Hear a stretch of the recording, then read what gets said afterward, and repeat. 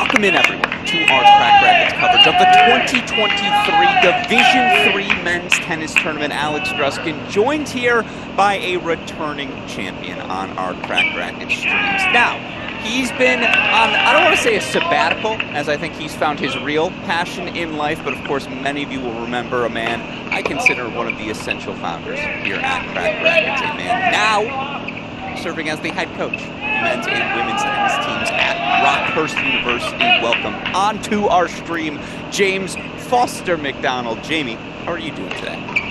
Fantastic. Can't think of a better way to spend Saturday morning watching college tennis down at the national campus. Nobody! What are your thoughts as someone who not only coaches a Division two team, but obviously played Division three tennis as well, to have all three national championships on one site? What does that mean to for college tennis? I think it's just so much fun. Uh, it's just great exposure for everybody, whether it's people who are spectating, whether it's players who you know kind of see the other side of things. Uh, it's awesome, and I think when you start to get to some of these top teams like Case Western, you know um, that they have also included other D2s and AIAs in their schedule, so they might have a little bit more familiarity there. Uh, but in general, having everybody in the same spot is just awesome, and it's great. It's a great spectacle for college tennis.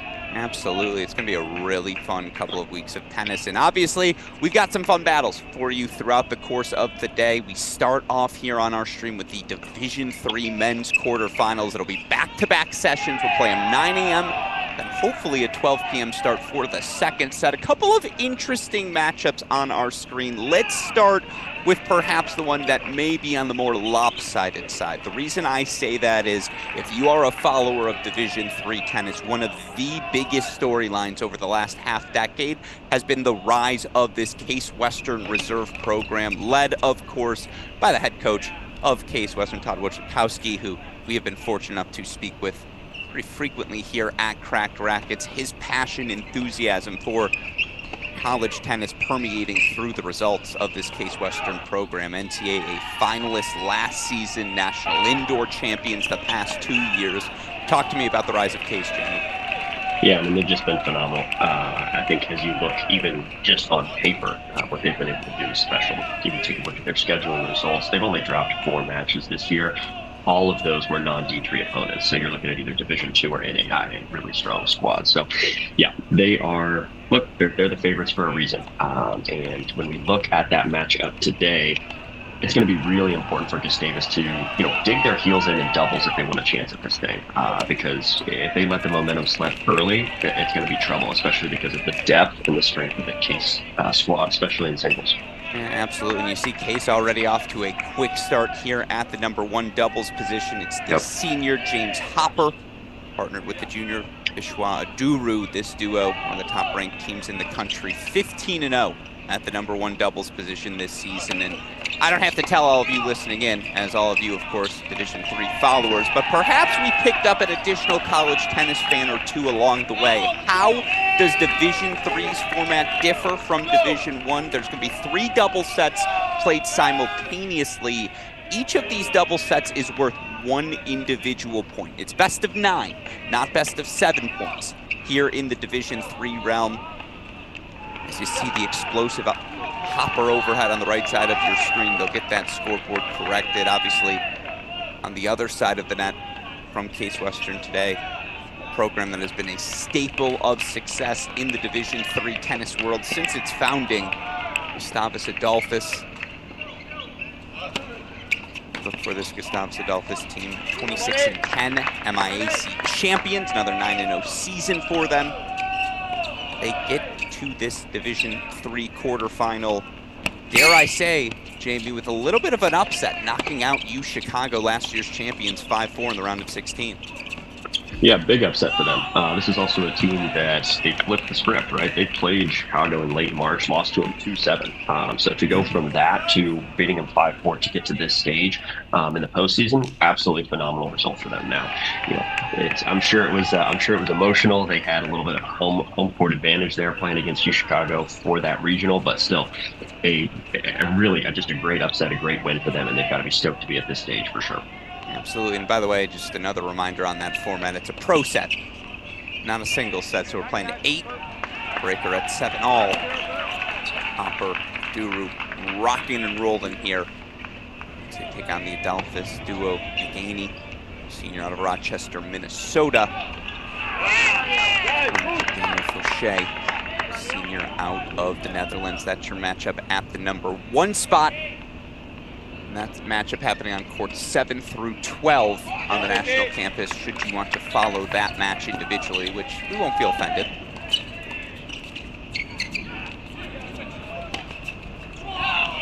Going to take it to court number two there.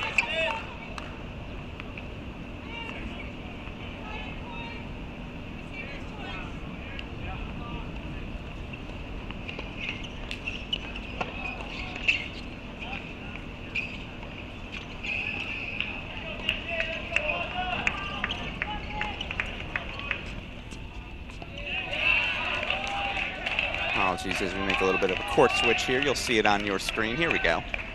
Now we're rolling. Everyone's waking up this morning, including our technology.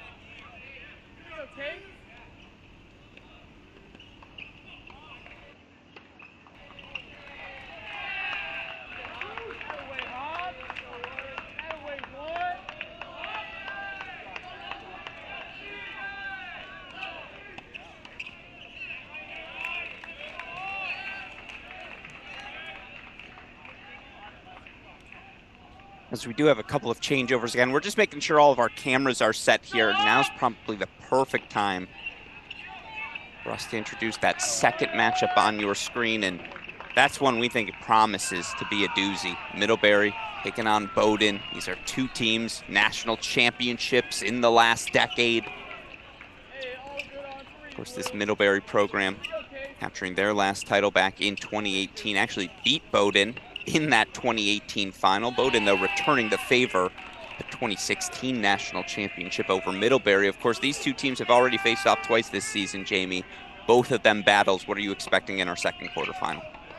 Yeah, um, you know, there's a lot of familiarity between these, right? They meet in the regular season for NESCAC, they meet in the NESCAC uh, final, that championship, and now here they are again. So it's going to be tight. Um, you know, this doubles point, or really, as you said, your three doubles set individually. This doubles section here, incredibly important um, for both teams, but in my opinion, a little bit more important for Bowdoin um, because as we saw in that NESCAC championship, Middlebury got down 2 1 after dubs and still found a way to win at 5 4. So I think Bowdoin, if you're Bowdoin, you really got to focus here and get those points because you've seen the strength of Middlebury in singles.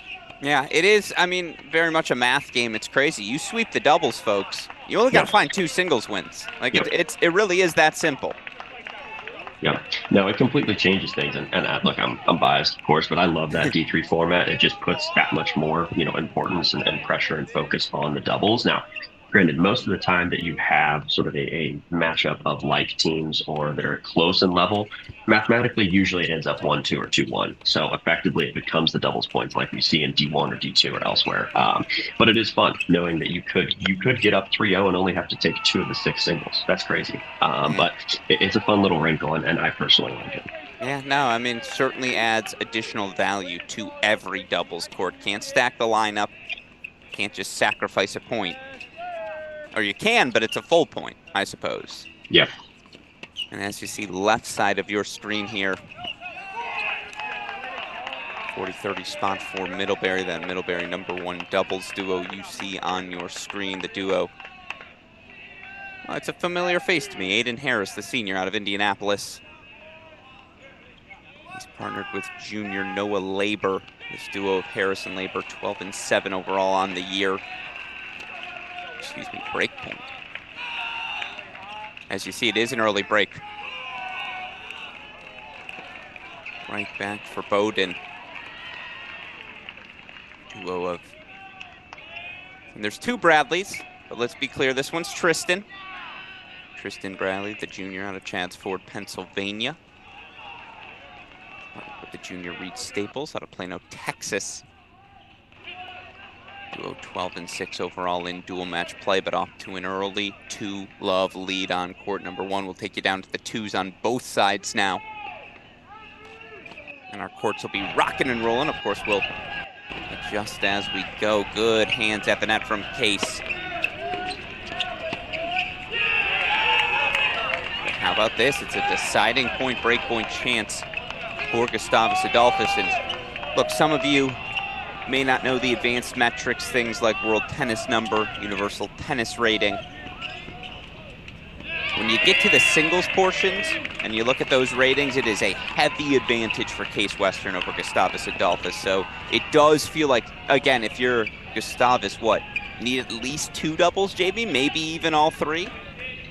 Yeah, I think so. And, and granted, you're, also talking about a squad who, looking on paper, came off a big upset. Um, you know, looking at UTR, WTN, whatever you're looking at, uh, against Chicago. But yeah, overall, if you're looking, the, the pathway seems pretty clear um, that they have to get up in doubles, right? And that is what they did against Chicago. Um, they actually had a decent chance to go up 3 0 against Chicago and um, ended up narrowly losing uh, in that breaker 7 8 at three doubles.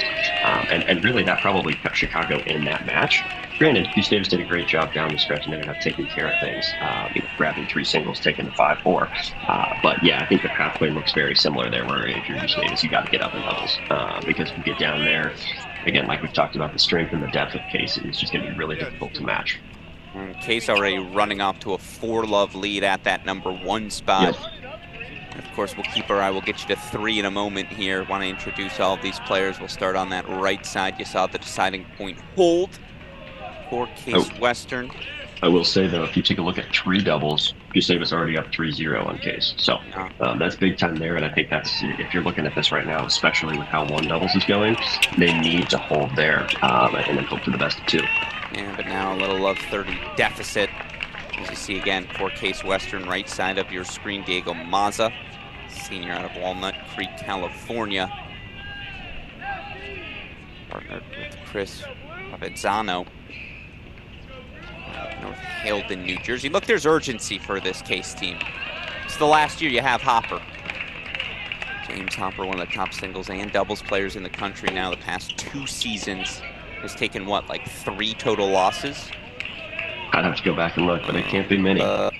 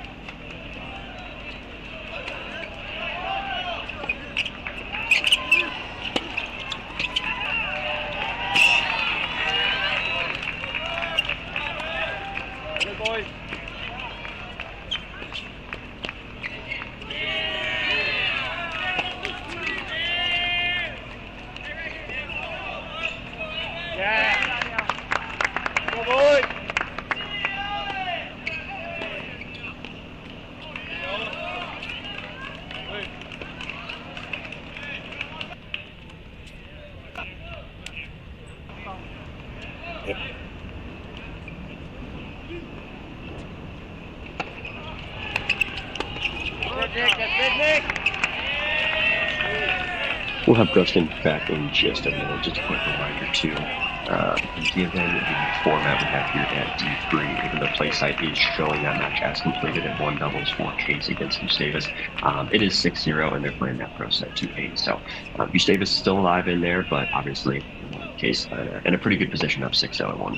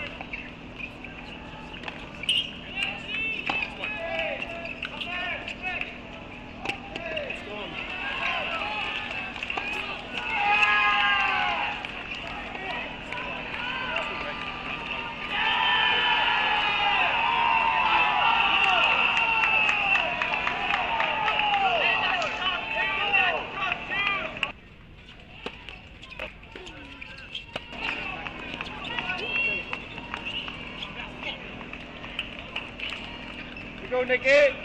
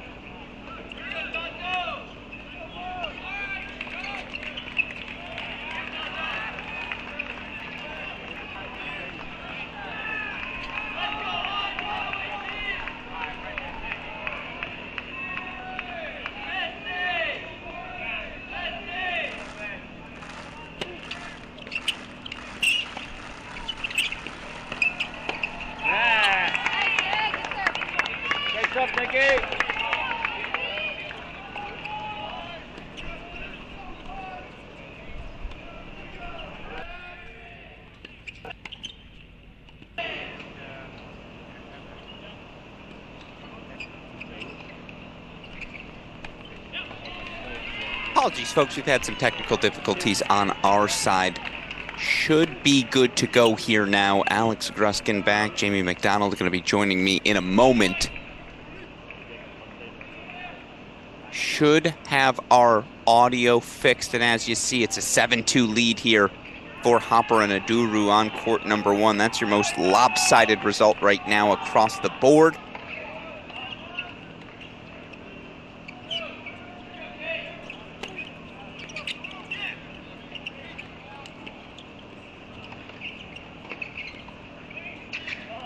And we are now back from our technical difficulties. Jamie, you can hear me?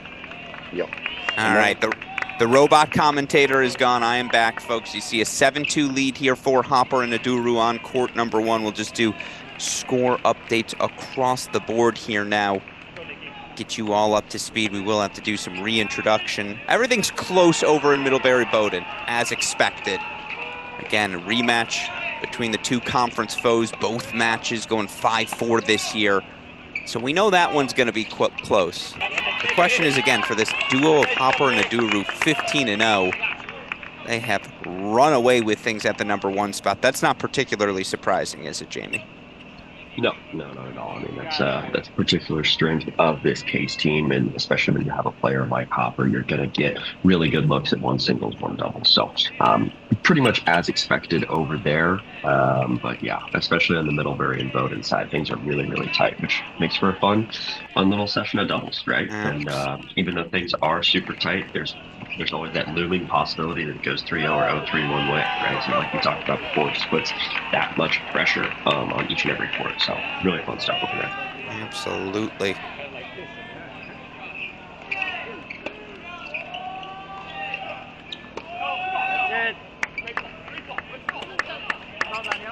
Again, getting scoreboards up so we can start jumping around.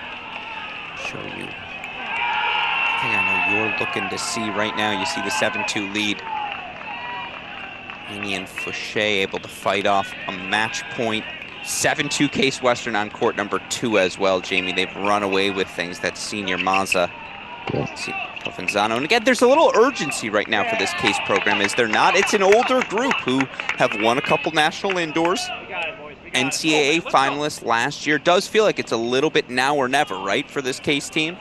Ah, yeah, I don't know about now or never, but Yeah, uh, sure. certainly urgency in the now section of that, and especially when you have you know somebody like Chicago who would have been in this position and would have been you know tough for them, obviously an emotional one for them as they lost in the final last year. Yeah, this is big. Um, the way the draw has broken and just generally how things look, the, the trajectory of their season certainly feels like, look, this is ours to win. We're the favorites, and now they got to go out and prove it. Absolutely. And so, again, another break point chance here. We are going to hop off these courts, I promise, in a moment. Show you some of the other action going on. We're now rocking and rolling.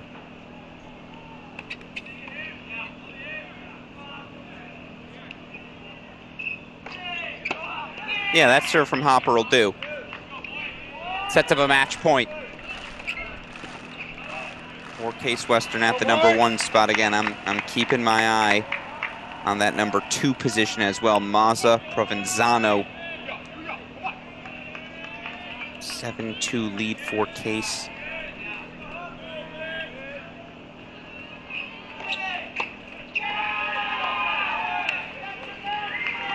And there it is, 8-2, Case Western gets on the scoreboard first. Again, double sets worth one point individually on the scoreboard. I don't know what I was or wasn't in robot mode, mode for, Jamie, so I might be repeating myself here. I apologize for that fact. Meanwhile, you see at the number two spot, Middlebury's making a little bit of a move. 5-3 for Epstein and Ward. Epstein, the sophomore from New York. Ward, senior out of Wilmington, Delaware. He was 11 and 7 overall together on the year. That's it, buddy. We don't mind. Here we go.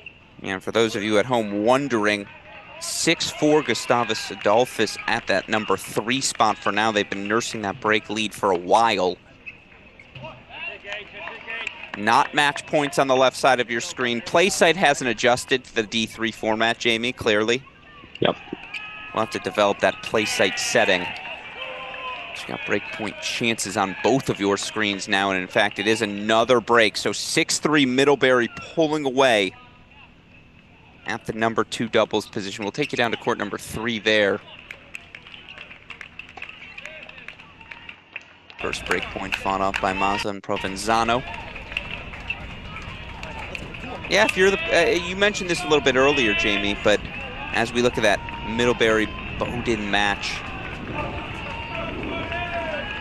very even everywhere. That's expected, isn't it? Mm-hmm. Yeah, very even across the board. And like you talked about, you you look at other metrics as well. But even if you go in and try to pull the power sixes on UTR, I think overall their power six is still within a point uh, across all six players. So we know this is going to be tight. These are teams who have seen each other. There's history not only this season but in previous ones in the postseason, conference, in regular season. So um, these are squads who know each other very, very well, um, and that just adds to the drama. So it makes for a bit of fun. But I do think there's is uh, there's a particular focus on this uh, on this double session here for Bowdoin, especially given what we saw in the NESCAC championship. Absolutely, and it's a match point for Case. Lob goes long. It's a 2-0 lead Case Western. 8-1 win at the number one. Excuse me, 8-2 wins at the number one and two spots, Jamie. I don't want to say beatdown, but this is what we expect from the defending NCAA finalists, is it not? Yeah, I mean it's convincing, right? They did their Yeah. job. They came out, um, and you know they got a lead, held it, and they put their team in a really good position here. Uh, interested to see what three doubles can do. Um, you got to feel like Berkey Davis, they have to win this to even stay in this match, uh, especially if you get down to a team like Case 3-0 after doubles, you're in a lot of trouble. Um, I feel like the 2-1 keeps them a little bit alive here, so we'll see what they can pull off at three. Absolutely, and again here at this number three spot. Let, oh, we see that ball. It's a good read, it's a good get. Let the record show my pronunciations were flawless earlier. I just unfortunately was in robot mode. But. Sparab Tirakanabi, Tirakanambi, excuse me, senior out of Minnesota. Serving here on the near side. Partnered with Marco Severo. Severo, sophomore out of Brazil. They're nursing that lead well. There's no doubt about it. They've been up a break for about the majority of our coverage here.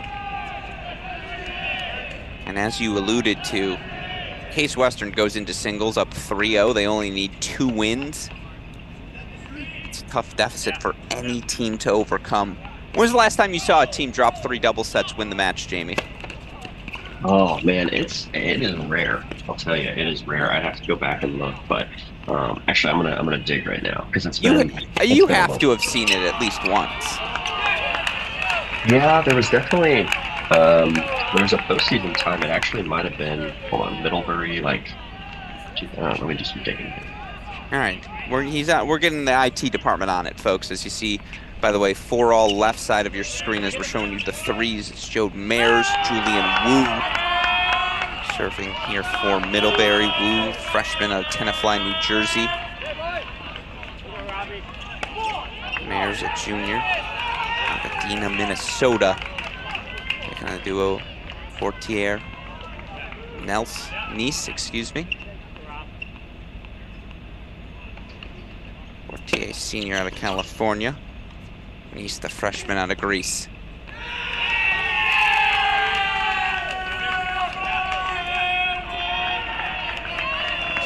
Again, Gustavus will have the chance to serve for that set on three. 8-2 victories for Case Western on courts one and two.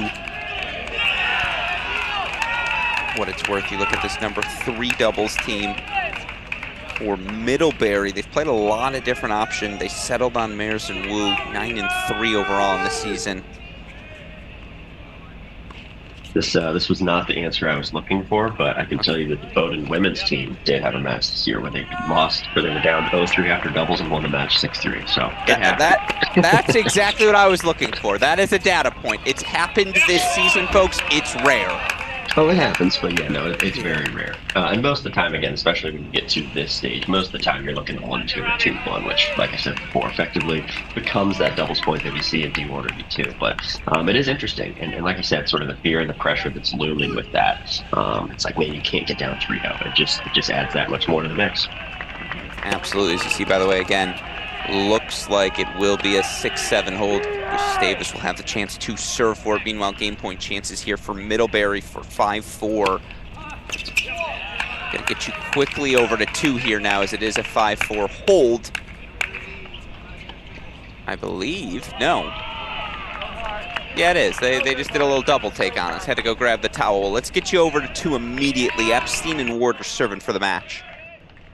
Oh, okay. This is exactly what I was thinking of. Uh, I just I didn't want to risk it and be wrong. So it's the 2016 Bowdoin match uh, against John Hopkins, uh, and that was, I believe, in the quarters. Let me go back and look. I like that. John Powell informs Yes. me that, and shout out to John Powell, who I believe former Case player. Am I, if, Yeah. uh, if memory serves Yes. me correct. Case last year against Whitewater went down 0-3 third round of NCAAs. That's right. I knew there was a case example, but I didn't know it off the top of my head. This is this is the one I had in my mind. This was this, I was still playing at the time, but yeah, Bowdoin 2016 going down 0-3. uh, to Johns Hopkins, going back, winning that 5-4 to advance to the semis. Hmm, Meanwhile, we got a match point here. Neil Epstein, Robbie Ward. Chance to make it 1-0 for Middlebury.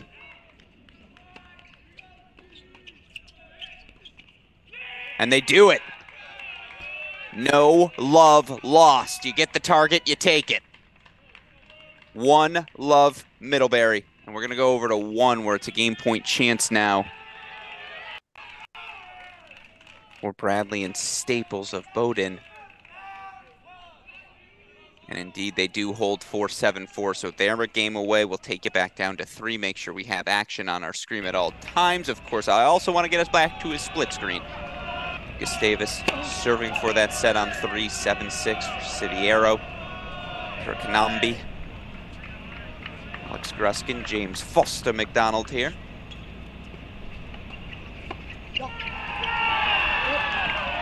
Big return to start. More case on three. You got a favorite for me right now, Jamie, in this D3 tournament? Uh, I mean, I think it's got to be Case. Uh, not only just the body of work throughout the season, but what we've seen thus far. Um, I think it has to be Case. I'm, I'm really curious to see um, what happens in the in the matches for the rest of the day. Um, if you want to talk a little bit about those, but the bracket's Please. really interesting. Um, no, I mean, I think I think there's a lot of really strong squads out here, right? Uh, however, if you're looking just across the board, this case Western team has earned the right, in my opinion, to call themselves the favorite. And so, unless we see anything to the contrary, I, I think we have to continue um, along that path. But, um, you know, anything can happen. Anything can happen at all, and especially if you have a day where a couple people play some good doubles, you get one of those 3 0 leads or 0-3 deficits like we talked about. Um, a lot of different things, a lot of different things can happen. But um, no, we've got some great matches throughout today, like Wash U and CMS going on. I believe it's noon Eastern, so I will not be around for that one, but uh, it, it's going to be great, and I'll try and follow along as much as I can.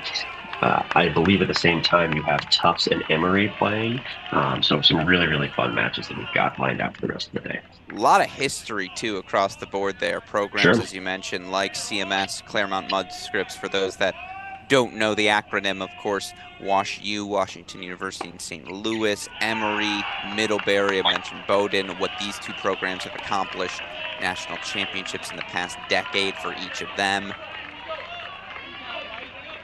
Yeah, it's going to be a special. we- We've got all the big guns. Other than, I suppose, Chicago knocked out by Gustavus Adolphus, the defending NCAA champs 5-4 in the round of 16. It's a match point coming up here for Gustavus on three. Bowdoin two points away from the match on one as well.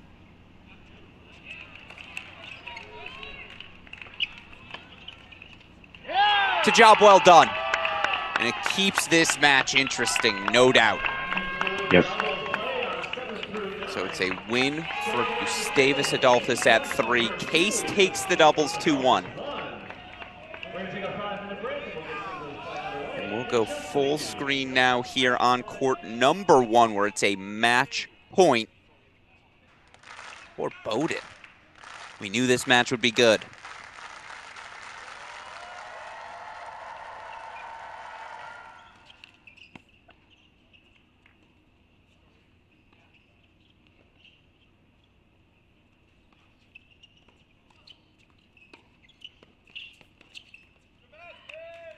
Look, it's the third time these three teams have played. Advantage Bowdoin 2-1 now. Overall, as this time, once again, Bradley, Staples, 8-4 over Harris and Labor. And that makes it a deciding double set for the advantage. And we'll head to court number three again. Right now, 2-1 Case Western leading Gustavus.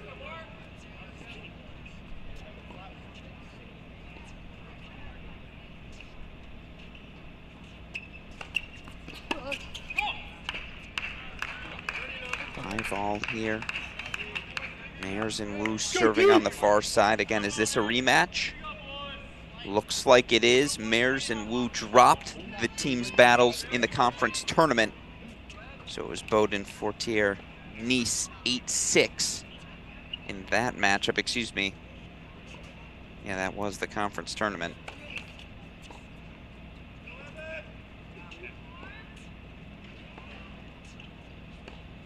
Yeah, and they also played each other during the regular season as well. So two two pairings that are very very familiar with one another.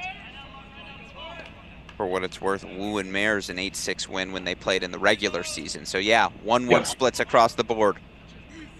And boy, big picture. Again, Middlebury a 5-4 win in the conference tournament. Bowdoin a 5-4 win in the regular season. You feel like this could very well be the swing. Yeah. Oh, 100%. I mean, how, how many times do we see it even D1 or D2 when we're talking um, that doubles point, right? Effectively, we've got the same exact thing going on right here. Um, so they know it, right? Um, they know it absolutely. And they're in a bit of a dogfight right now, 5 5 in this pro set. Mhm. Meanwhile, let the record show that missed overhead, not an unforced error as it was off of a double bounce.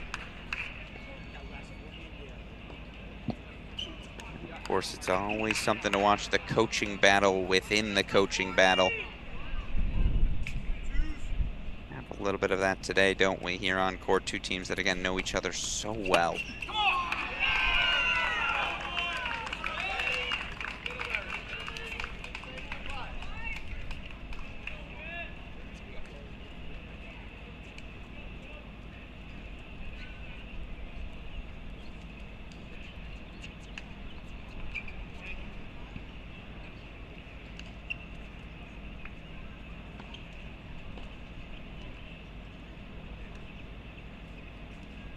Looks like play set's still a little bit confused here on the set and pro set format, but just a reminder, we're still going to eight. There's still plenty of tennis left to be played here on three. Absolutely, as we're on serve 6-5. Middlebury leading Bowdoin, Alex Gruskin, James Foster McDonald. Of course, one of the OGs here at Cracked Racquets, but more importantly, head coach now of the men's and women's programs at Rockhurst. And Jamie, as you were so kind to offer us your time here today, I want to offer you some time. Talk to us about what's going on at your D2 men's and women's programs. How's it rolling? It's good. Um, it's been a great experience. I'm really, really excited about some of the recruits we've got coming in on both sides. We've got young teams. Uh, this past season was the first time that I had returning players, um, so it's just a little bit different, um, right? You you come into you come into a situation you don't always know what to expect. Um, for me, it's I had some familiarity. I grew up in Kansas City, so I knew of the college, had some connection to players that were there as well as former players uh, who kind of helped me along the way. Um, just kind of some, some understanding of the school itself, the program, all of that. Um, but no, it's been it's been a ton of fun, and man, just any excuse to be around college tennis and uh, you know give these players a great experience as we're in here. It's just it's just so much fun to do. And for me, selfishly, obviously, I'm, I'm here on a Saturday morning anyway, so I can't get enough of it. Um, and I'm sure they think I'm crazy, uh, but you know that's just part of the fun. I think you have to be a little bit crazy to be the college tennis coach. Hundred percent. Passion, the passion required borders on craziness. And again, we appreciate all of you taking the time to join us in the chat. Want to hear your thoughts throughout the course of the day as well. I like Ransom Cook. There's nothing to do in the winter in Brunswick, Maine, other than crush beers, hang with the boys, and slap forehands. Let's go, Bowdoin. Well said. Well said. I, I don't know how else to say it. Yeah, I don't know how you counter that. I mean, Yeah, exactly. That's it's just a good point.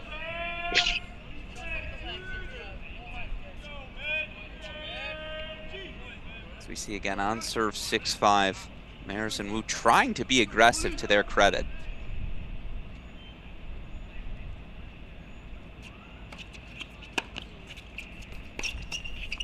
Ooh, a let cord luck. And that forehand, I, I mean this with all affection. It's a slap on that boat on that boat inside. It's something else. I, it's tough for me to see who's serving on that far side, but whoo, Yeah, he's going after it. I like it. You know, you never know what you're going to get. It's, it's three doubles, right? It's, it's the same way when you're looking at, at D1 and D2, but you know, you never know style wise. Okay, is it going to be straight up and down doubles? Is this just you know going to be the strong singles player who doesn't want to be on a doubles court, but he's there? But it, it, it's just always so fun, and it adds a little bit more wrinkle. And um, it's going to be a battle. This is what you expect. Postseason, Division Three, three doubles. These are going to be grinding matches. There's going to be a lot of returns in play. There's going to be some long, broken points, even like this that we're seeing right in front of us. Um, this is just what you get in the mix for some, some entertaining tennis. absolutely as it's game points. By the way, that's Fortier serving on the Fortier, excuse me, serving on the far side Nice at the net. The height disparity, the giveaway. On the ad on the deuce side here, excuse me. Mayor's on the ad for Middlebury. So now we've identified everyone. Now you're all set. Six, five, Middlebury, but gain points Bowdoin to level things. It's a good return. You like that target on the I-form, Jamie? Take that line. Yeah, if you've got it. I mean, again, look, if you're if you're at the point where you're getting clean looks off off the serve and you can just pinpoint a target before and then hit it, why not? I think it's great. Absolutely beats him to the spot. See if you stay in this. Yeah. Stay in this two back here, or what's your?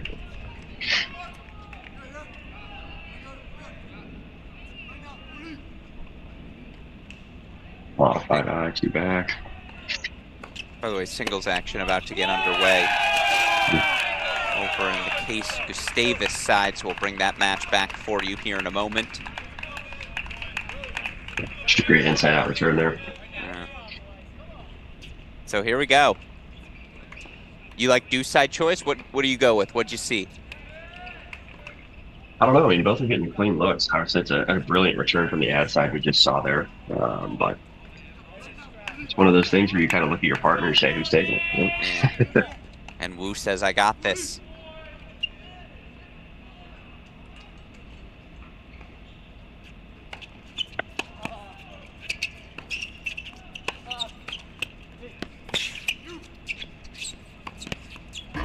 Great wheels, but a better forehand splits the middle.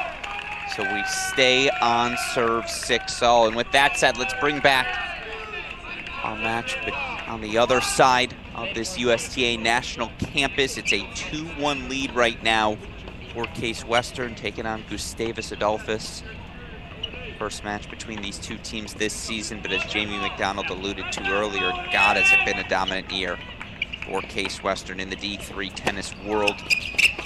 This Case team a remarkable 30 and 4 overall, no Division 3 losses so far in 2023 not too shabby, according to some. Not bad at all. Not bad at all. yeah, I mean, you just got to feel extremely confident going into singles here. Um, they feel confident. I, I, mean, honestly, if your case, I think you'd still feel good if you happen to be down 0-3. So the fact that you're up 2-1 after doubles, you've got the lead. You're already expected to win, favored on every court. Uh, we'll see. We'll see what Gustavus can come up with. Yeah, and I don't know if you know this, but actually there was a time last year where Case was down 3-0 to Whitewater, and they ended up coming back and winning. So you're absolutely right. Oh, you're brilliant. How'd you, how'd you pull that out? yeah, I know. It's, I've, I've known that forever. They, they talk about it all the time. It's the talk of the town. As it's an early deuce point because, of course, it is for Hopper. Senior James Hopper going to be at Virginia next season.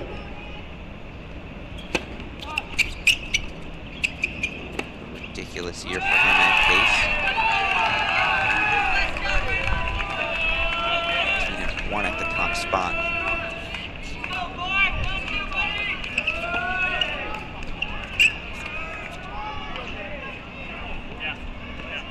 Hopper hops his way to an opening break.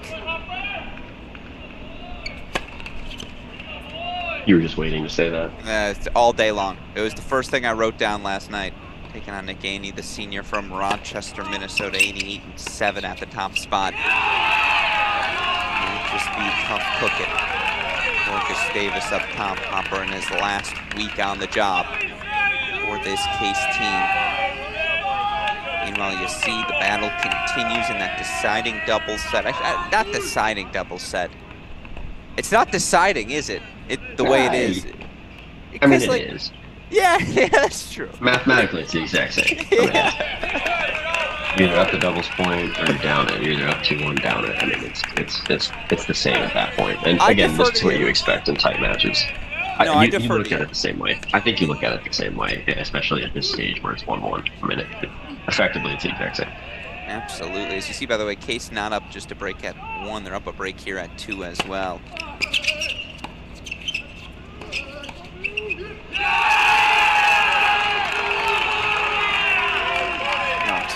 Serving markers off. Okay, that makes much more sense. Aduru, the junior. 13 and 5 overall in the top two spots. For Case is on the far side. And sophomore Marco Siviero. Again, over 25 members on the Gustavus roster. It's healthy. They fill a full dorm. It's a big list. It's a big list indeed. As by the way, you see Bowdoin breaks. Excuse me, four seven six. So they'll serve for that set on three.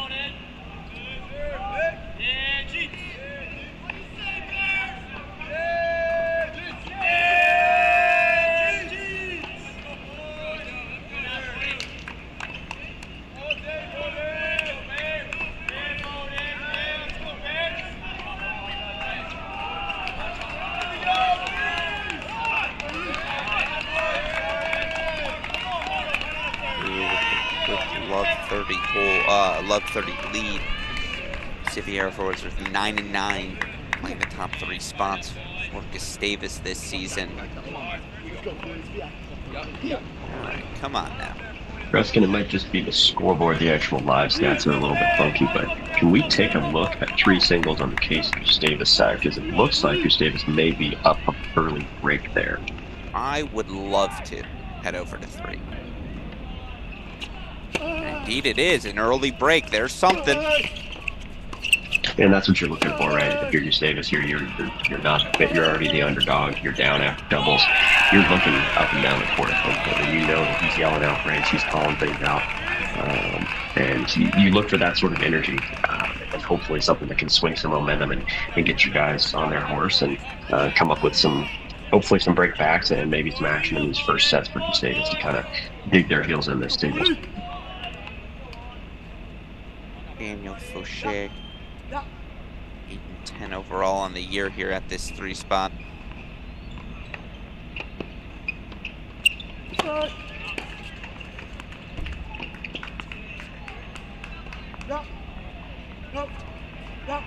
This Tanto, Tanto the senior. Five overall. I mean, all the numbers for Case look good as expected. That's what's going to happen when you don't drop a single Division Three match this season. Let's quickly pop back to two as it is a formal break point.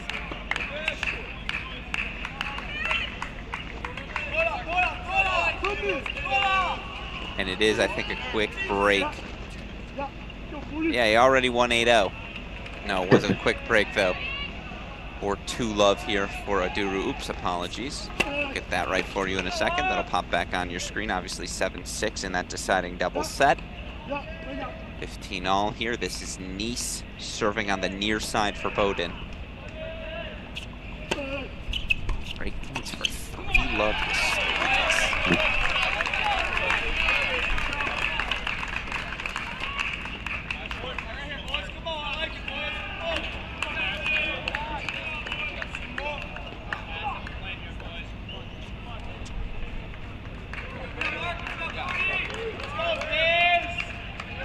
It is three love. Make sure we're keeping an eye on that three doubles action on, on the other side. So this is Absolutely. this is what we want. Eventually, I'm going to hit the right buttons, folks. I promise. 15:30 opening for Bowdoin. All right, I got to get court four set for us. That's good to know.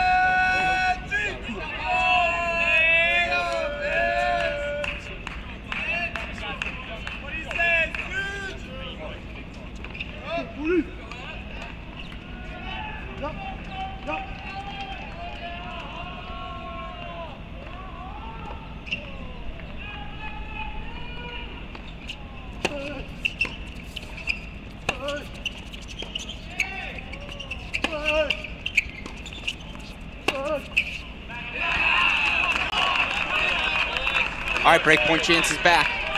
I know he had his opening too, and, and again, like we talked about before, this is what you expect to see. It, you know, D3 three doubles level, you're going to see these longer points, especially since we're outside. You're going to see longer points, maybe some broken ones, a lot of returns in play, um, which makes for really fun viewing on our end, of course. But uh, it's tough there. You got to see from the Bowdoin side. He, of course, had that opening down the line, went for it, just overcooked forehand touch.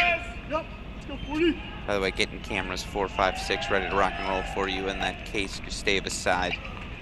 Bear with us for a moment here. Break point, Middlebury. Great serve from Nice to get out of a jam, and now it's a match point.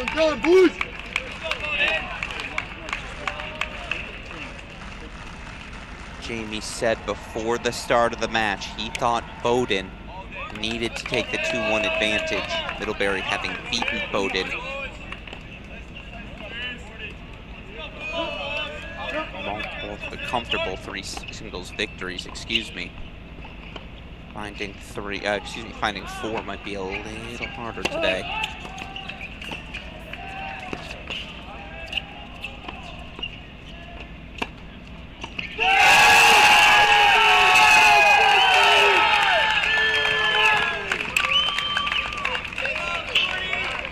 That concludes doubles play for courts one There it through is. There it is, yep.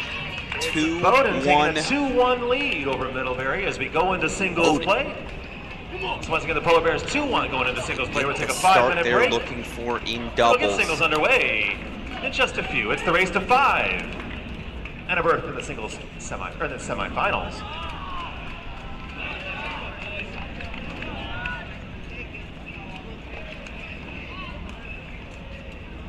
Yeah, you're feeling really good if you're voting right now. Um, that's exactly what you needed. I, I will point out too um, that during the regular season when these two played, it was a 5-4 decision. Yes, for Bowdoin, as we mentioned, um, and they did get down in doubles. It was a really tight uh, double session there, with it ending in a breaker on two. So either way, they know how to win, and, and they're feeling okay about this. But the fact that they go up 2-1 just gives them a little bit of comfort, especially with what transpired in the NESCAC championship. By the way, okay, so we should have courts now everywhere. As you see, Gustavus running away with things here, but 3-0 lead for Hopper, 3-0 lead for Aduru, and we're going to do a little jumping around here. We're going to go straight to 6, a court I know near and dear to Jamie McDonald's heart. As right now, Case Western, look at this. Another 3-love lead. This time it's Casey Hishinuma three love lead on Rafael Costa Hishinuma, 19 and 5 overall on the year. Costa 9 and 2. As that goes wide, this is where again, not that UTR World Tennis number are the end all be alls, but it gets pretty lopsided down the line, and that's again a testament to the depth the roster accrued by Todd Todd Wojtkowski, excuse me, over these past few years at Case. Yeah, and this is, I mean, look, this is especially what makes Case so dangerous, not only having the depth, but, um, you know, that star power up top with Hopper. And they can just beat you at so many different spots, right? I mean, you're looking across the scoreboard now. Not only are they up after doubles already having that advantage, but, you know, they're looking good on pretty much all of these courts outside of three singles, right? Um, and so it, it's really, really, really difficult to look at, and, and sort of in this format, you're Gustavus, you're looking down the line and seeing a lot of your seeing a lot of your guys um, already down a break in the first set. It's tough. It's tough. Look, there's a lot of tennis left to be played, of course, but this is why this is why Case has had so much success. They're just dangerous across the board. Absolutely.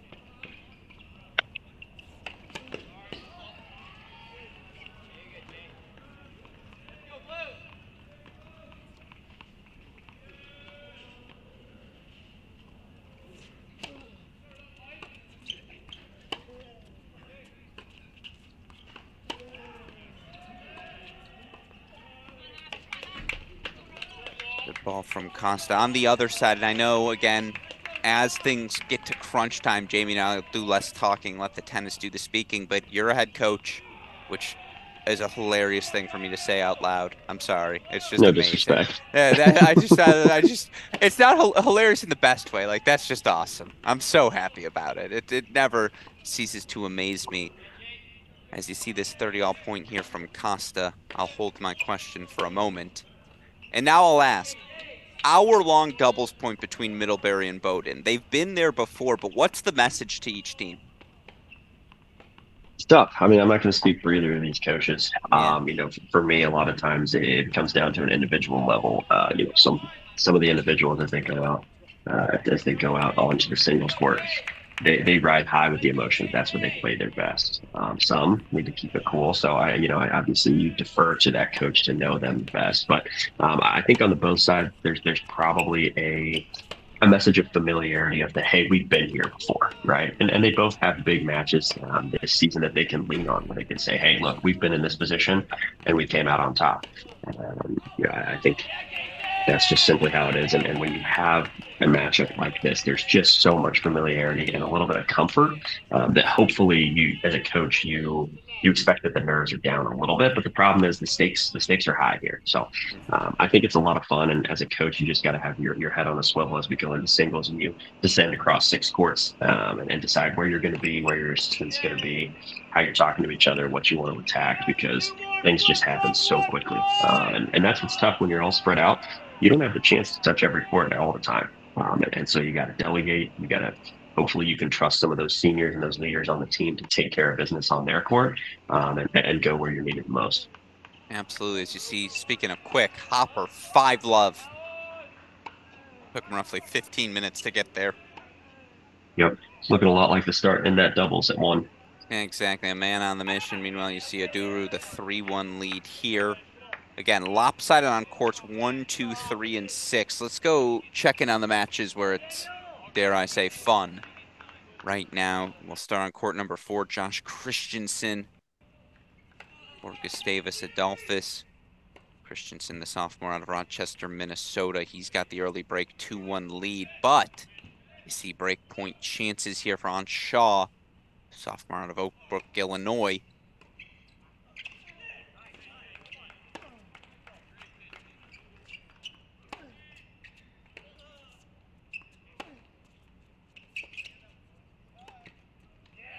Yeah, I don't care what the division number is. That's just good tennis. It's a great play. Yeah, I mean, he obviously he's a lefty there. He's looking to pin him in the backhand corner. Came in at the right time. Um, that's just that's just a good finish to that. Gets the break back. That's good stuff from Shaw.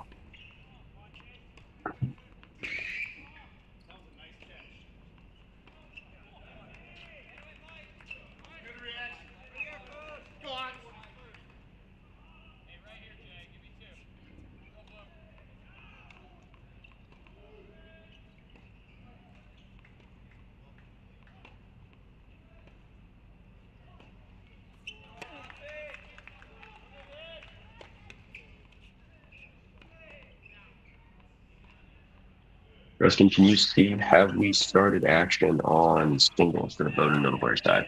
That's a great question. As Shaw puts that forehand away, God, is there some bite on that ball? Looks like he's feeling pretty comfortable in that pattern. Mm -hmm. And it looks like they're walking to court in singles. So we'll keep that on your screen as well. Alex Gruskin, Jamie McDonald here.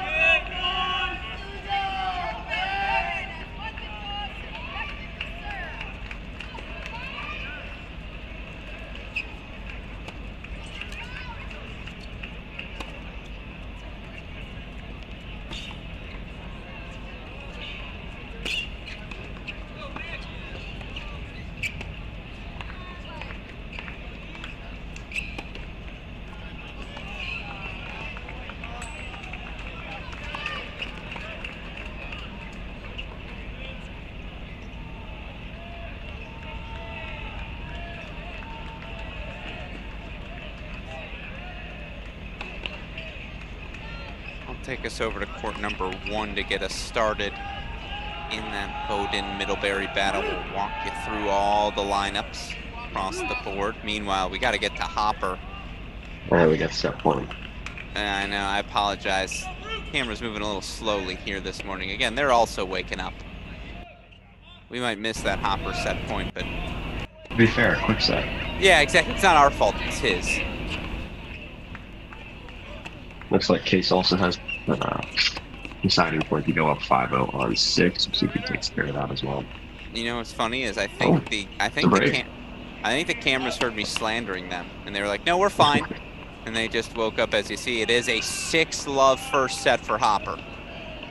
Well, you look at the most recent ITA Division Three rankings, and for the record, again, I, I suppose they come out a little bit more infrequently, but Hopper's been a top five player for about three years now, Jamie. Yeah, and, and for good reason. I mean, he's, he's proven it playing at the one line for quite a long time. Uh, yeah, there's there's there's no real surprise there. Um, he gets out, he, he gets out on court, he performs. Um, he's had great seasons year after year. Um, it's exactly what you want in your one player, uh, that consistency, right? And, and now being a senior leader on the team, really showing the others how it's done. Um, yeah, I mean, again, you just, you just can't ask for anything more in a, in a leader and a player, one spot. Absolutely, and you see now cases up breaks on four of six courts. Yep. One, two, six, and now here on five, it's AJ Mahentharon. Mahentharon. Sophomore out of Fishers, Indiana. 19 and 3 overall on the year. Taking on Alex Bud. Bud. 15 and 5 this season actually leads Gustavus in wins. So this is, again, on most days, a must for this Gustavus team. That much more so given the scoreboard deficits. Yeah, I mean, regardless for this team, they're gonna they're gonna have to flip the script on some on the uh, some of the momentum of these first set uh, because really the only spot that's looking great for them is three. It's been a really good first 75 minutes for this Case Western team. And Yep. uh, as college tennis coaches, college tennis observers, you really do end up breaking the match into segments.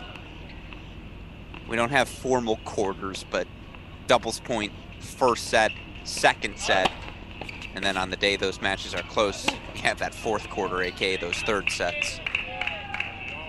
Meanwhile, singles underway, left side of your screen. Obviously early everywhere, and it feels like we're going to have a little bit more time with that match. But a fun one certainly on our hands. Bowdoin taking an 8-6 double set at 3 to take that 2-1 lead, and now at the top spot for Bowdoin. See on the near side of your screen, Tristan Bradley, 15 and 2 at the top spot this year. They'll take on Noah Labor.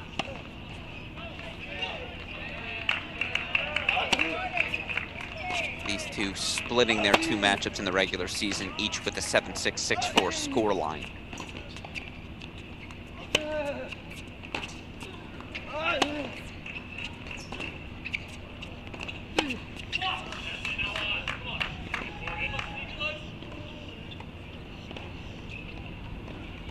Actually, that might be wrong. I think Labor's match was 6-4, 6-4. It just says 7-4 in the first set on the scoreboard. So we'll call that a whoopsies. As you see, Bud's making a little bit of a push on five. Doing what he can. Game point chance here for Mahentharon. Again, with just how the scoreboards look. A rally's got to start right now for Gustavus. It really does, Jamie.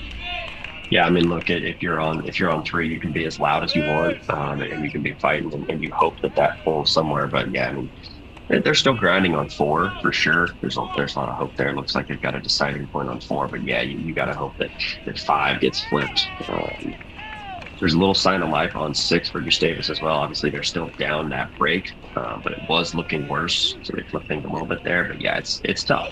It's tough, and you, you got to hope that those moments of momentum they're coming with some volume, some emotion, um, some positive body language. You, you got to hope that those carry and disseminate across the course. But I mean, again, it's it's tough when when you're already down, you're going up against the gauntlet that is Case.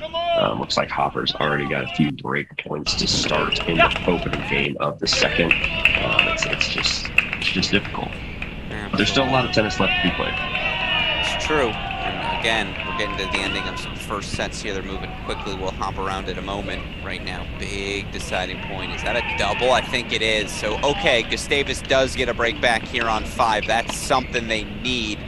And maybe they can get the momentum turning as we head over to court number three on that Case Gustavus side. 5-1 for Shea. He's two points away from the set, Jake. Yeah, I mean, again, this is what we talked about. This is this is certainly the bright spot for Gustavus right now, um, and you got to hope that those courts are looking down and hearing him uh, as he takes care of that first set. Sorry, I beat you to it. No, don't hate the player, hate the game. Scoreboard just happened to be pretty fast there. Yeah, no, it is a first set. So okay, one first set apiece. That was that was fast. As we'll head over to court number. You want two or six? What do you think on that case side? Um, actually, can we take a look at? All right, even better. We're gonna head to four as you see bad matches. First set's really progressing. Meanwhile, again, very early action. It's the senior Aiden Harris from Middlebury. Left side of your screen. Harris 11 and 6 overall this year. He's taking on Reed Staples. Staples 10 and 6 this season. These two also split their two head-to-head matchups in the regular season.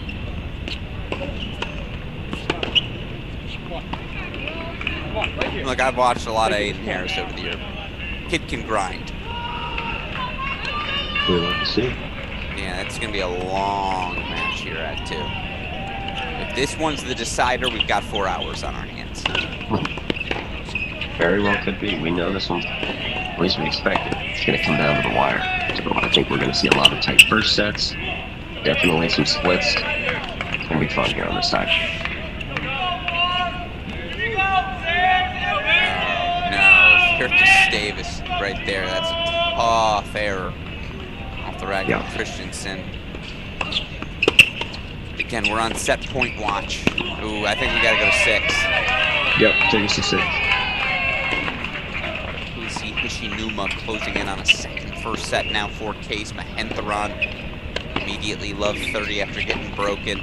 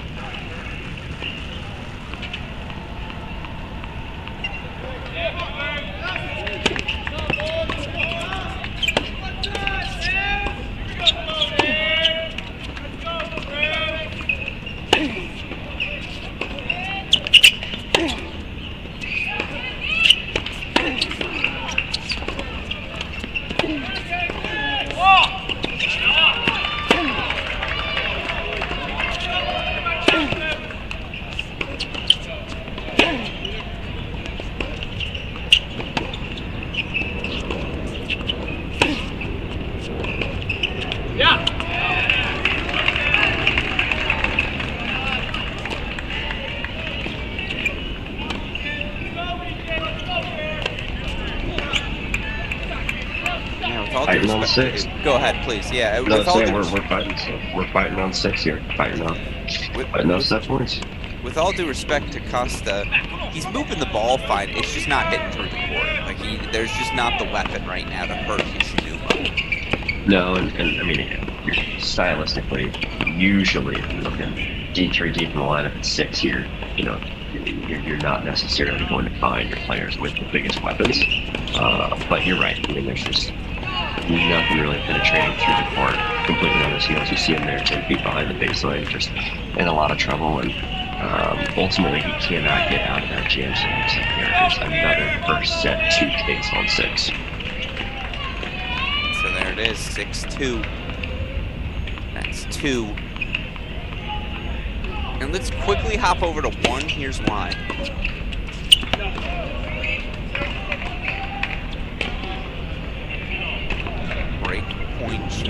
AD. He does break, he gets on the board. Okay. New set, new Amy. Keep Good our sign eye- of life there. Absolutely. Let's go over to court five. Now, of course, we can lock in a little bit here on Harris and Staples. Just so early in first sets everywhere.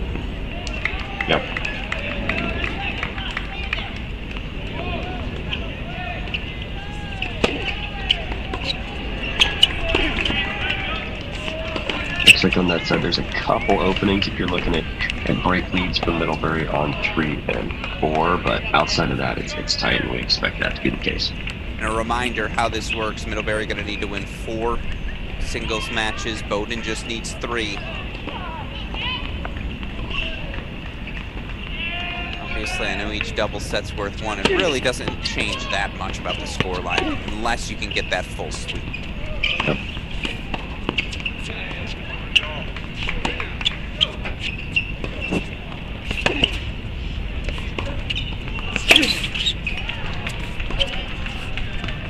Here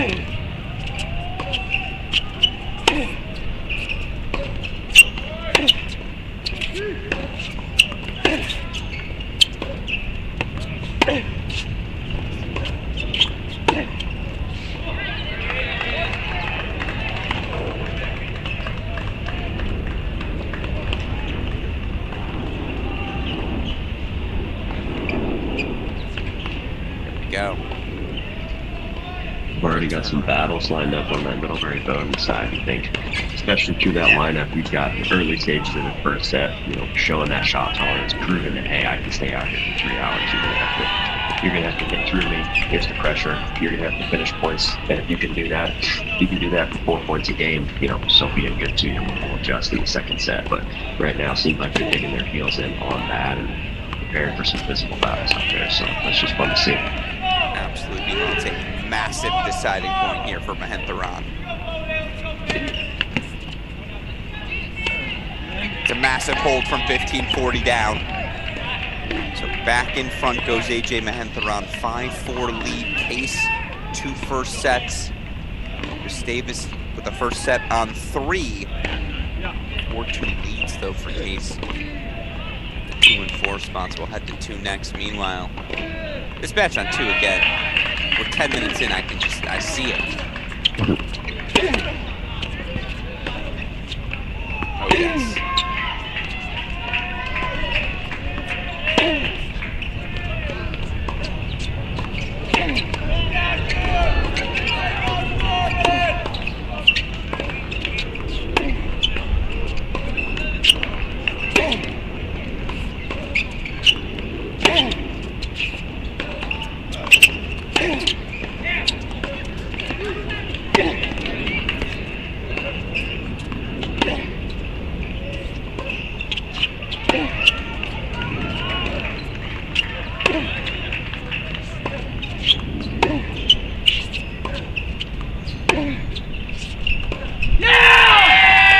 Opening hole for Staples. Let's go, Bears! I'm really excited Play for this matchup on two, folks. I think it's going to be a fun one. I'm just, again, Bowdoin, Middlebury, we knew it was going to be good. Now we're 30 minutes in and has continued to deliver. We'll take it to court number three now. want to introduce all those matchups you see. Aduru, the 5-2 lead on court number two. No dead time. Obviously allowed on your screen, so we'll get you to court number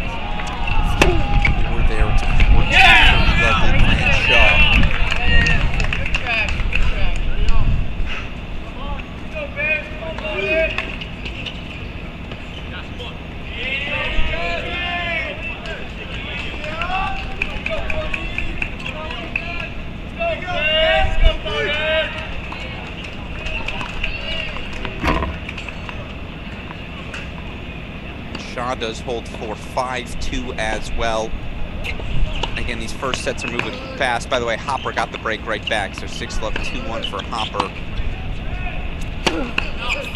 Get back to 2 there. Meanwhile, left side of your screen, Neil Epstein and Peter Bruker. Bruker 2-0 against Epstein during the regular season. Of course, Bruker, sophomore out of Massachusetts. This for Bowdoin. Meanwhile, on the other side, Epstein a rock solid 11 and 7. Now is at the number three position.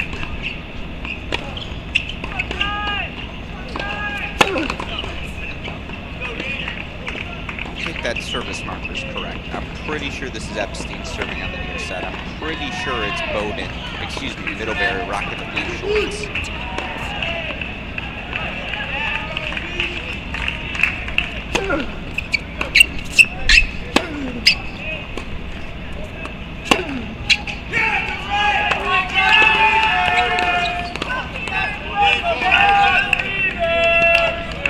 Okay, just fix the service. Uh, as long as that serving marker doesn't move, that was indeed a break. It is, again, Bowdoin rocking the all whites. It's Middlebury with the blue shirts. Two all service markers just straight up incorrect. Justin, on the case side, you want to take a look at court five. Looks like we have a set point break break point opportunity there. There's nothing I would like to do more. AJ Mahentharan. It's been an up and down set for the sophomore.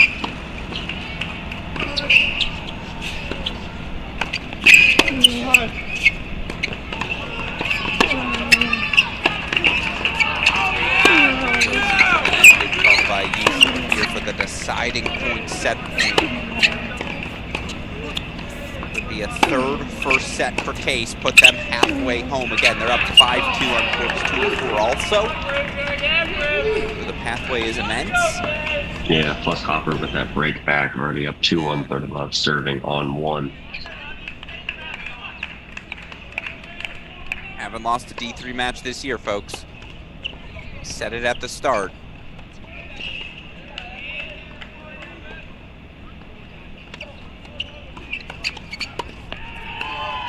That's huge. Had to have it, but had to have it. So we'll take you over to court number two.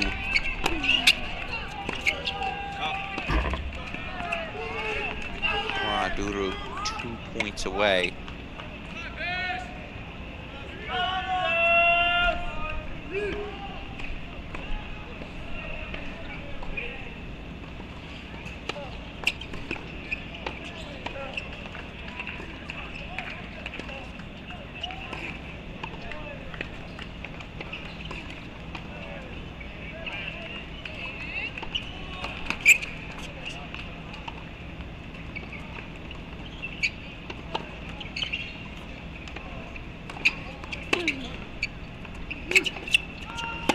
I called it good. Couldn't tell if it's so wide or not. No, that was a racket clap. That's what it looked like. Yeah, service marker's wrong. So it's a game point, not a break point. That's a 5-2 racket clap. That's a, yeah, you can have that one. I thought it looked wide. That, well, that's what I meant. Is yeah, it, it looked like it was gonna. It looked like it was gonna land wide. I, Definitely 30-40. Uh, 40-30, excuse me. And so here we go. Alright, that one, he's like, no. You get one, not two. Mm-hmm.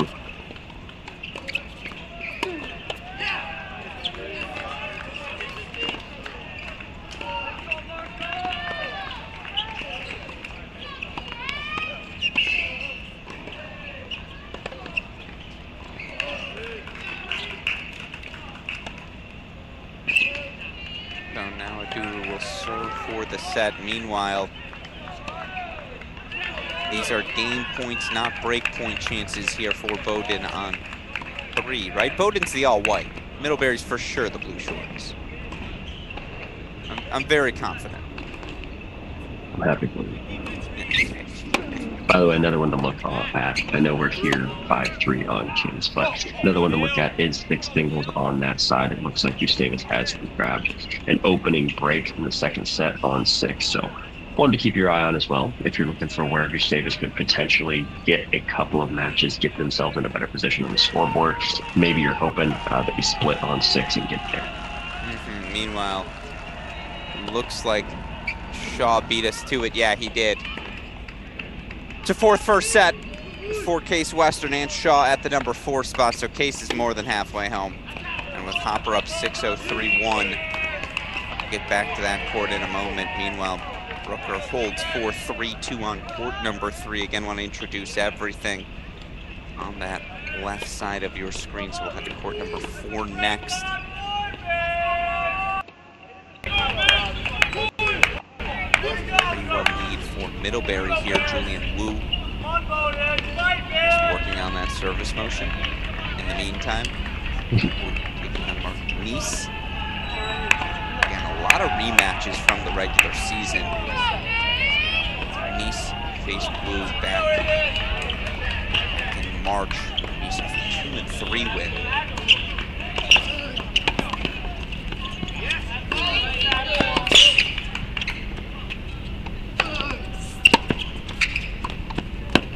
I'll tell you what, it's one thing to play someone in Maine, it's another to play them in the Orlando heat. Little different conditions. Gonna change things up there. Yeah.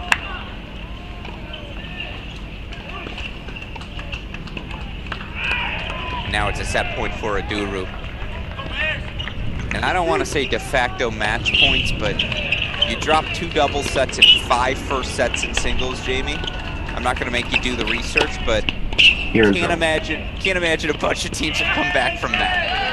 No, you're, you're in trouble. Uh, especially looks like Hopper's looking to break again.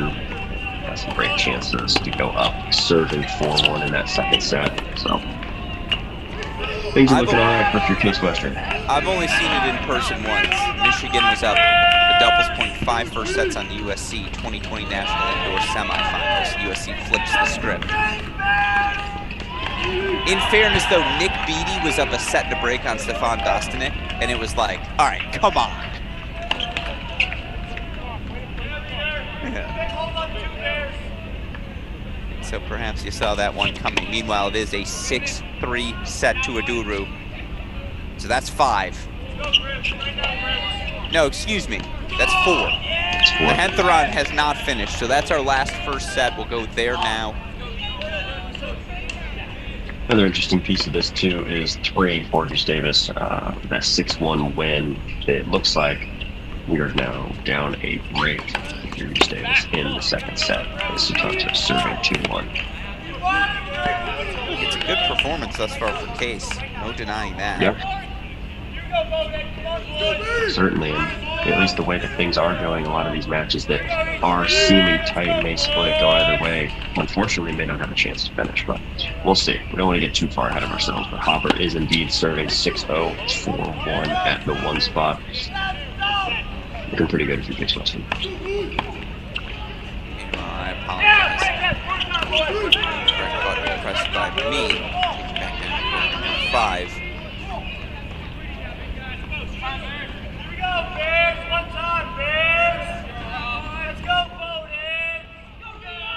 Your final first set remaining. Again, four first sets. Actually, hold a point here. Obviously, going to take you to court number uh, five in Middlebury Bowdoin. I want to take us to court one, though, in this case match because we might get 10 more minutes of Hopper if we're lucky. Six love, Yeah. 4 1 for the senior. Again, he'll spend his final season of college eligibility over with the current defending NCAA Division One champions. Hopper headed to Virginia next season. Yeah, forehands like that, maybe you understand why. Take you down to court number five here. Did his forehand drop there? Uh, no, it went wide, but I'm just saying the pace more broadly. Oh, yeah. Curious, curious to hear your thoughts. What, do- what do you think the outlook is there with him going to UVA for that final year? Where does he, where, if anywhere, does he make an impact? And the, the difference in level that you see? It's a great question. Here's the thing: he has the athleticism, he has the serve, he has the frame, he has weapons.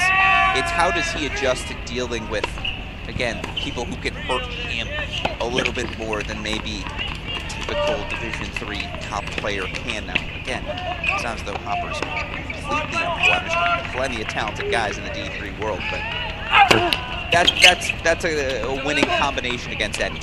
That serve, that forehand. I think doubles more than singles right away. I think there's absolutely a place for him in the Virginia doubles lineup this year. Yeah. Singles will be interesting.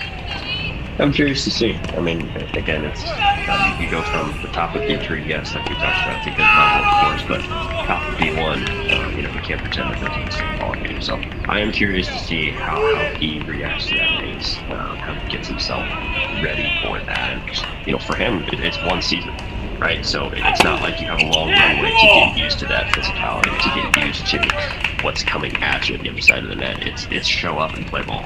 Um, so I, I certainly hope that he's able to make that impact. I think that'd be really fun to see such a transition. Um, I think there's a lot of guys in the NT3 world who would love to see the same, but I'm curious, and I'm certainly going to be watching it.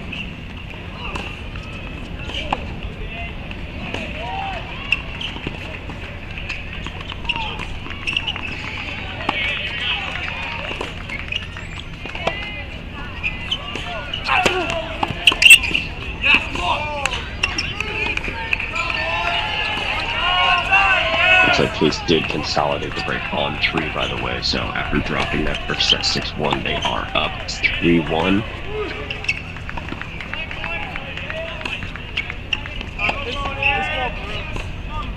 Case looking pretty solid once again after taking that set on 5 7 5. So looking very good as they roll into the second set, even on some of these slower, more competitive courts, still in really good spots.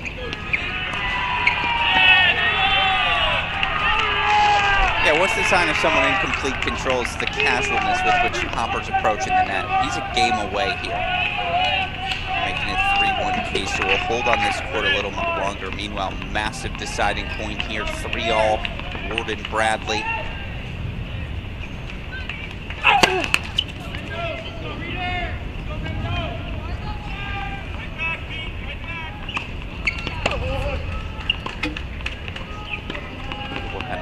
They jumped the gun just a hair.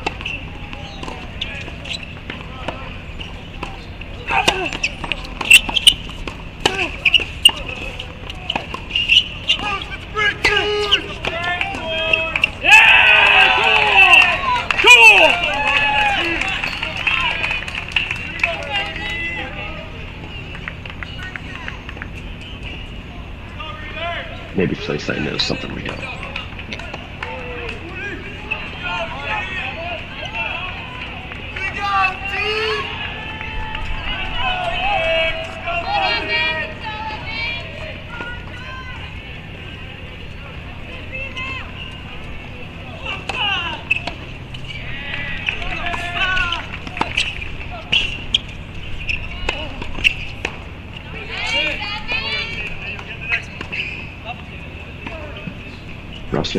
The Bowdoin Middlebury side, you want to take a look at court one. Seems to be a bit of a bit of a dogfight there. I Haven't spent that much time on their court. No, absolutely. That's the crazy part about Middlebury Bowdoin. I'm looking at the scoreboard trying to think where to go, and It's, tight. even- it's very tight everywhere.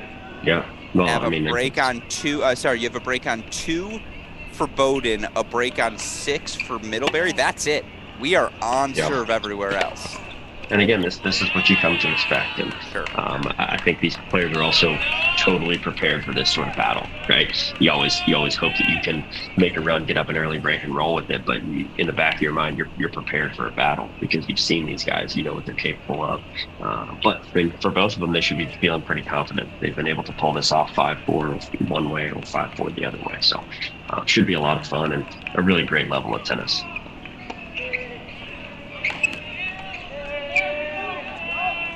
That land good. That's a Couldn't tell. check if it. It looked wide. Yeah, it did look a bit wide. I couldn't tell if it landed. Looks like Oh, it did. yeah, sure. I thought it might be wide from my view too, but difficult on these cameras far side. Yeah. It's a toss up. By the way, Mahentharan did close out his first set 7 Yeah. 5. So, five first sets for Case. It's tough. That's really, really tough.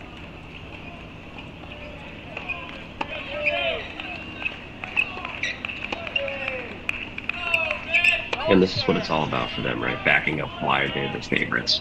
Um, and especially in these formats where you have to play matches, uh, so many matches to be able to get through, getting out of here as quickly as they can. Right? And so Hopper, so you can get off the court after a convincing 8-2 doubles win and a 6-0, 6-1 singles win, you're going to be in good shape. Okay. And guess what? A hot day in Orlando, get off the court before 11 a.m. Yeah, that's a win in of itself right there. Absolutely.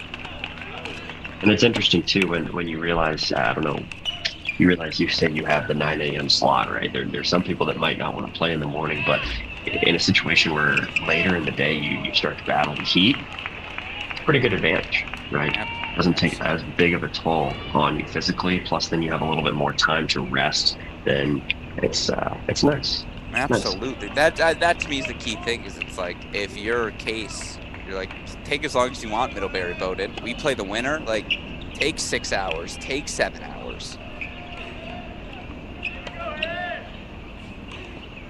match point number two now for Hopper.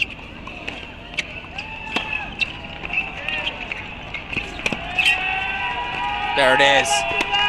Hopper makes it 3-1 case. It's a 6 love 6-1 win at the top spot. That is not a score you see every day. No. 6-0, 6-1 at one singles. That is, uh, that's convincing. And, and again, I think that's just – that's just a gut punch if you're Gustavus, right? You're, you're trying to get in and battle, and, and you look up to court one, um, and and it goes that direction. So difficult, certainly, but James Hopper, what we've come to expect, and really his role on the team as a leader, um, also a performer, right? He's coming out here and simply taking care of business, showing people how it's done. So a great win for him. Um, Todd's got to be happy, tasting a real good spot here. Absolutely, they're two points away, and again, they took five first sets, but as you see Costa with a nice volley there, Middlebury, uh, excuse me, Gustavus is making a little bit of a push. They're up a break in the second set on six. They're up a break in the second set on four. Now, and and up a first set, up a first set on three, up a break in the first, second set on five. Yeah, definitely making a push here.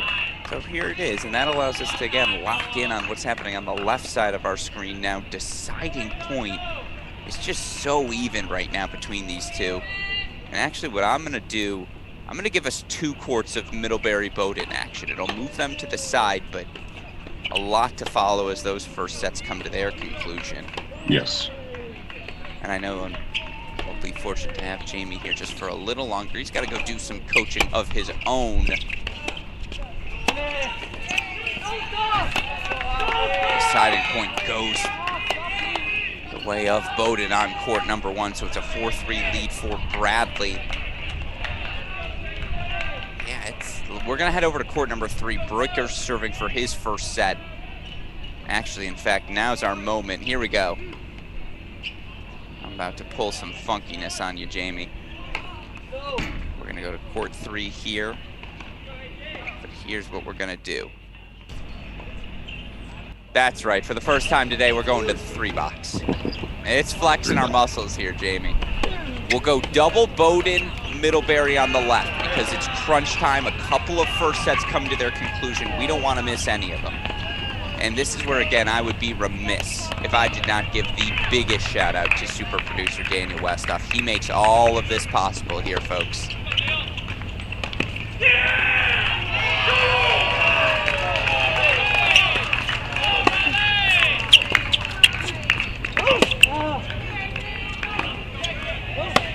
So again, you see two court sixes on your screen. Obviously, one's for Case, the uh, and Staves, the other Middlebury Bowdoin.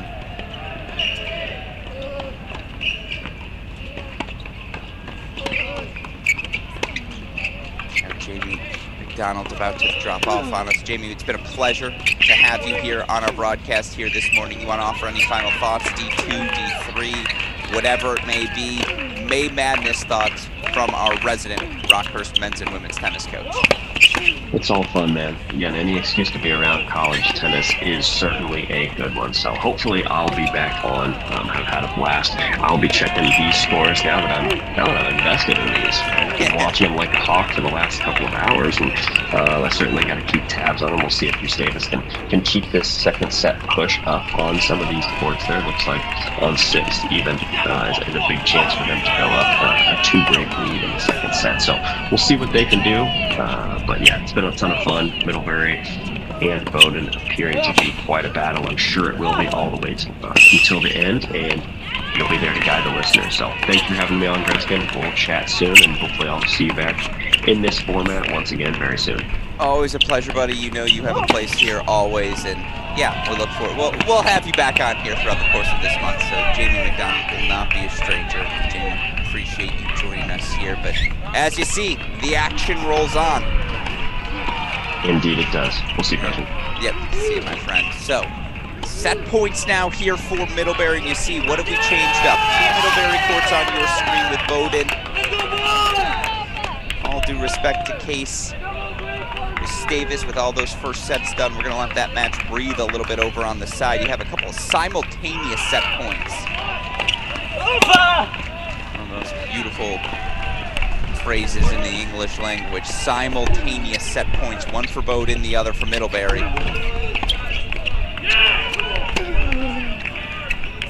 Meanwhile, I'll tell you what, it, it, it credit to Gustavus. They have not rolled over. This is now a match on just about every court.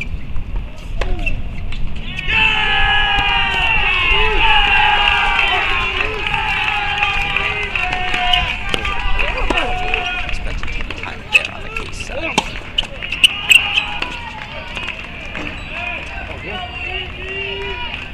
Is that overruled? I think it was. I saw the hand go out.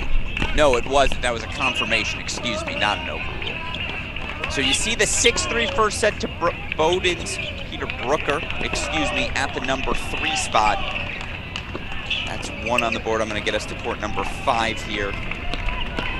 It's another serving for the set opportunity for Middlebury.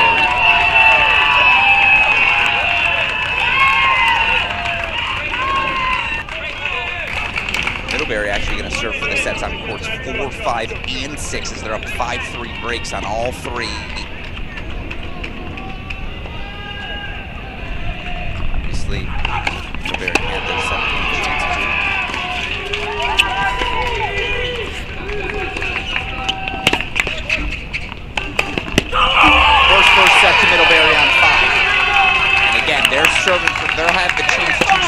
Four first sets now on courts four and six. We'll put six back in your big screen.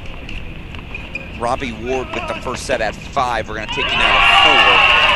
Five three lead for Julian Wu.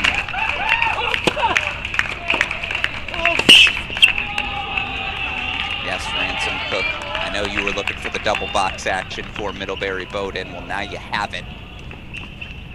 Again, when Case gets to crunch time, if there's a world where it could be a simultaneous clinch, want to make sure we don't miss any of that action. So, of course, we'll have it for you. And maybe go to the double box then on the Case side. But for now, those sets coming to a close everywhere. It's really good tennis in Orlando.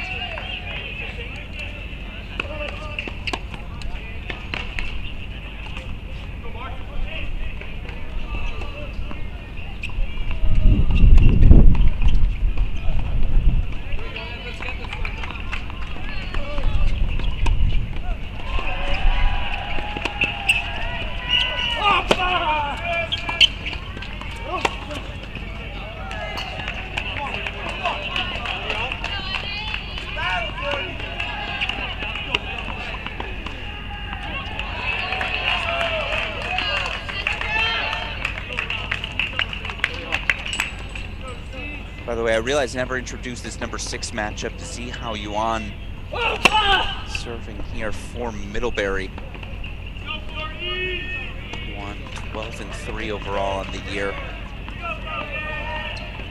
And on Evan Fortier, the senior, senior, the left hand won this season.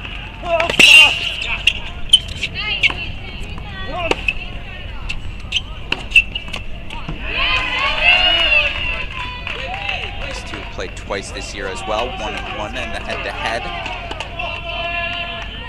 It's about one and one on the head-to-head for all of these matchups. So yeah, this is what you lock in on. Again, bottom left of our screen is Case versus Gustavus. That's where we've got two Middlebury team members, Zihao Yuan, Julian Wu closing in on first sets. I missed it, by the way, Bowdoin with first sets on courts two and three. So we might have a 3-3 split here, in which case advantage Bowdoin.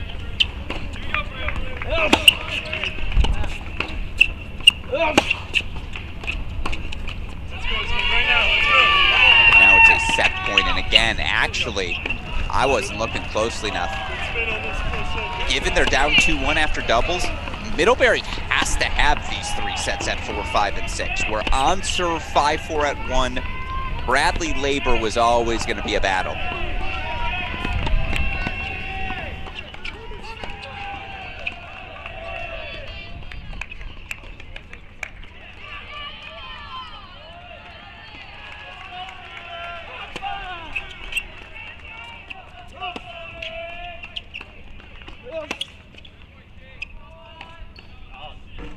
Goes long, it's a first set to Middlebury. Head coach Andrew Thompson, an alumni of my high school. Alumnus, alumnus of my high school. Crossing the court there. As you see, 6-3 for Middlebury on six. We'll do a full do-si-do. Make this court number one. Meanwhile, we'll put court number four on your big screen. It is a 5-4 hold. By the way, so again, two first sets apiece right now. Bowdoin first sets on courts two and three. Middlebury first sets on courts five and six. Middlebury gonna have the chance to serve for this set on court number four. We'll put court one in your big screen. Right now, Noah Labor looking to extend the set, but he's in a little bit of trouble. Love 30 here. Meanwhile, credit to Gustavus. They're up breaks in the second sets on courts four, five, and six. Now, they won the first set on three. So what does that mean? If they can take those seconds, that'll force Case to have to win at least one three-set match. And that'll extend our morning session at least an additional 40 minutes.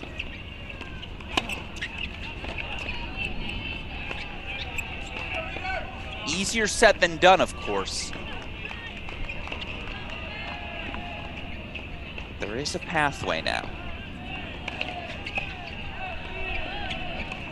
Meanwhile, set points, middle, uh, excuse me, Bowdoin. For Tristan Bradley. And there it is. 6-4 first set. That's three now.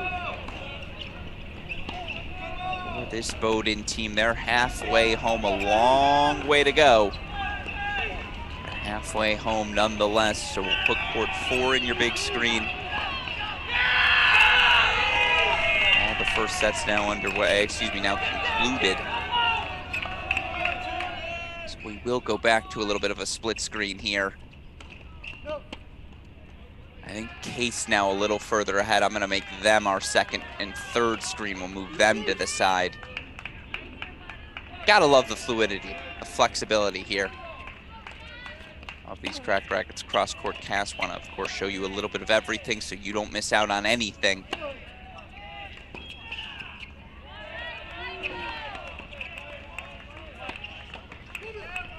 Hold overhead from Nice and a job well done.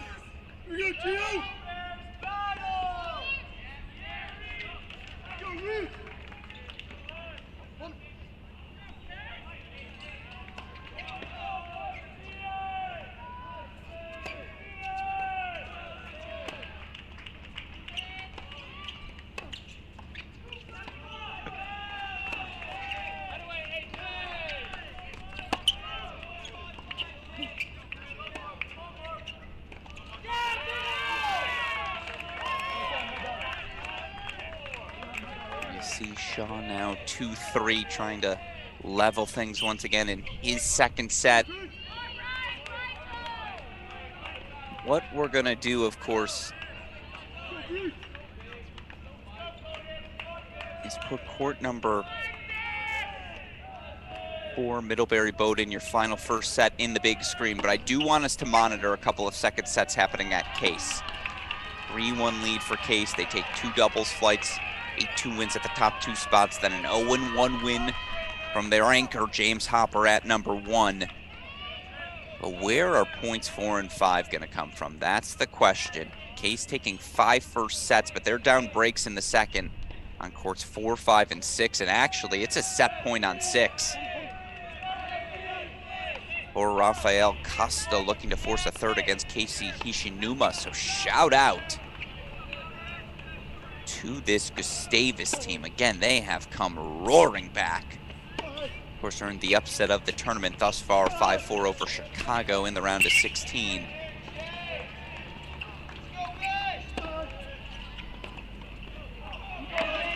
that a set? I'm just waiting for the scoreboard to change.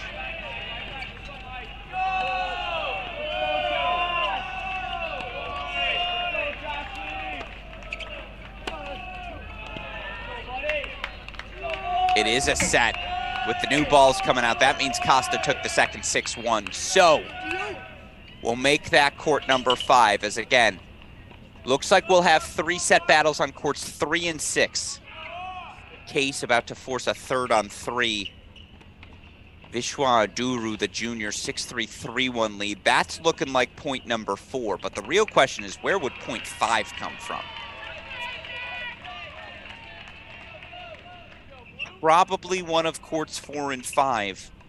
Question is which, if either, can Case shift? Meanwhile, Julian Wu in a must-hold situation now. Bowdoin taking two double sets, three first sets and singles on courts one, two, and three. Middlebury can respond with a clean sweep of the bottom here, but that starts with Wu.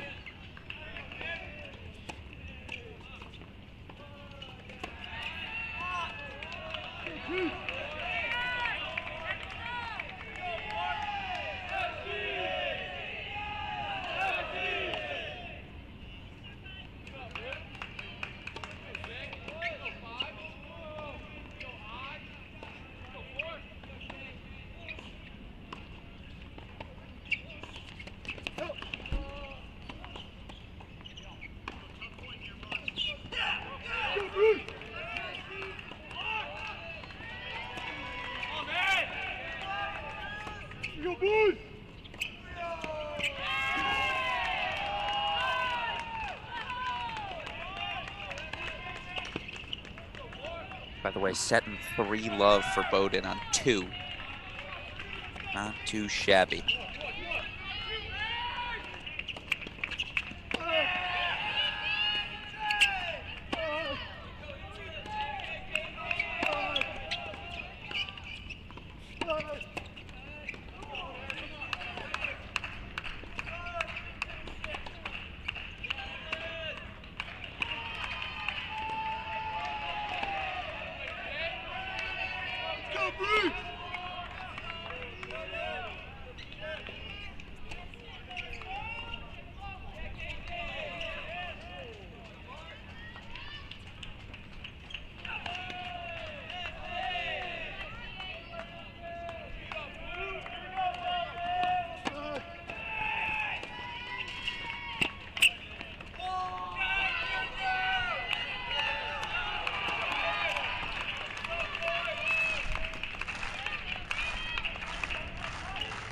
And that is the set to Julian Wu.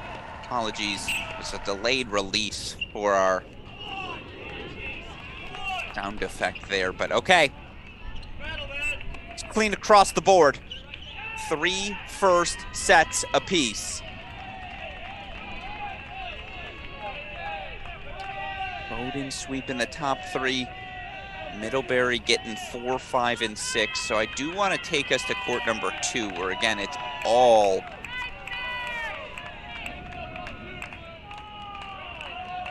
Bowdoin right now.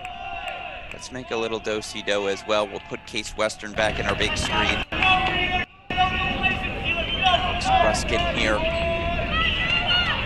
Got two more quarterfinals for you coming up after these are concluded. We also at the top of the hour Gonna make a little bit of a switch. Mark Bay, the coach, gonna come take my spot here on our D3 broadcast. I'm gonna head over to our second stream, NCAA Division One Super Regionals, round of 16. All those matches happening today.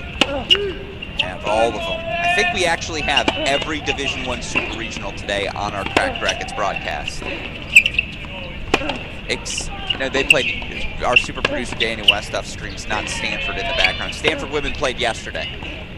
So I actually legitimately, oh no, the only one we're missing is Kentucky Stanford. Good call by you, the men's side. So we have everything else, folks, and Michigan, Virginia, because there's no cameras.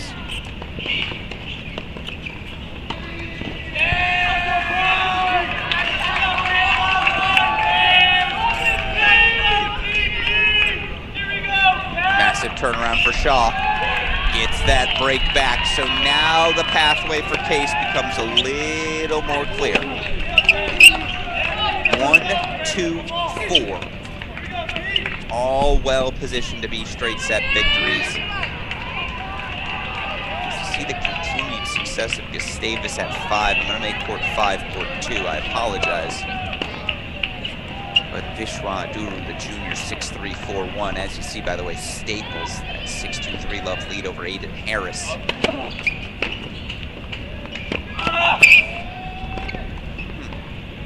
What did I click incorrectly there? I clicked the wrong button.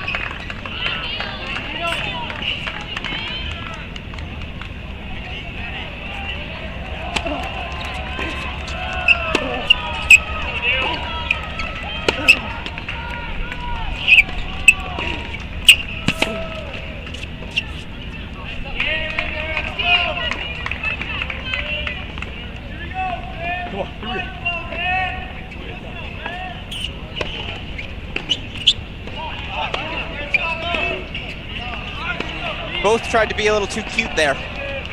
The approach was cute, the pass was cute, the volley was effective.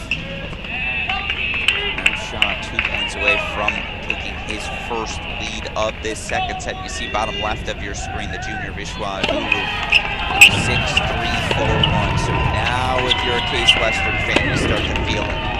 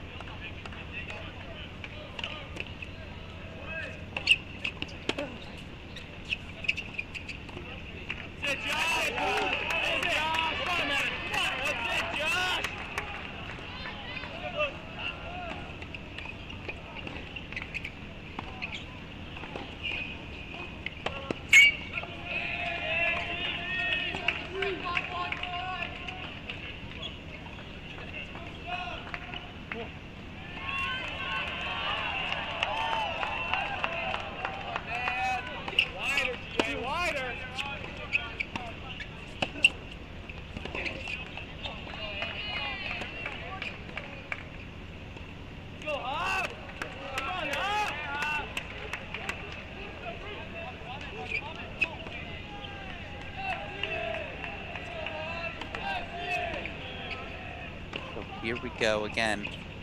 Aduru will serve for the match at two. All thoughts, if you're a Gustavus fan, towards that sophomore Josh Christensen. Has got to extend his match if Gustavus wants to extend their season. Meanwhile, again, Aiden Harris has to find something. Bowdoin upsets and breaks at the number one and two spot. Credit to Neil Epstein of Middlebury. He's flipped things at three. Up 3-2 on serve. I shouldn't say flipped things, but he's kept things extraordinarily competitive. Again, Bowdoin gonna need to win at least one second set at one, two, or three to extend this match. They did, Middlebury did sweep the bottom three courts, but Bowdoin sweeping the top three and taking two doubles flights bit of urgency now as you see Aduru begins his service game. Put point four on the board for Case. It's a de facto match point though here on court number two in Bowdoin Middlebury. Reed Staples can pretty much put this match away. And by the way, Tristan Bradley's up 6-4-4 love as well. There's a world where Middlebury's up, excuse me, Bowdoin's up 4-1 for a healthy amount of time. It's a massive hold from Anshaw for 5-4.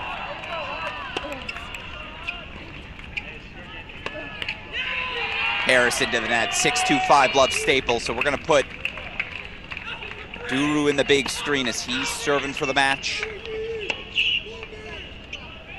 now two points away from putting Case a point away from another Division Three men's semifinal. Meanwhile, I'm going to take us over to court number one. In that Middlebury Bowdoin match, again, a 6-4-4 love lead for Tristan Bradley. He's serving for five love as well. Looks very much like he could get there. Meanwhile, on Shaw again holds for 6-2-5-4. He's a game away, but third set's underway now on courts three, five, and six in that Gustavus case match. The question is, did, did Gustavus just get off to too slow of a start? That would be the Stephen A. Smith take this morning on first take. They just played a slightly better first 30 minutes of double uh, singles. God, would they be right there. But there it is. 4-1 lead now for Case.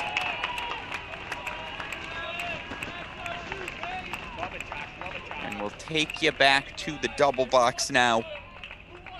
Case one point away from the victory. Onshaw can deliver it here with a break of serve. Meanwhile, you see Bradley's got a 6-4-5 love lead. Staples a 6-2-5 love lead. Those are your two matches closest to the finish line.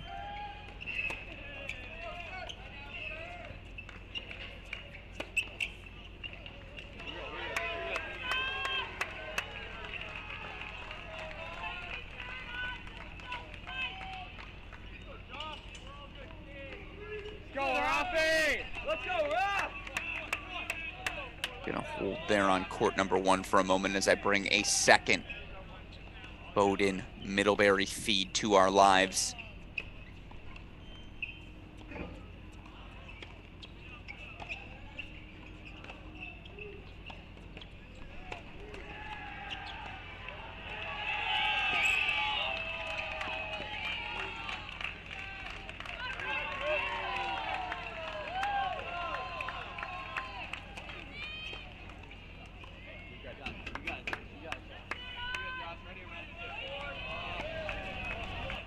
All right, we're gonna go to the triple box now. You see they're back on your screen, courts one and two.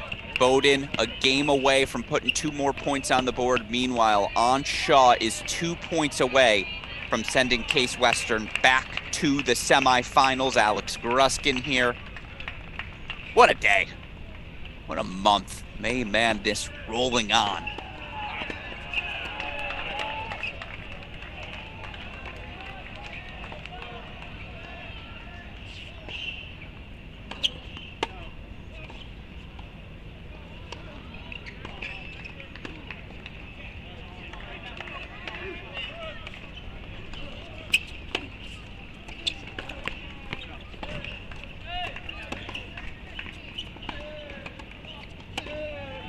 And now it's a match point for Case.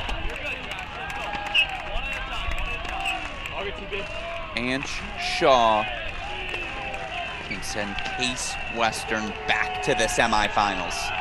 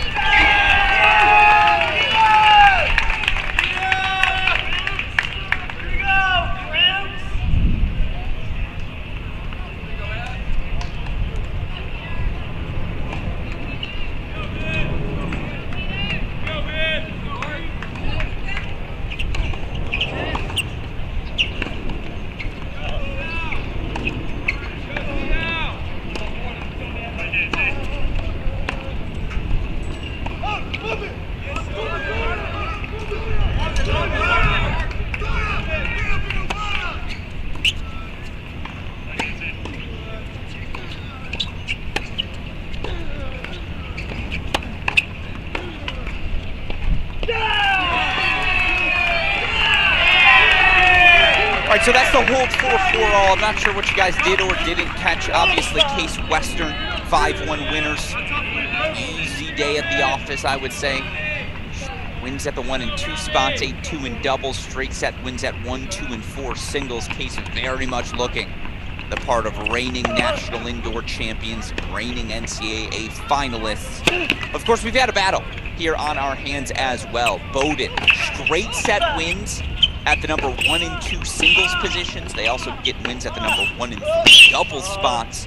Middlebury's one point coming from that number two doubles position. Now, Middlebury won first sets on courts four, five, and six, but you see here on your screen, it's all on the racket here of Neil Epstein. Epstein cannot extend this match to, to three.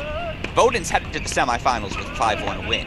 Now, if he can, boy, do things get interesting for both of these teams. And of course, we'll have the ending of this match in its entirety for you all here on our stream. Now, we are going to make a little bit of a switch. I'm going to swap out, going to go get set our Division One Super Regional coverage starting here at the top of the hour.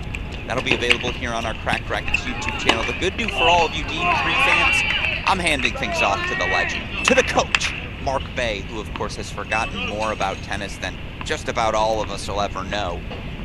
Coach Bay going to be steering the ship here for the ending of this one, as well as our next wave of D3 men's quarterfinals. So appreciate enjoying the enthusiasm we've had in our chat.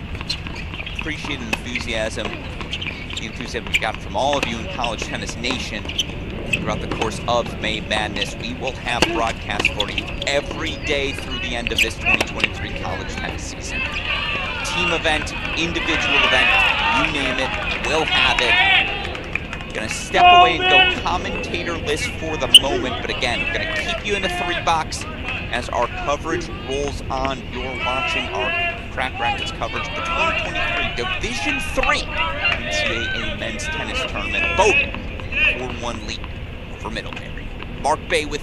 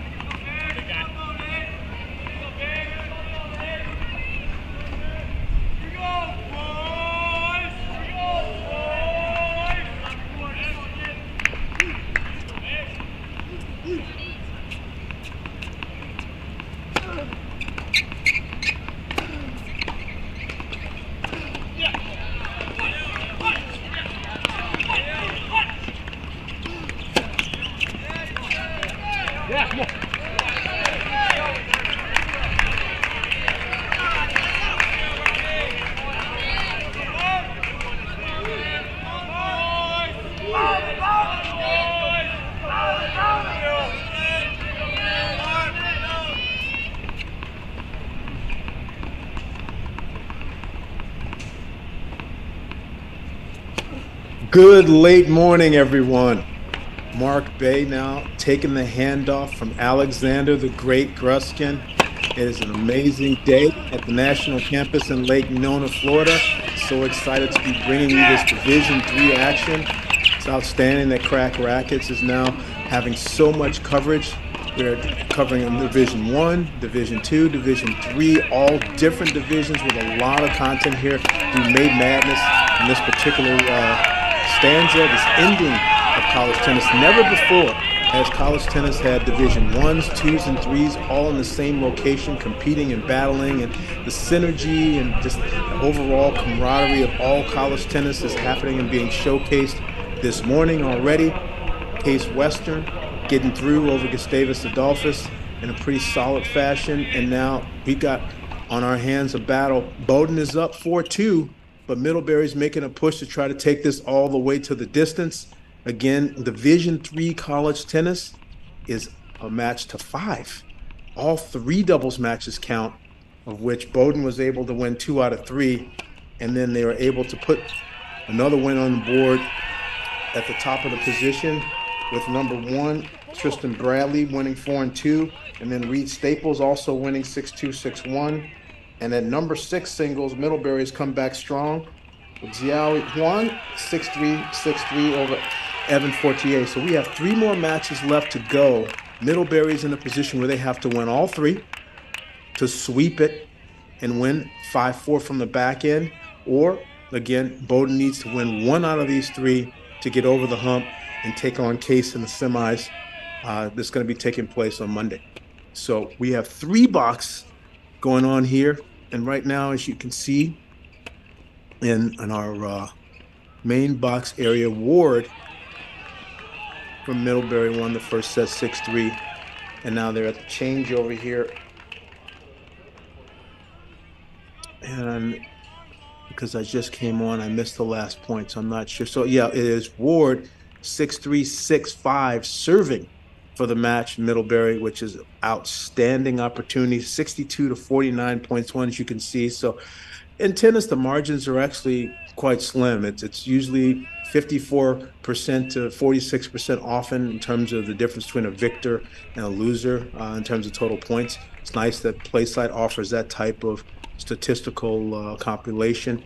You can see that the National Tennis Campus has a special collegiate center and this center has 12 courts, six and six, uh, with stands in the middle that allows two simultaneous matches to be going on, and that is what is the story here at this uh, this facility all weekend long, and we will be transitioning to level Division three men right now to Division two women later, and, and obviously uh, doing the same flip side tomorrow.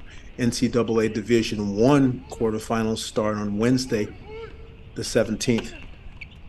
So now we've got Ward serving for the match.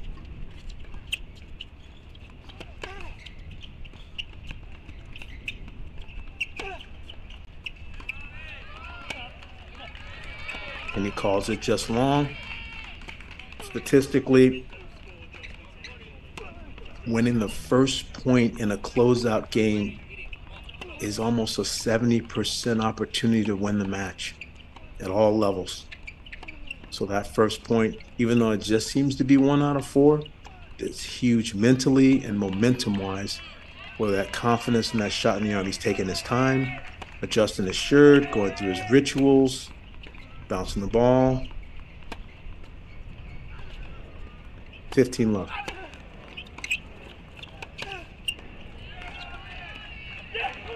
And I think all of those little things add up. That confidence, the rhythm, the routines that enabled him to take a little bit of pace off, kick the serve in, and hit a first ball forehand and get his opponent moving. That's a great one two combination, very well organized. Great start to this game. 30 love.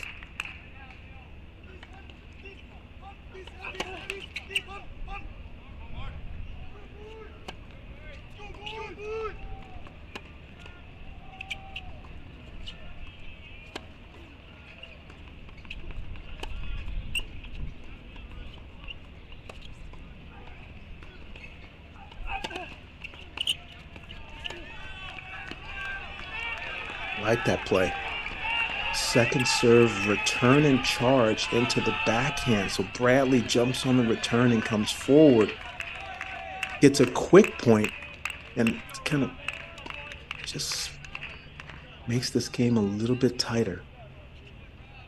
Ward goes back now, takes some more time. He has been taking a lot of time. There's no clock in college tennis, but I think he's getting his full 25 seconds worth.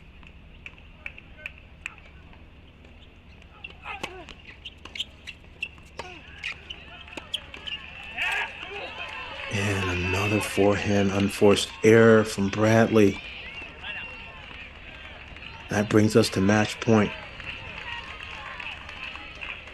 Ward definitely feels comfortable and confident and having an extended rally, and seems to be targeting the Bradley forehand here in this last little juncture of the match. And you've been competing and battling for a couple of hours with your college coaches on the court helping. For sure, the game plan should be cemented at this stage. Match point. He goes for the heater down the tee.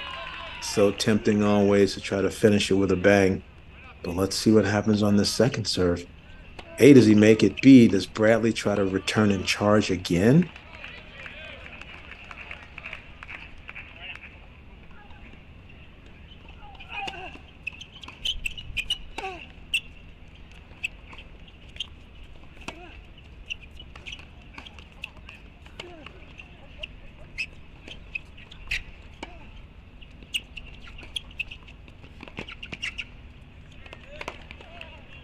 That's well played.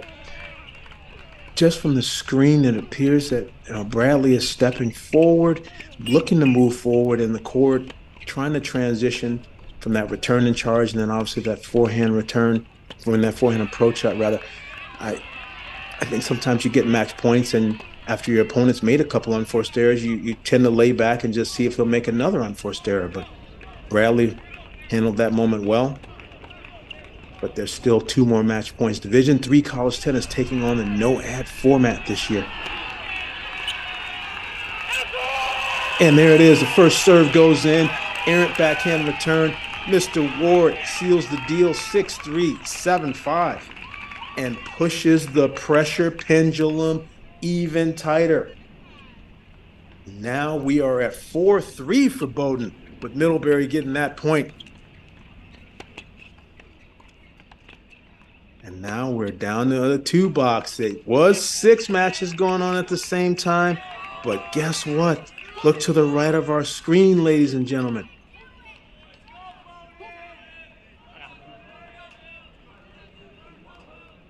Julian Wu, two points away. Bowdoin serving 3 5, 15 30.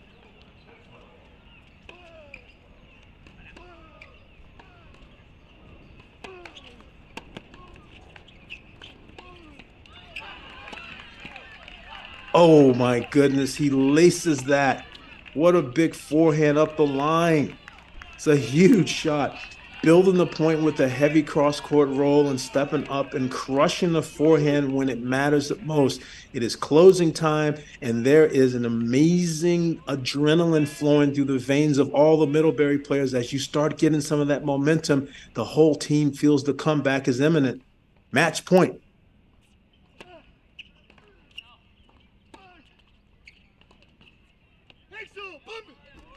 Nice job saving that match point. Mark Nice is serving here at 30 40. Lost the first set 6 4, down 3 5, 30 40, back against the wall.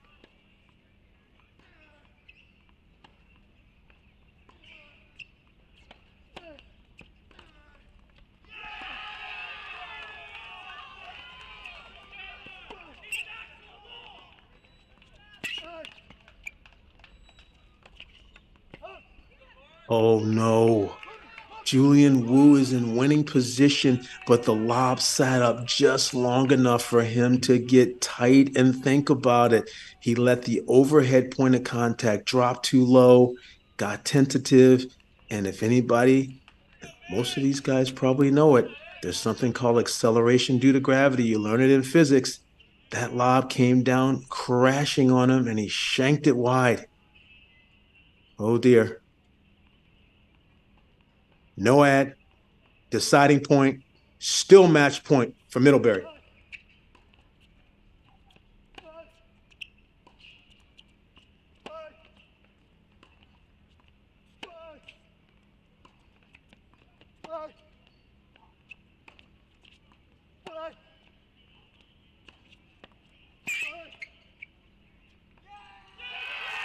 And there it is. He absolutely tempts fate and takes the forehand approach shot and comes in again. But the lob from Nice goes wide. And ladies and gentlemen, we got a match. It is four all. We're going down to the nitty gritty. Case Western gets it done easily. But this last match is going all the way to the wire. And guess what? Bowdoin had won the first set, and it was a tight nip and tuck second set that was won by Epstein for Middlebury. But as all of these extra matches have just unfolded, you never know if it's going to come down to you. And guess what? It has come down to this. Number three singles, and Mr. Epstein rode the wave of winning and closing out that second set and is up 302 breaks serving in the deciding third set of the deciding match.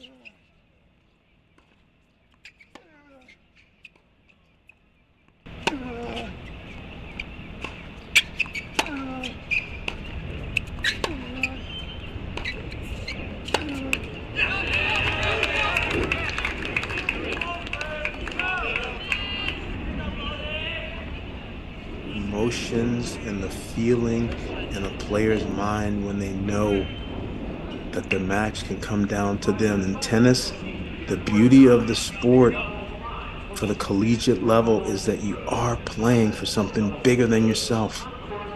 The weight.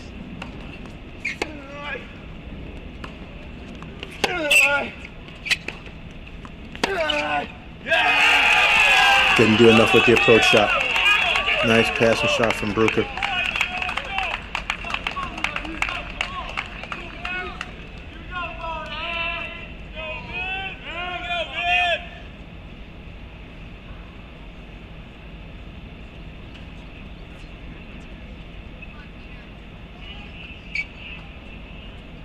Well, really, our score is scoreboard off.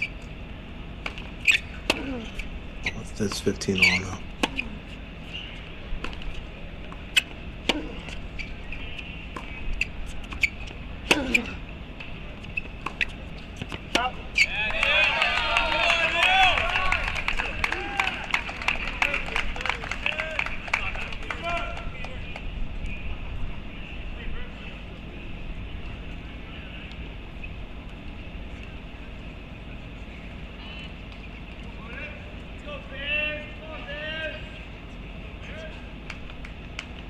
Well, I'm getting a little confused there because the last ball was long, but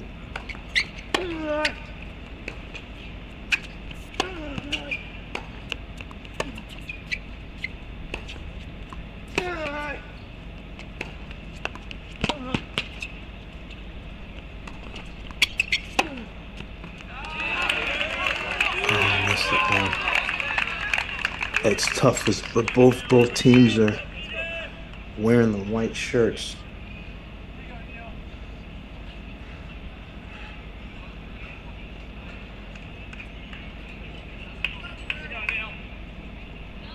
I think just our our our, our score uh, is correct, but I think the serving is off.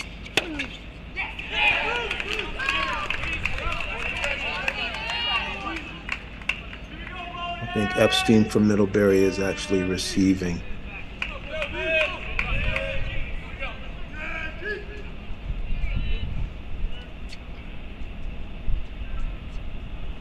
Yeah, it's break point. I just think our little blue dot's on the wrong spot.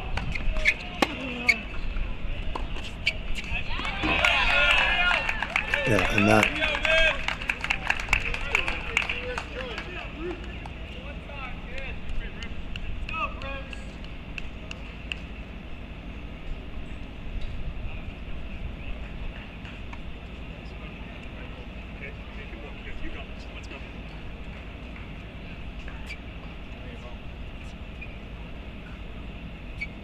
Guess we're here at a deciding point. I'll be able to sort this out here after this point. My apologies.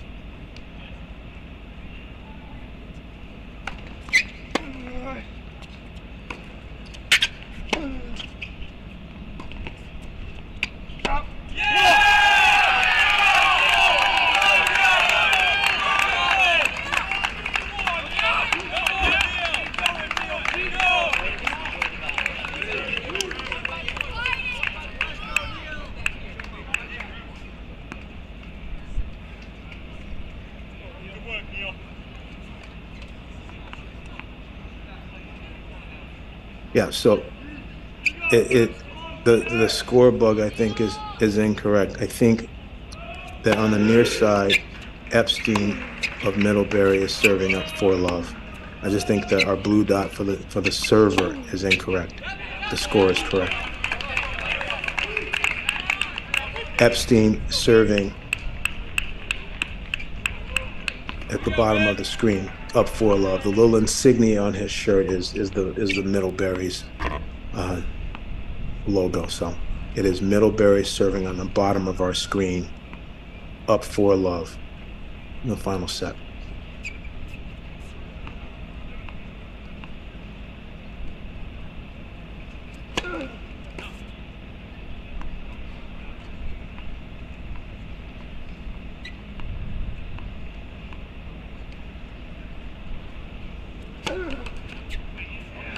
And uh, it's, it's difficult sometimes when you have a big lead like this, but there's so much momentum associated with every single point in every game. So you need to please your mind by taking the pressure off of every single point is, so paramount. So every second serve even is extra pressure.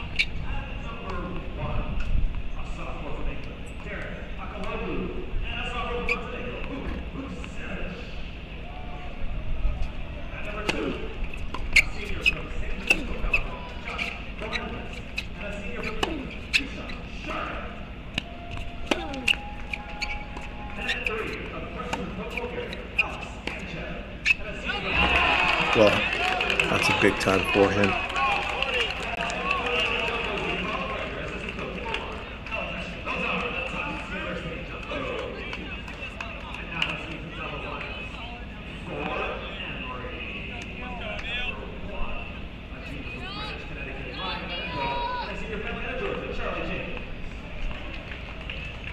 Love 40.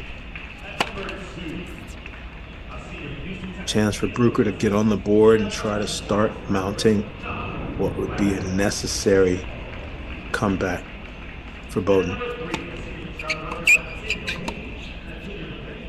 And that's a step in the right direction. Still in one game. Just like Middlebury coming back from 4 1 down to 4 all. You have to start someplace and start building. The teams will switch so they are always cheering on the adjacent court, standing on the center line. That's the proper collegiate support etiquette from the side.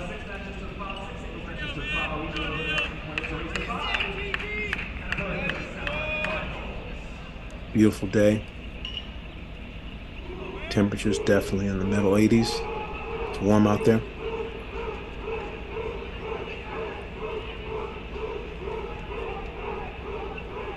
It's where all the nutrition and the hydration and the support staff, snack bags,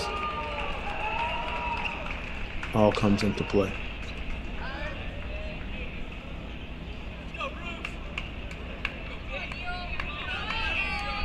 Those just joining us, Alex Gruskin started the day and is shifting over to the Division One stream. I'm Mark Bay, your host here. Case Western over Gustavus Adolphus. And our opener. This is also part of the 9 a.m. round. Coming up soon. Tufts versus Emory. And Claremont McKenna taking on WashU.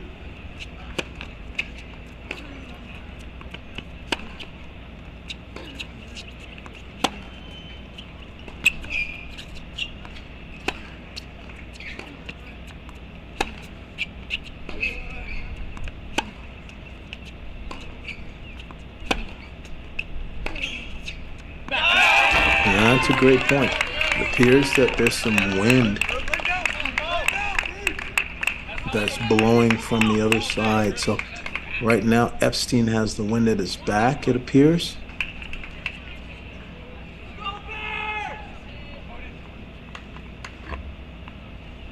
Brooker serving against the wind. Again, our little blue dot is incorrect. So our little blue dot is in the wrong spot. It is Brooker from Bowdoin serving 1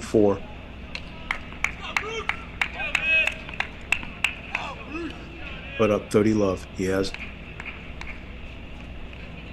an 04. And at this point, it's 63 points apiece. But there's one of the tricks in math and statistics on the scoreboard. For sure, that is a Middlebury favorable scoreboard to be 63 points off. Nice return there. And with the wind behind him, a driving forehand from Epstein.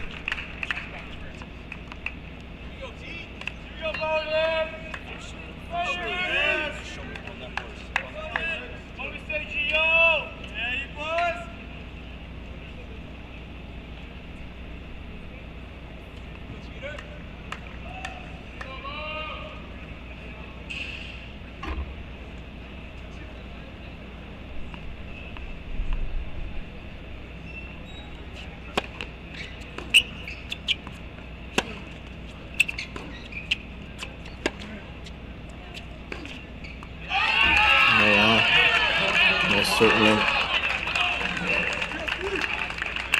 When the ball's in his strike zone, he does a very good job of it.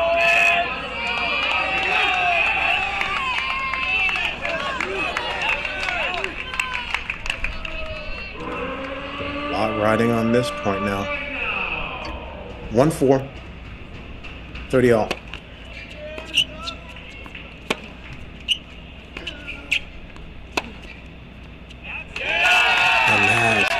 great for him back behind. I love that play.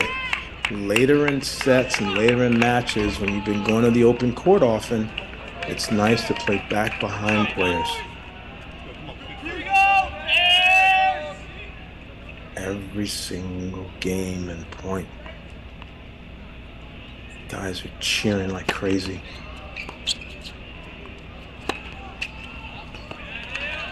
Oh, it's called long. And as you see in that point, there was a let. Let's, as well as NOAD Tennis, are new additions to the Division Three format. The scoring format most certainly is still unique. Division One and Two are playing a best of seven point match where we play a best of five match here. All three doubles matches count for a point in the beginning. So that's why we're at the four all team score. Deciding point.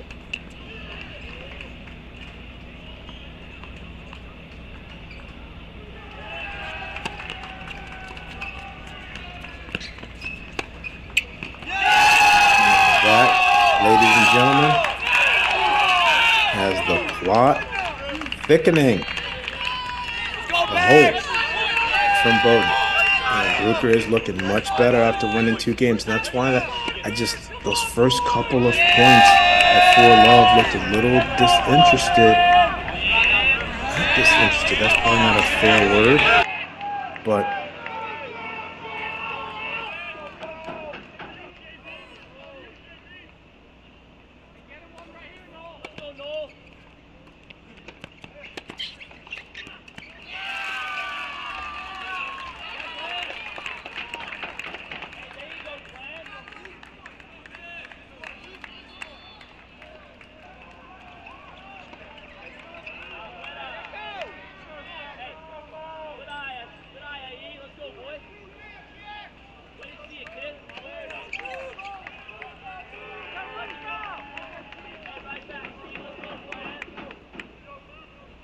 On our left, you're starting to see the doubles point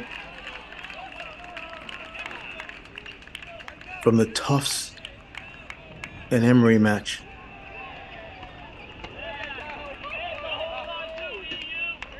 Court one and court two. Gonna set the stage there in one second. Let's see what happens here. Epstein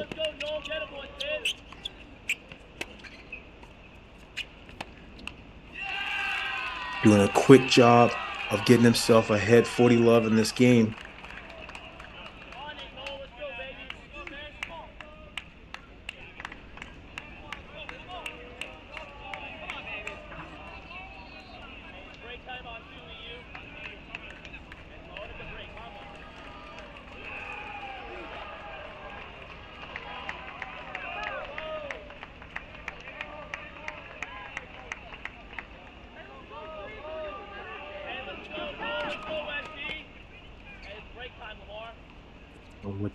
At his back and the big first serve and the big forehand. He gets himself a quick hold and now will come against the wind with Brooker serving to stay in the match at 2 5. What a comeback by Middlebury. It just shows you why every single match is so precious and you have to take good care of your own court. Over on the left of our screen at the top, we've got Tufts.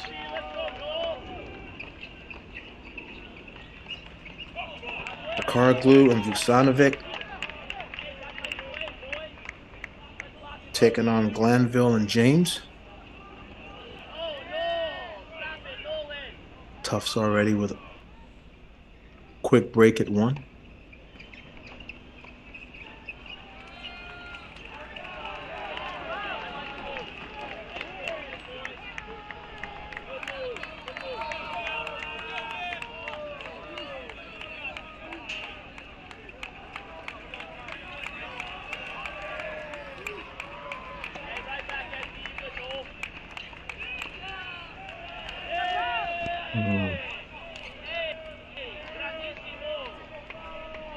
The nice thing about the Division Three format is that it's a pro set to eight.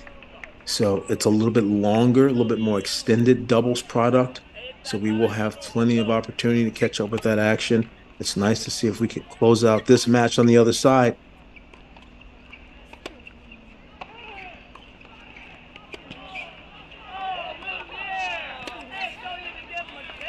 Here comes Brooker back against the wall playing some quality tennis. So far, what I'm seeing is that the top of our screen most certainly has the wind at their back, and that player is a bit uh, in the driver's seat of the points and should probably be getting more short balls and coming forward.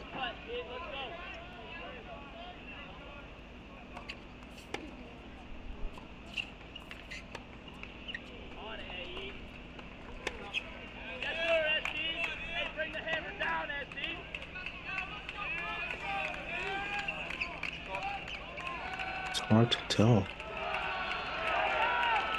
If that forehand made it or not. Let's see. It was wide. Brooker, 30 love. A free point on the serve. 40 love. Bowdoin just have to do your job here. You have to take good care of your serve and put the pressure back on Epstein to try to close it out against the wind, which will not be as easy.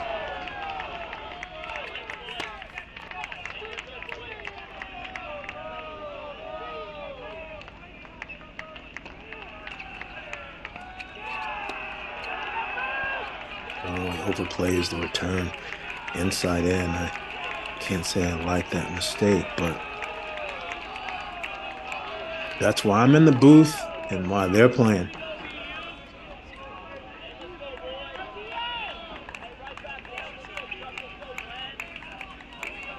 Definitely an advantage in the collegiate format. Coaches can sneak over and just give their players a little feedback before the game starts, just to set almost like a 20 second timeout.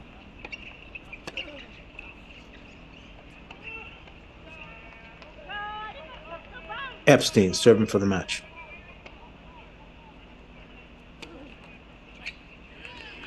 And he starts it with a dreaded DF. Mmm.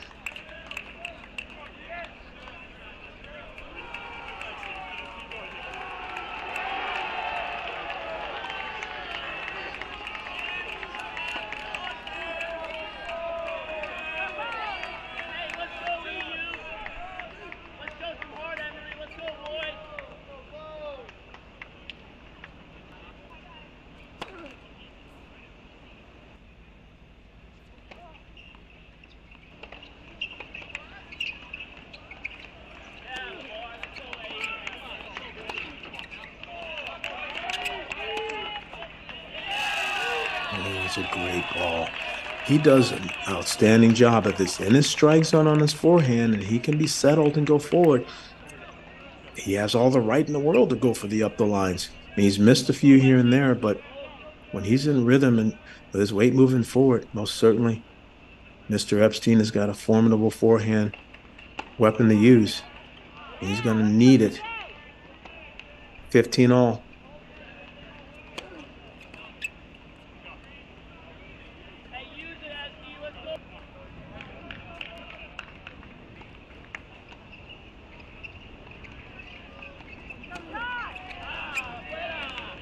And another D. Double. Oh my goodness. It's just. It's not what the doctor ordered. Unless you're Mr. Brooker from Bowdoin. Then you're quite happy. 30, 15, 15 30, excuse me.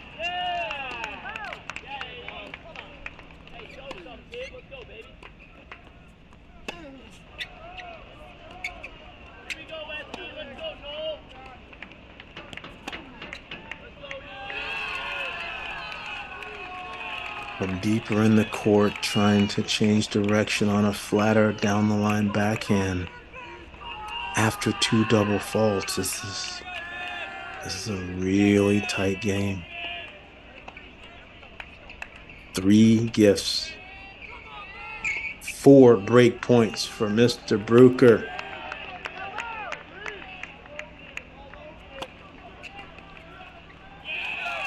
And there is one erased. It would be nice to just go Kyrgios or Isner style and hit two big ones and shake hands, but live by the sword, die by the sword.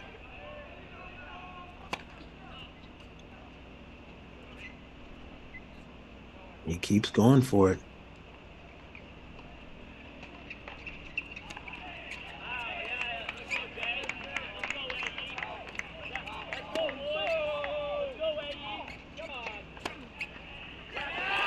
And Matt goes long.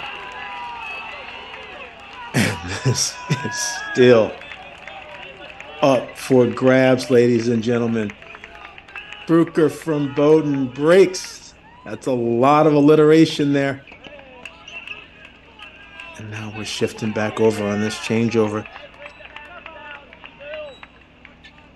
A car globe.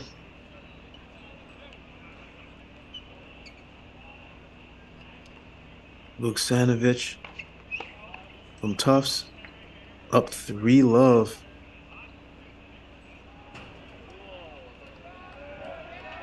On Glanville and James.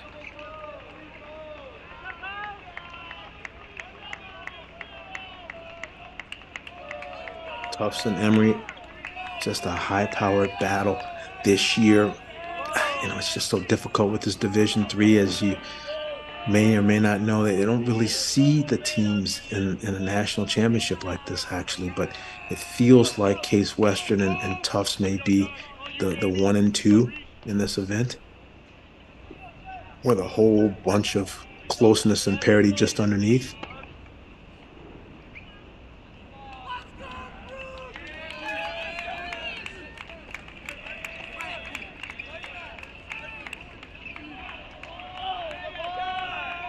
Hey, that's disgusting, Lamar. I didn't realize we had a chef on board too, just cooking out here. Let's go.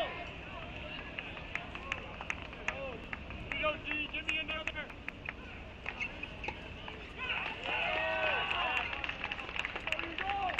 Hey, big time, Glenn. ironically the only i think on tough season might be middlebury this year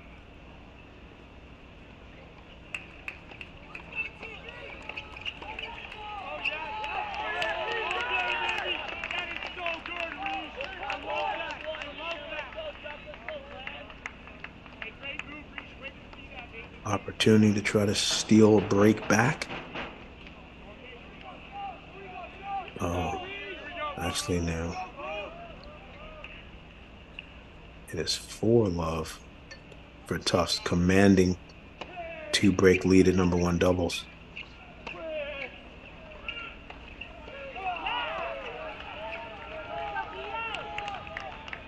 that's a big serve on two, jumper.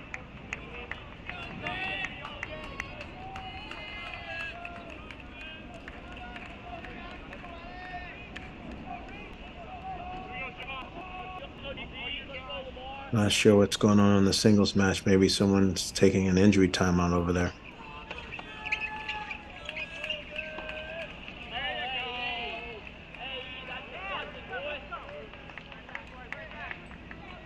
But Tufts here in the big box on the near side of the screen serving.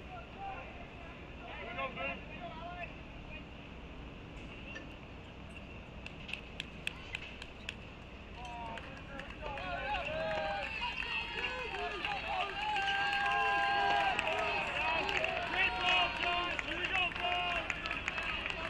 Yeah, take that, Jones. Take that. Let's go, Noah. Let's go, Wesley.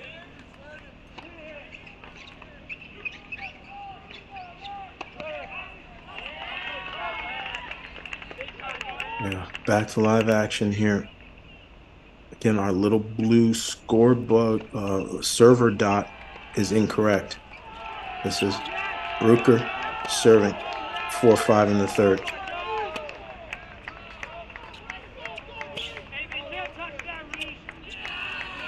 But he is now against the wind, and this is a bit of a Mother Nature battle, it appears, because Brooker was able to win both games from 5 2 down at the top of the screen. And the game, the first game that Epstein gave back was at 4 Love, where he was also against the wind. So it seems to be a challenge, person on this bottom of our screen being able to hold.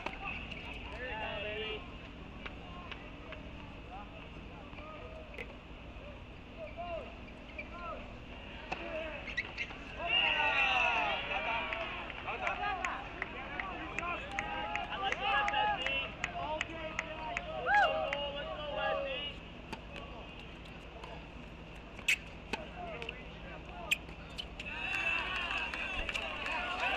Oh, it was called long, and he gets an overrule.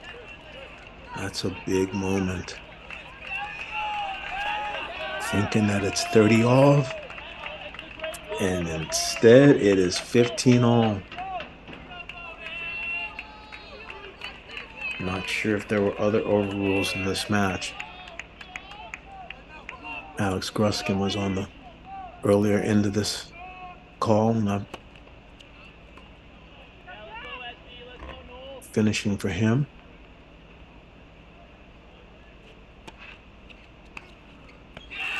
That's a big, aggressive second serve return. Love it because it's to a safe cross court target.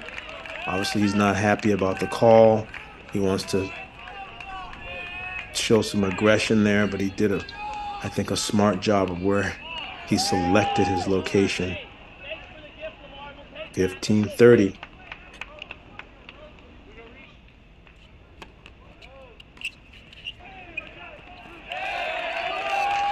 Falls off the return, pulls back and up. It's not a good body language on the return. Great forehand and the great forehand body serve by Brooker. And now 30 all. Hold on to your seats. Keep those, Darren. Yes, that's too tough. That is too tough on you, man. Come on. Oh my goodness. Wait a minute. Oh wow. I think Epstein called the ball long before he missed long. So I think this is a match point for Epstein. Yes, that's correct. He called it out before it appeared that his shot went long. So referee agreed. Match point, Middlebury.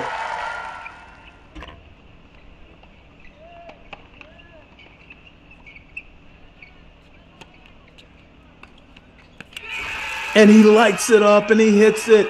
And there's the here's the team piling on. Pandemonium out there. Court number three. In the third, 5-4 result. Oh, what a match. What a way to finish. What a way to end. It doesn't get any closer than that, folks. 5 4. Middlebury. In dramatic fashion comes back Absolute treat to watch these two rivals clash at the national campus. What a and beats Bowdoin 5 4. That And Bowdoin here today. in Division 1. In Division 2, it's a 4 3 match. In Division 3, it's a 5 4 match, which is the absolute bottom of the ninth inning, late fourth quarter heroics. And there it is. Live by the sword, die by the sword. Mr. Epstein gets it done over the finish line. So now we can focus 100% on the Tufts and Emory battle. Current situation Tufts up 4 2 at number one doubles. Emory is up 3 2 at number two doubles. Tufts up 4 1 at number three. We've got them all now in the three box.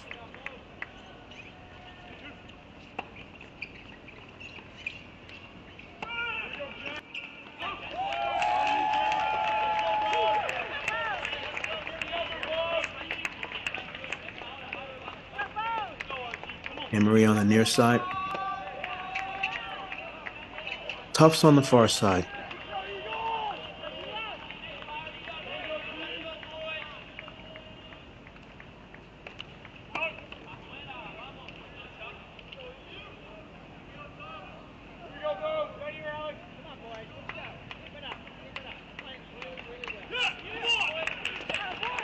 Fault.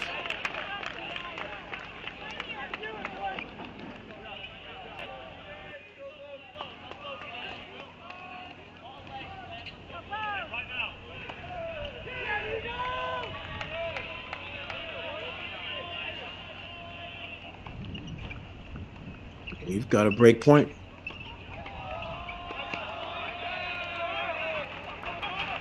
Often you see against a big server, play both back, but then switch to standard formation after the fault. And there it is, double break Emory. back on serve at number one doubles. After being down two breaks in this match.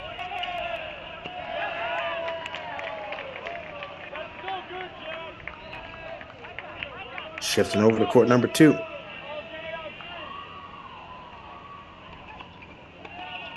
Andrew Esses, John Lasanajuk taking on Josh Belandres, Rishabh Shadra. Emory up 3 2, 40 love.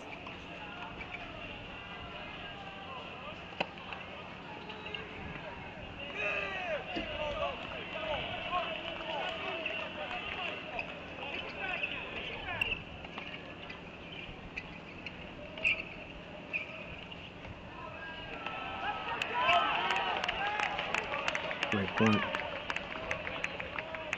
Again, I something's going on with the little PlaySight uh, blue dot on our screen because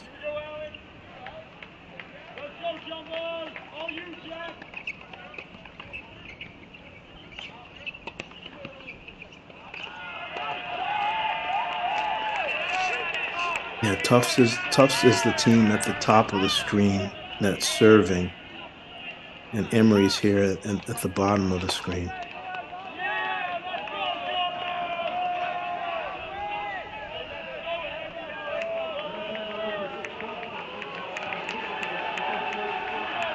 Okay, so now that's correct.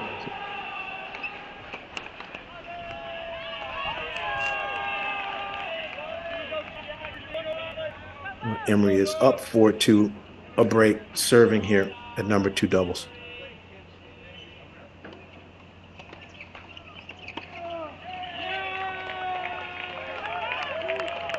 Off the eye formation, trying to get a touch.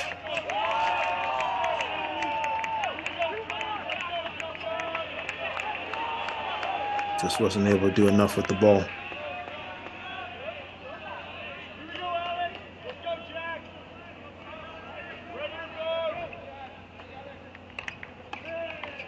Love 15.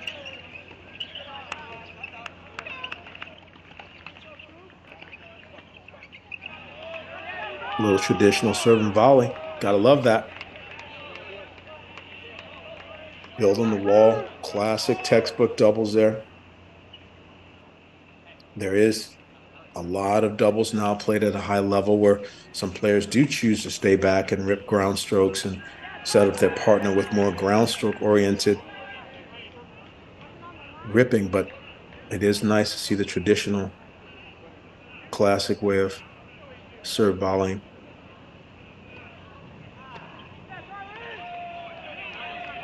And after you execute a couple of those and you run some high formations and make some some tough volleys, you can actually draw returns like uh, like he just did their re- return errors because there's a respect for the caliber of the volleying and the net game. So the returners feel like they have to do even more, and, sometimes that causes the mistakes that you saw there.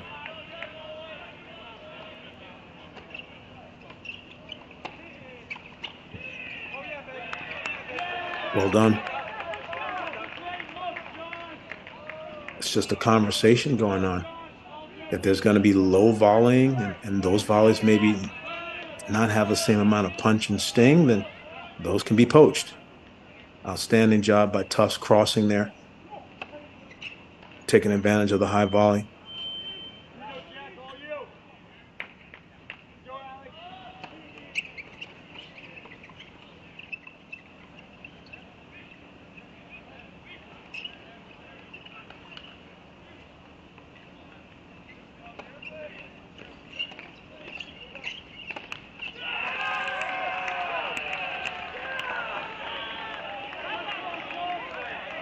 Big time ground strokes.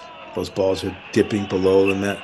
It looks like oh he's just missing volleys, but the weight of that shot, you don't you don't feel that on a computer screen. That forehand was crushed.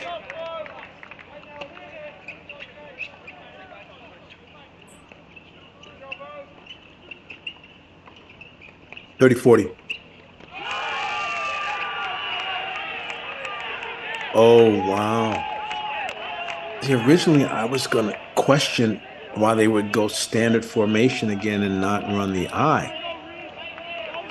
And then after a great return, an even better up the line reply, respecting the fact that a poach could have been imminent. And this is a big moment for this match. 4 3 versus 5 2 is a substantial lead for Emory. Second serve.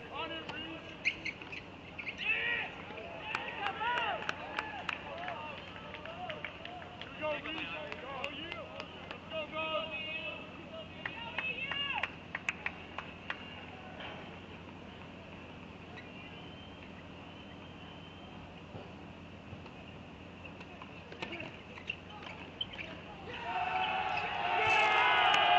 Yeah, I, I feel like they just kept going after the low backhand volley, and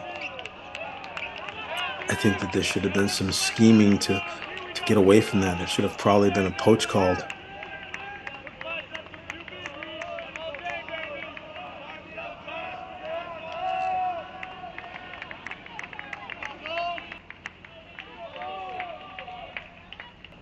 Match is tightening up everywhere. Let's go over to doubles three.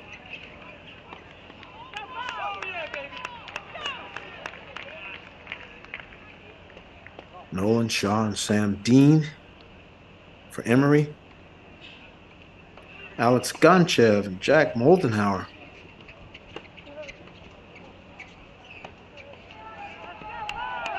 And Tufts is doing the job. They are hitting big, crossing. Again, Tufts in the light blue.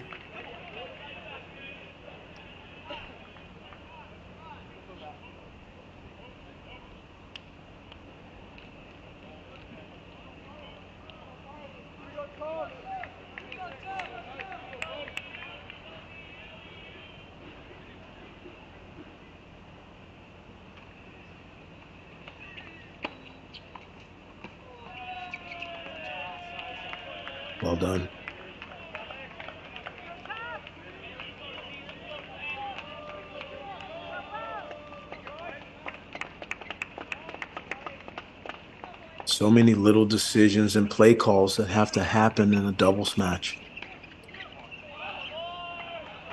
Often the players have the responsibility of doing that on their own, but it is nice to have a little coach input.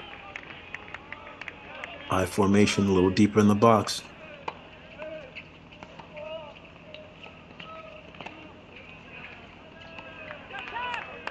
Oh, it's a great point.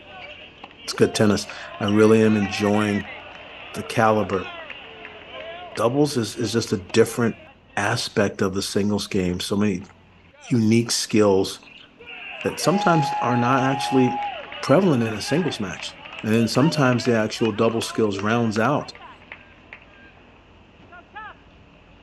the singles transition and finishing.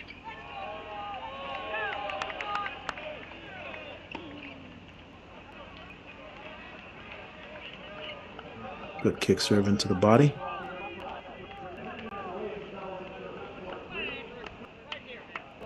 Emory down 2 5, but trying to hang tough and keep this score tight. Again, we don't play to six, we play to eight. Division 3 format. It's a pro set.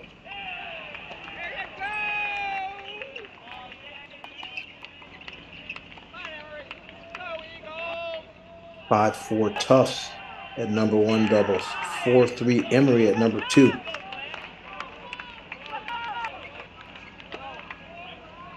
And there's been some double faulting going on out here today at the campus. Here we go, Boot.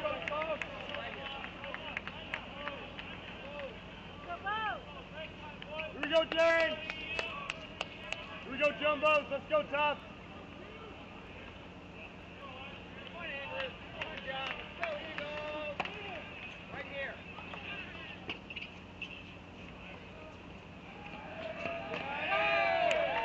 Good card.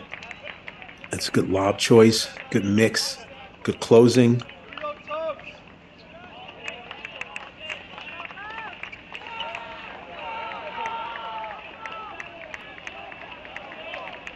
Emory's going to have to figure out how to solve it. Going both back here. Serving to the ad side.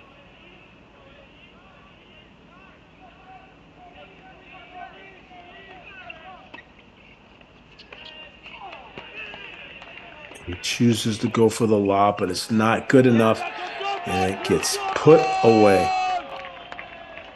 5 3.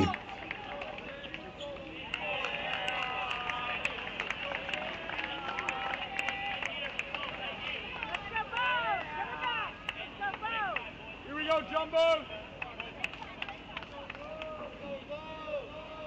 Here we go, D. All you, Boot.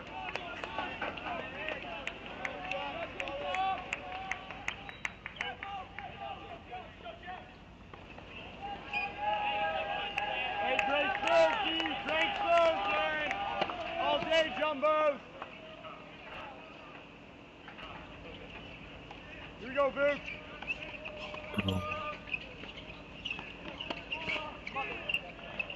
It's a great point. Sorry, screen froze just there for one second.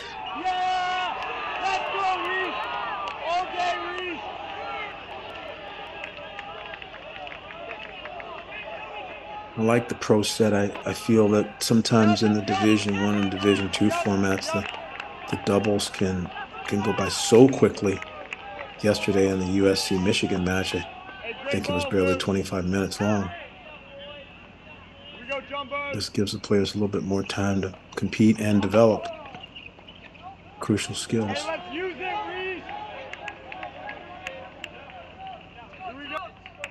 Here we go, Reese! Yep! Yep, there it is again. Love that, Boot. Great ball, D.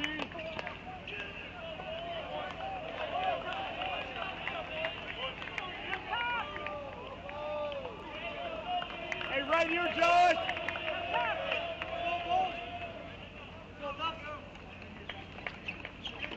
Yep, that's so good. That's so good. Emory up Love here trying to get back on serve at number three. Meanwhile, on the other two positions, six five Tufts at one, four all at two.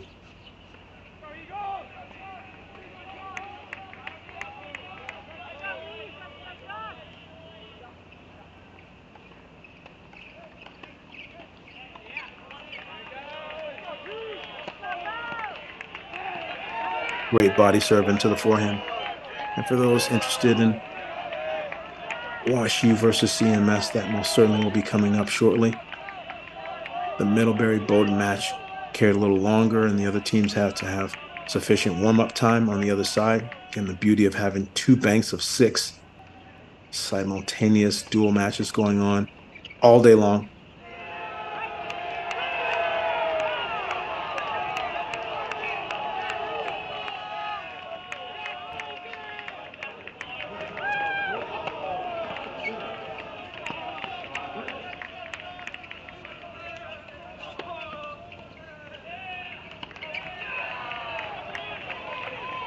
This is becoming a little bit of and on this doubles. I, I like the the poaching and the pinching and the faking.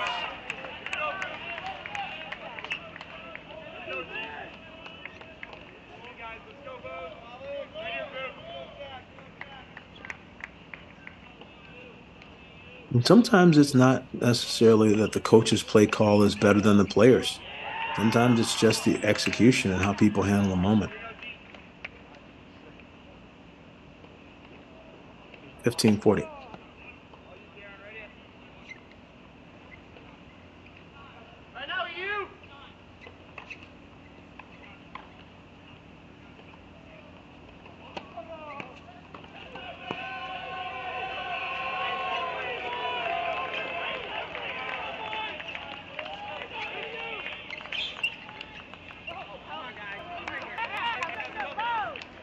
Emory breaks back.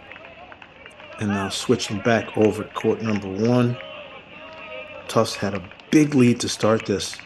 Really big leads at one and three that have dissolved.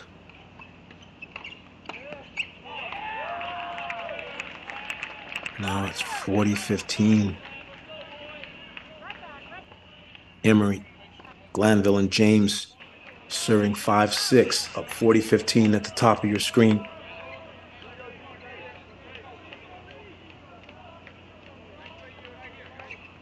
Karaglu, Aleksandrovich of Tufts at the bottom.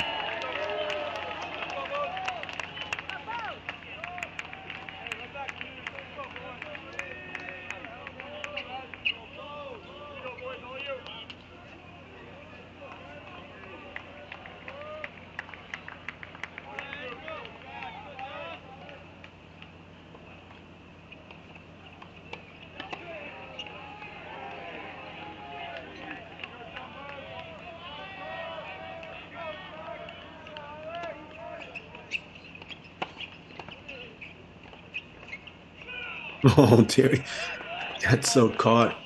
It does happen. You're looking to get involved, but the ball comes at you at such an angle that your positioning handcuffs you. Not by design, by accident. That's what you want. You want him in the middle of the court trying to take as as many possible volleys as he can as the as the up man. You want touches and participation, not spectating.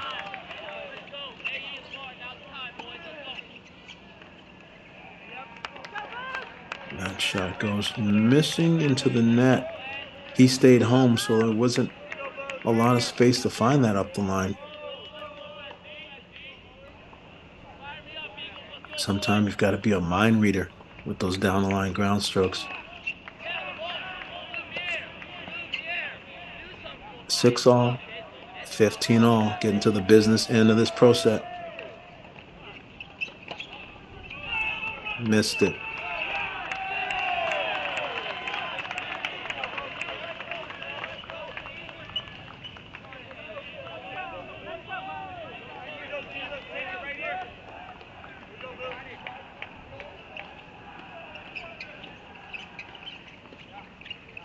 Um, it's not match point yet. That's a mistake.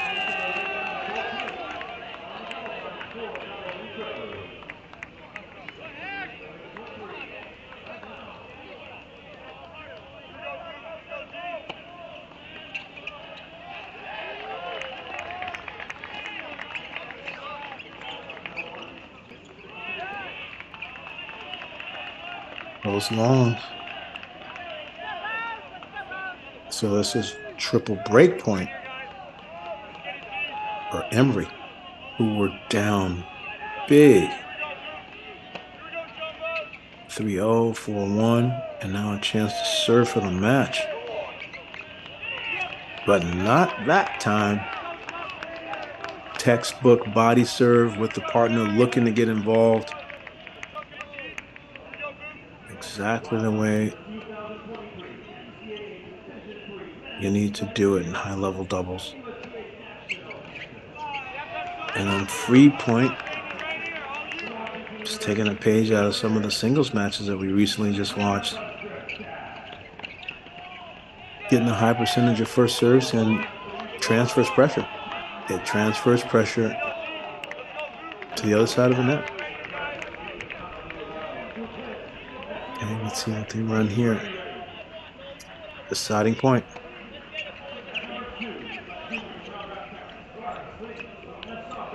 And um, good activity from the net guy and Tufts looked like they were in a bit of trouble that game. Find a way to steal a hold and keep the scoreboard in their favor.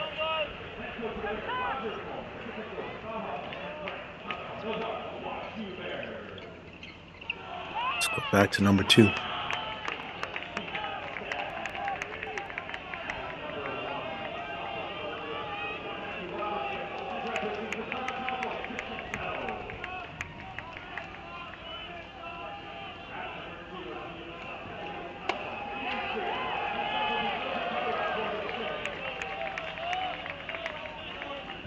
different doubles matches can sometimes move at, at different speeds.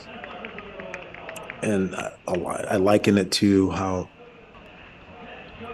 a baseball game can go quicker or longer. and It just depends on how many first serves I think are made, and in some instances, if uh, players are looking to serve volley versus stay back and have rallies.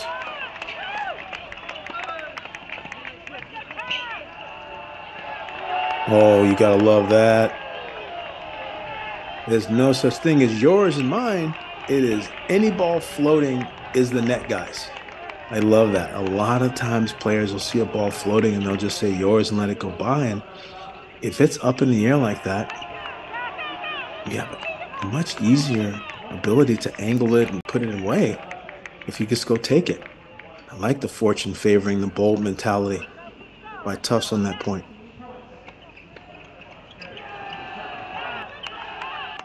Five all, 30 love. There's some good net play, some first serves. This is the recipe for some doubles holds.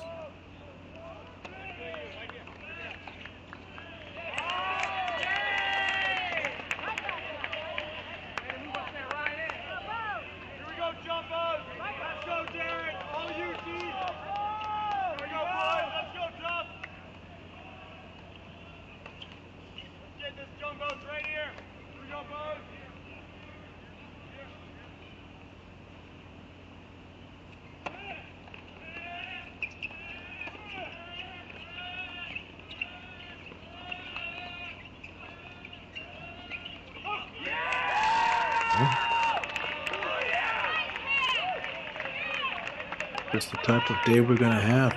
The level is so close, the margins are so slim.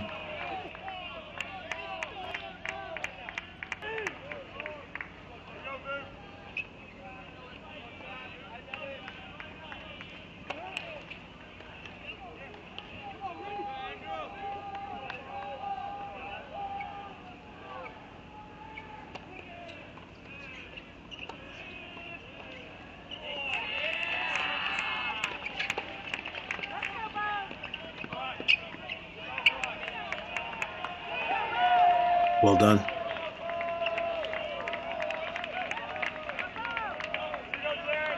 Great hold by Tufts to go 6 5.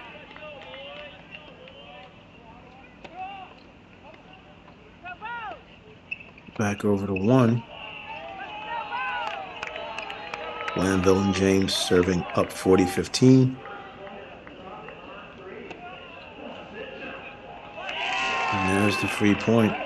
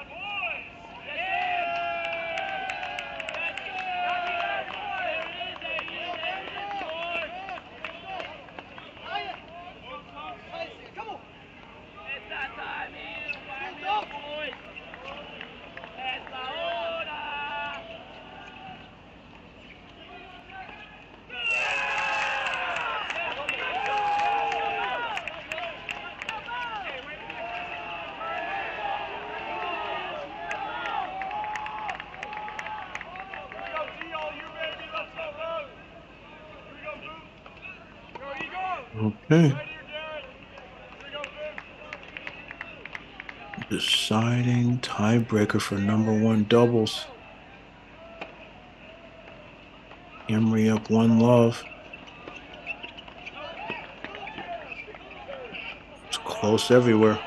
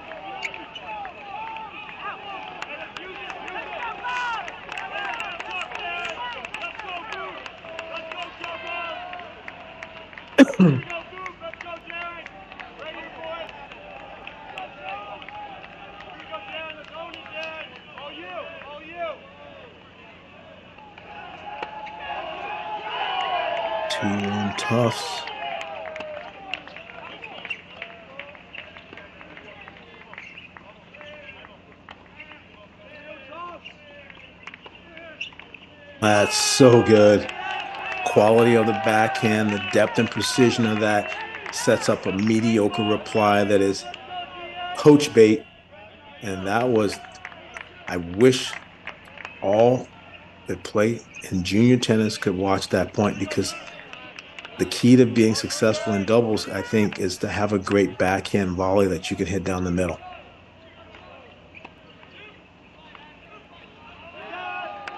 Not a lot of people have that. The forehand volley, most people have big forehand, decent serve, but that backhand volley, really being able to place that well, I think that's a big separator of good to great. Tufts now a commanding 4-1 lead. Emory needs to figure this out. This is no uh, mystery or surprise about being in the quarterfinals of Division Three. Coach Browning, well over two decades worth of being in the quarters. The championships in 2019 and 2021.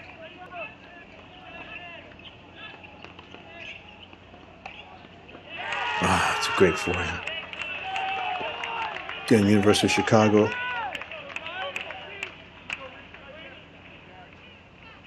Gets the title on the men's side last year.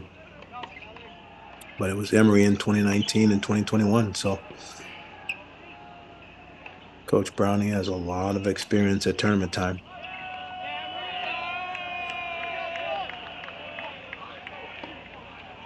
It's getting really close on all the other courts as well. We're going to keep our eye on court number two, where Tufts is up 7 5, but Emory is up 40 15 in that game. We'll keep our eye out. Tufts is making a little bit of a move.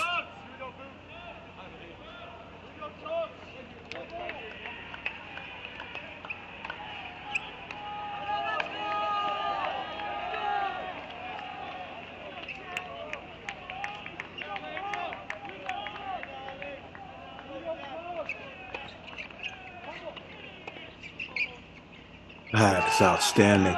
And I loved how, as he was getting ready to rip the ground stroke, his partner ran up. In the Wayne Bryan Bryan brother playbook, that's called dual quad attack. Definitely learned that one over the years. Congratulations to Mike and Bob Bryan, who will be inducted into the Collegiate Hall of Fame May 21st, coming up here. Big proponent of doubles, and they've been watching some of the coverage already. They'll be tuning in to watch Stanford. 5 2 Tufts.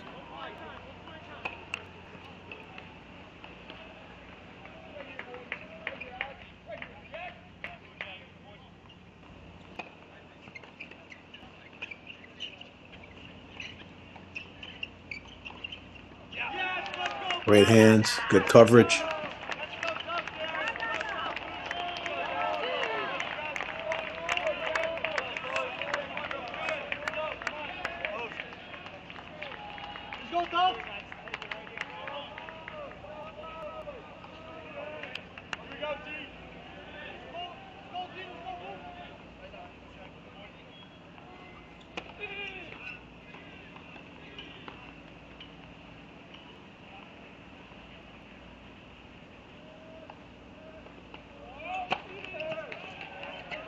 Oh, 6 2 double fault.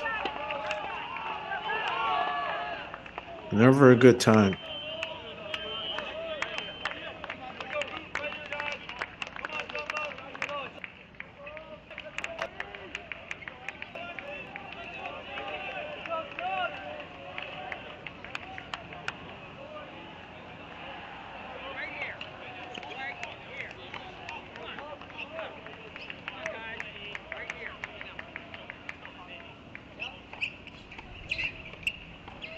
And there it is.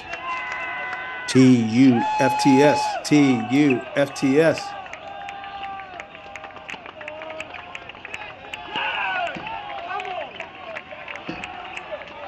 Win at number one doubles. Let's shift over to number three doubles.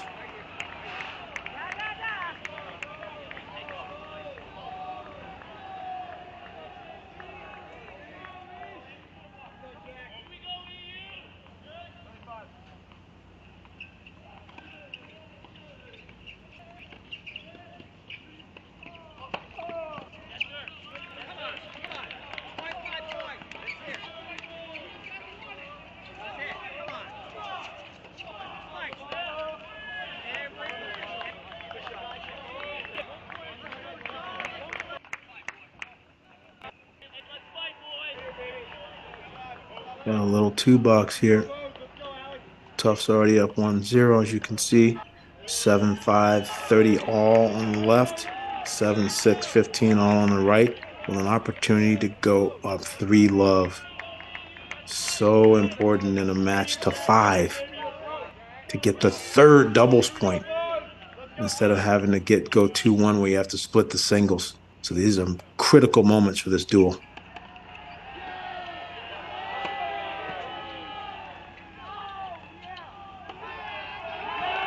Tufts is getting it going.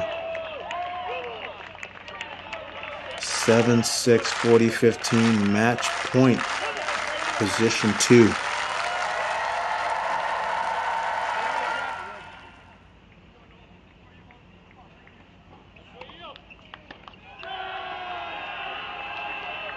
and that was called long the return just missed.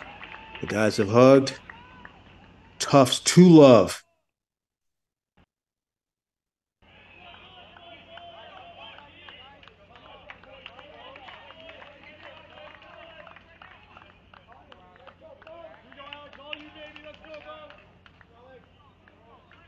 And was a match point that they just had at 40 30 to go three love, but they missed. And now they need to problem solve, talk it over.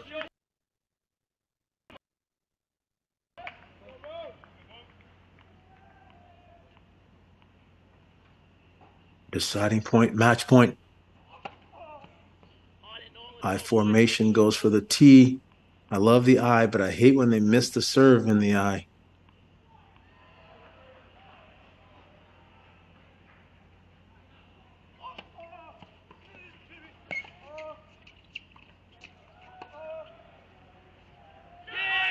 And it goes long. Emory guesses right on the return off of the eye. I just, I hate when they go for the eye and they overserve the target. It's so important to hit the target some way, shape, or form. Momentum shifts, and now Emory has a chance to hang in here. It may only seem like one pro set, but in the overall outlook of a Division Three men's match, two one and three love is enormous.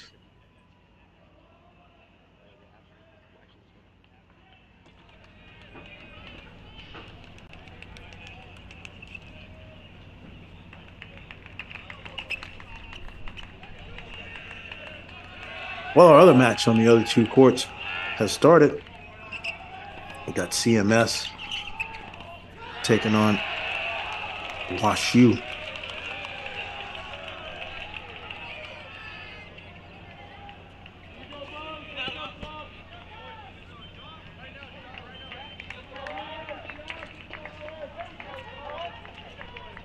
WashU at the top of the screen serving 0-2.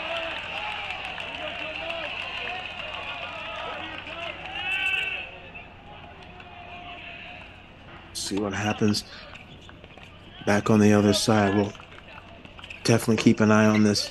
WashU and CMS, they're just getting underway. And again, it's eight game pro set. So we will certainly will be able to bring you a lot of action from each of those courts almost a little bit of an advantage for us on the broadcast to have these matches slightly staggered so we can get all of the doubles action going. Really showed you a ton of Tufts and Mill, excuse me, of, of Tufts and Emory, and we're able to finish that dramatic Middlebury Bowdoin match. Again, for those just joining in, Coach Mark Bay taking over the reins from Alexander the Great Gruskin. Case Western already on a win. Middlebury, dramatic come from behind win. And now we need to figure out the rest of the punch card for Monday. Tufts versus Emory.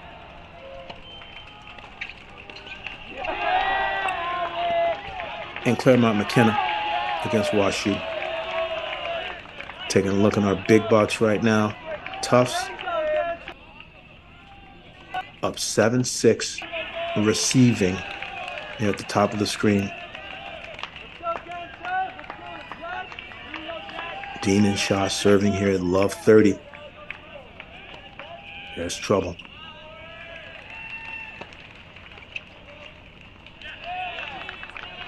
And that goes long. Three points are so valuable.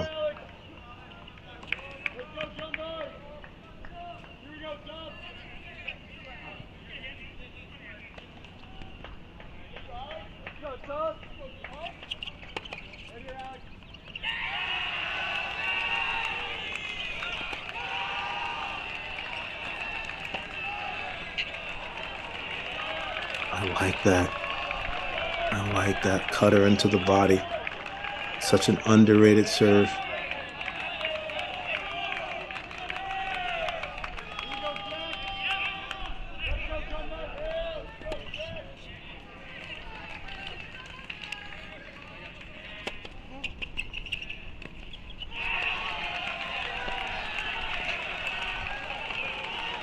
Yes. One, two, three for serves. One, two, three points in a row.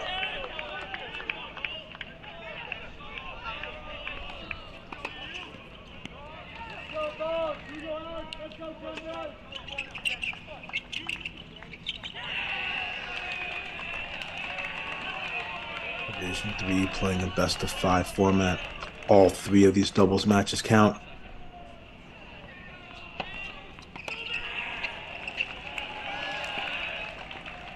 And there it is, forces a tiebreaker. What a great job coming back from Love 40 down. But with first serves and net play like that, not surprised.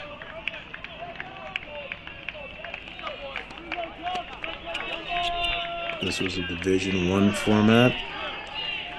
These guys would already be playing singles or cheering.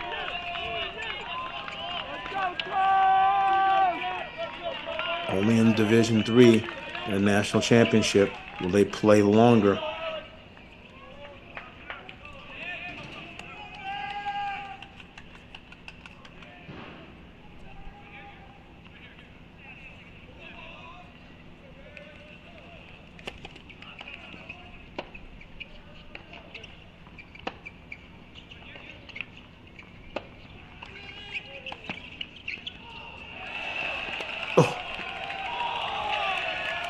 Oh, what a point.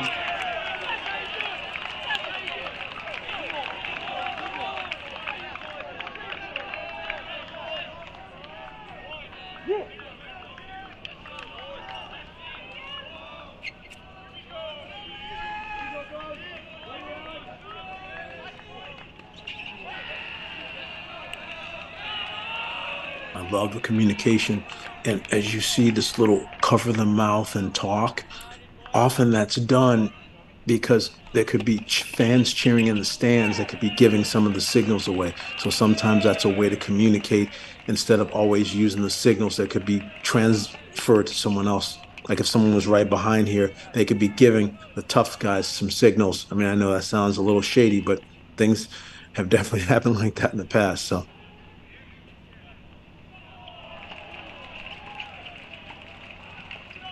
Oh, this is some ball. Emory. These guys have caught fire at a crucial time, saving match point, and now in a dominant position here to start this breaker. Wow, 2 1 to 3 0 is such a big difference.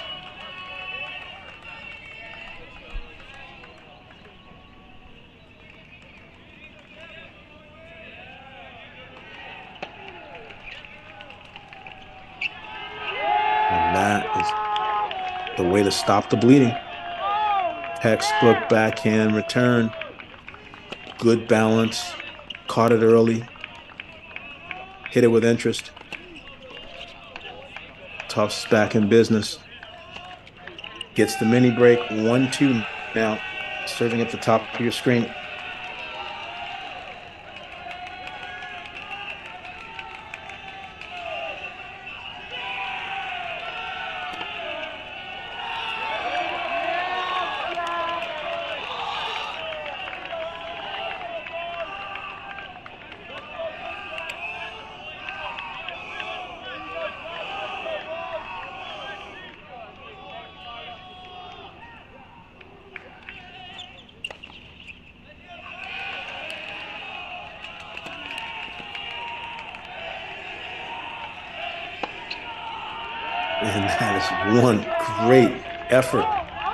Erases the two love lead and is back with their nose out in front.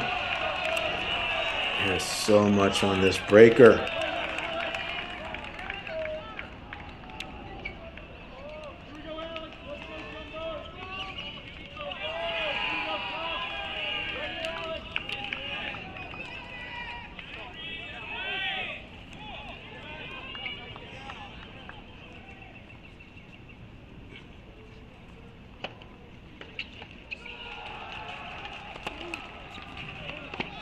Oh, it was just an accidental flea flicker push up in the air, but it works to perfection.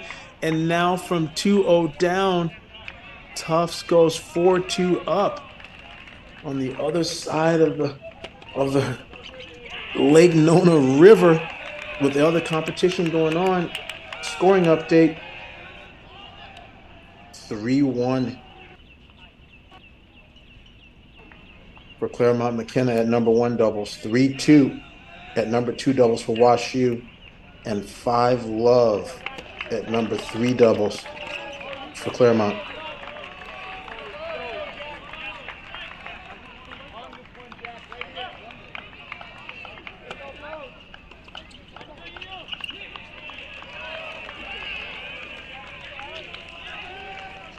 Stay here on the main box until we close out this breaker. And then we'll probably take a shift over to number three doubles, which is moving much quicker than the others.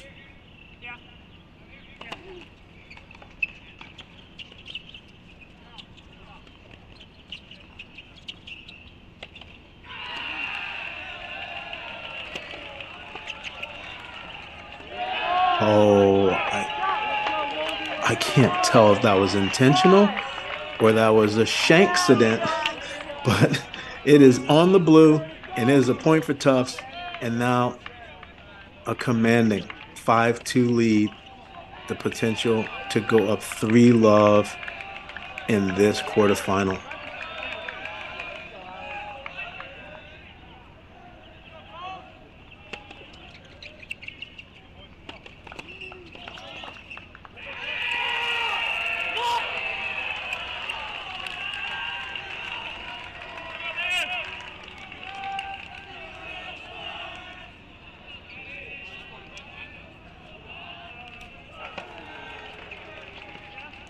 Bingo.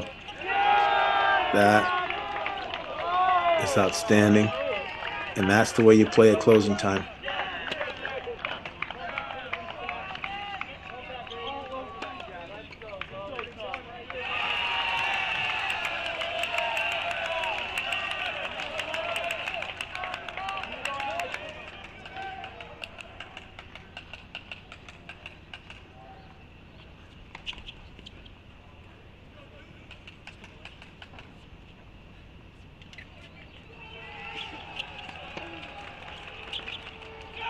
And that is game set and a commanding three love lead on a race to five for Tufts. T U F T S. Three love. Coach Browning is going to have to rally with the troops now. This is an important, it's probably going to have to be a Vince Lombardi type of speech getting ready for singles. Because now you've got to win five out of six singles. That is tough math. Okay. Flipping over to our other match. Let's get uh, court three actually after this deciding point uh, in the big box. So Let's watch this deciding point and then switch to doubles three because they, they've, they've moved along so far.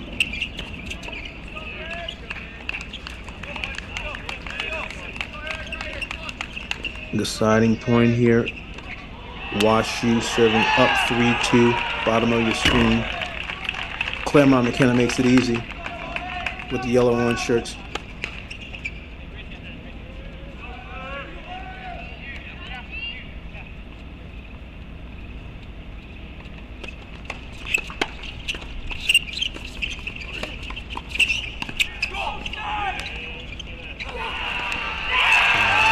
That's a time hold.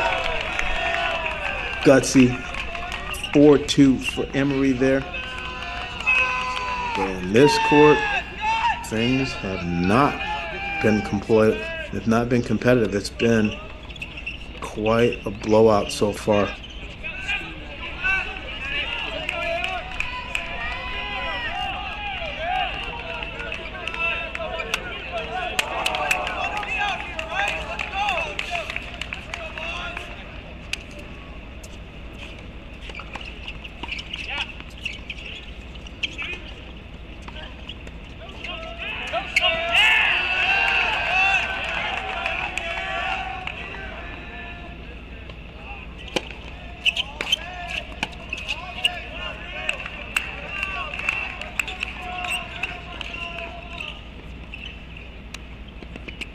All right.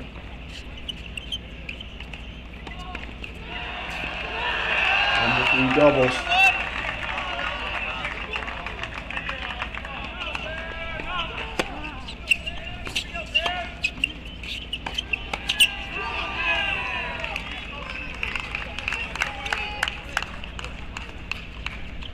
Burrito and Fam going against Scruggs and Garcia Miro.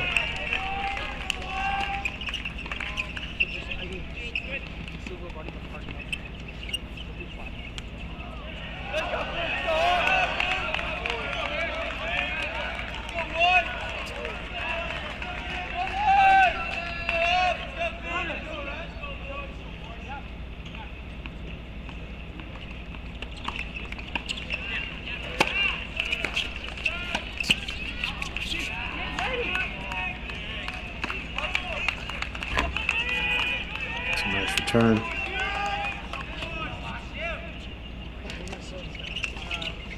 Marito's a freshman. and He has been dominating, having an amazing year. And I think sometimes when you have a, a number one player that plays in the three doubles position, they can sometimes take over a match.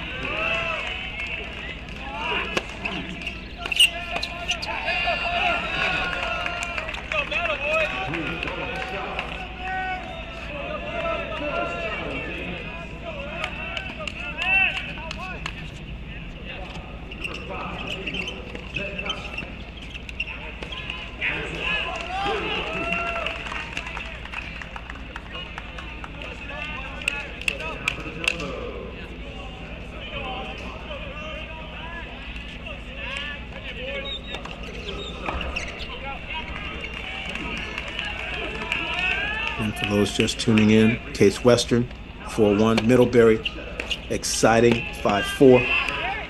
Tufts on the other side, up 3 0. You're looking at the three box.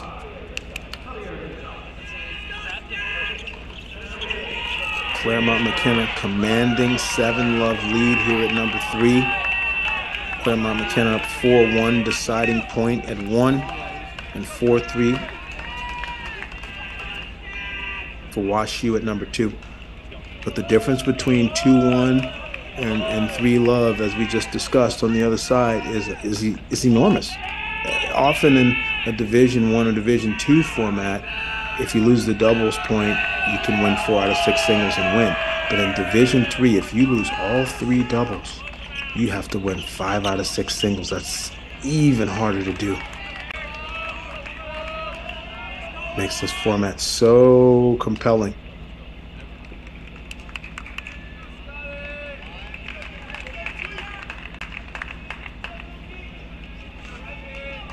Coaches seem to like this one. They have made some adjustments and they've added no ad scoring and they've also added lets. So they're playing lets and no ad. So there's a lot of similarities between one, two, and three now, but this particular scoring aspect is, is still most certainly a difference.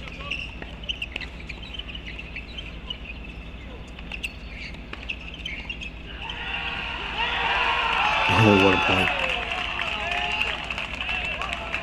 Back to number three. Claremont McKenna on the near side, serving seven love. Fam serving. Oh, what a pass.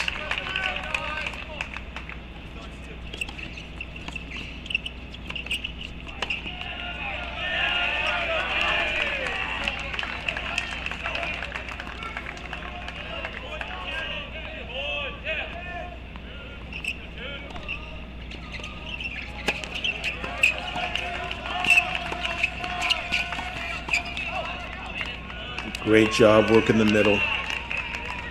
Love to see competent doubles teams inside the service box building a wall. When it's a two up, two back scenario, it's much better for you to volley through the middle, as you just saw, and then going to the outsides when you have a ball to put away. Opening up angles sometimes is not the right idea unless it's a ball you can put away. Fam serving. Seven love. 15 all.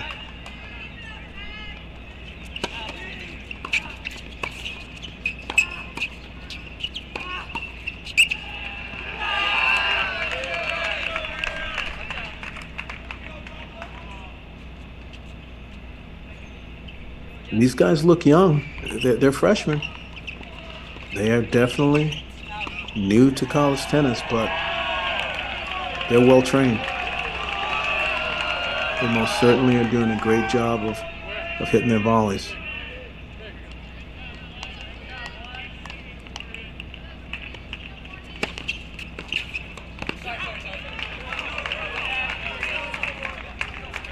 Oh, he made a late break. Just split step was a little off. Wasn't as explosive as he needed to be for that ball. I think with his serve position, I, I prefer him to not stand so far wide. Uh, I'd love Fam to move in a little bit more from his serve position. I think it's a little harder, especially on the second serve for him to spot the tee. It's, I think his opponent can find the forehand a little easier on the second serve, but that one sails long. They're still in this game. See if they can climb their way out of it position 152 for Claremont, position 253 for WashU.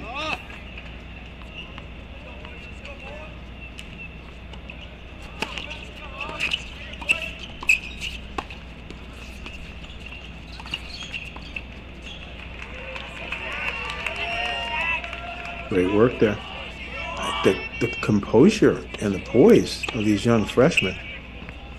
I'm impressed.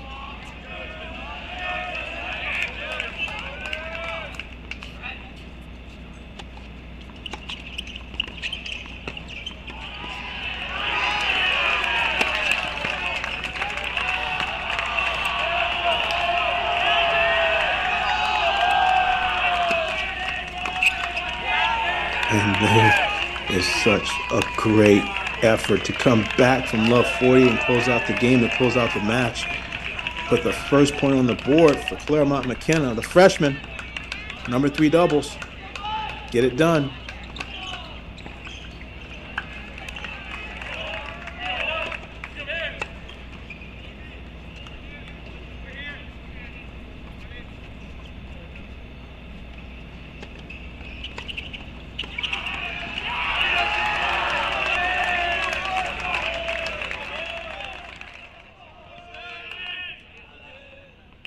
Two box. WashU, Claremont, and now it is one love for Claremont McKenna. On the right of your screen, WashU up 5 3, 30 love. Receiving at the top of your screen. On the left screen, Claremont McKenna up 5 2, 30 15. So on pace right now.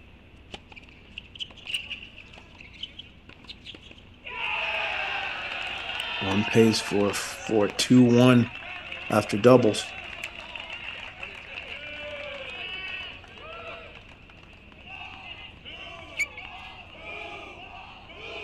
Sorry, because uh, the the PlaySight system is used to a normal D1 match that's going to six, so that's why the screens are saying match point. Apologies for that.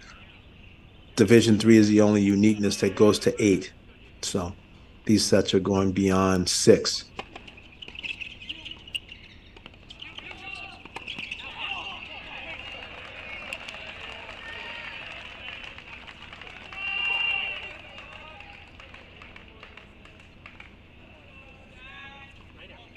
And CMS is going up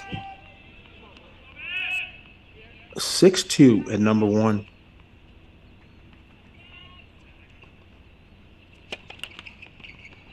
Again, apologies. The, the PlaySight is used to a six game set, so this providing some stats for you right now. But this is an eight game set, eight game pro set, rather.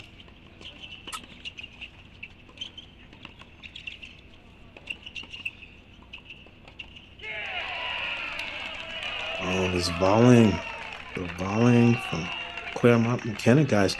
The little freshman did a great job at three, and now I'm watching this just this great technique and court position at all three double spots for them.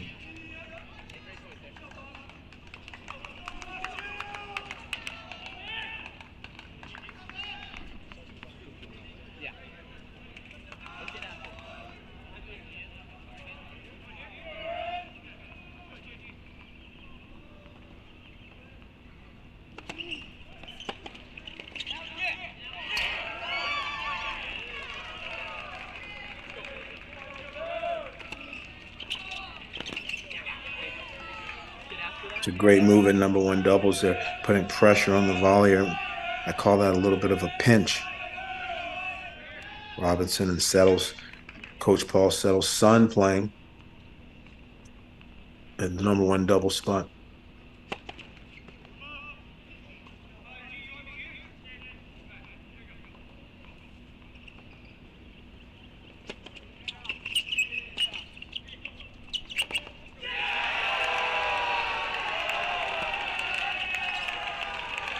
Wash U. Up 6 3 at number two. Again, we're going to be bringing you the singles from the Tufts match here shortly. We just had to watch a dramatic doubles point ending for Tufts, so it's just nice to to spend some time here with the Wash U and Claremont McKenna doubles as well. Trying to keep it fair and equitable here at Cracked Racquets. So much coverage all throughout the Division One, Two, and Three championships. Covers Division One first and second rounds. Been covering this weekend, obviously Division Two, Three, and One. Alex Gruskin on the Division One feed right now as we speak, and Coach Mark Bay here calling Division Three men and Division Two women later. Alex started the day and on the middle of the day, and Alex will come back in and back clean up and finish.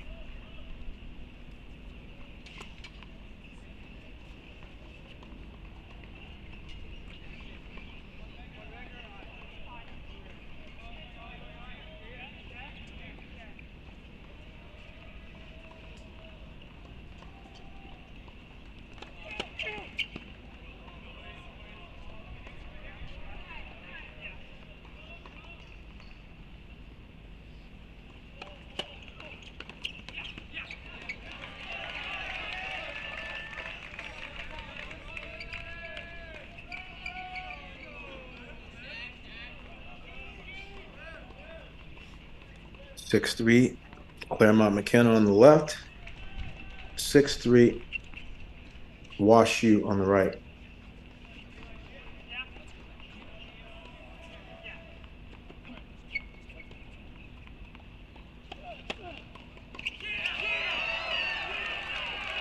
Robinson and Settles 16 and 5 on the year.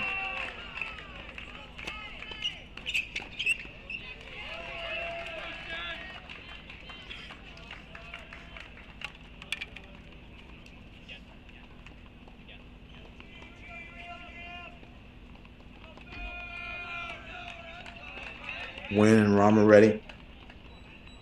14 and 8 on the year.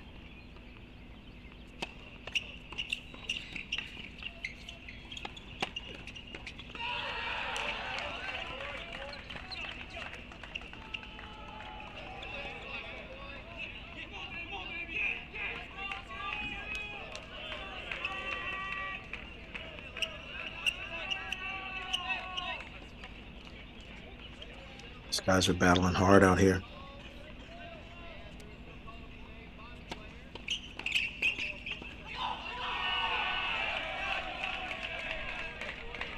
Really appreciate how much serve volleying players are looking to do.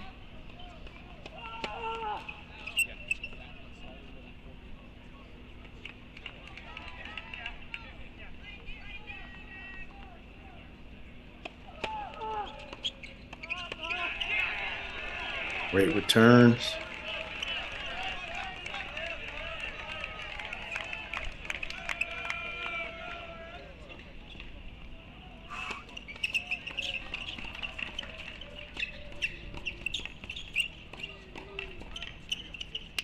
Six four for Wash U. And number two doubles, six three for Claremont McKenna at number one. Again, going to eight in a pro set.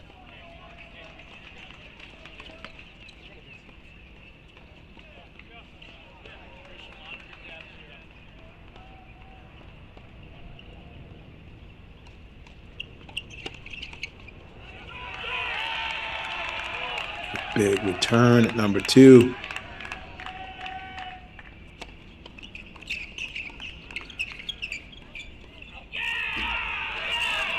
Great first volley pickup. Skill levels high. This is just college tennis.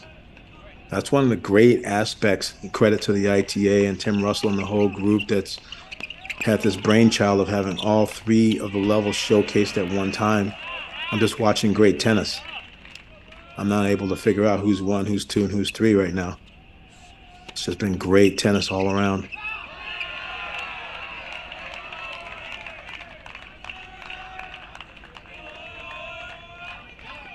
Deciding point at number one doubles. Big moment.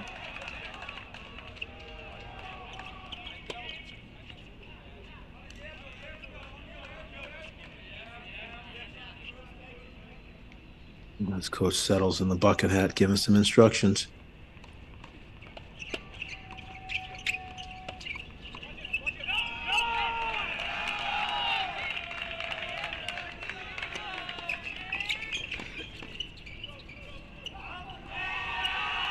Oh, it's called long.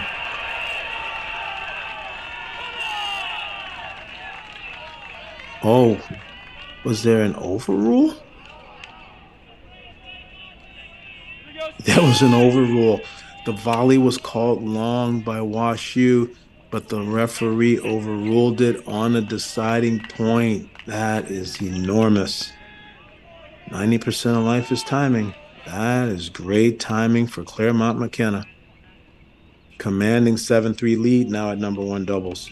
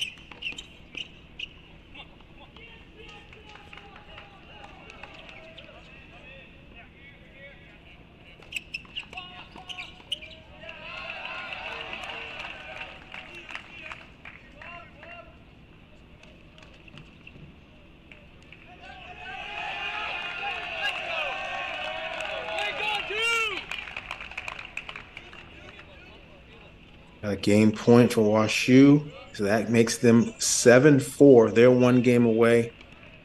And here at position one, 7 3, Claremont McKenna.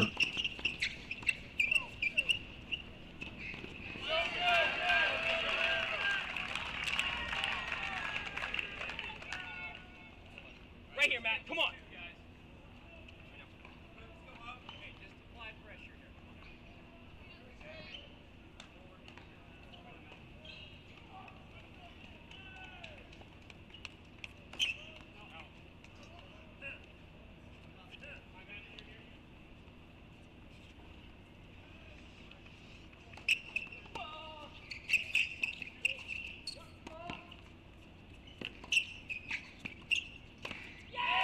Bingo.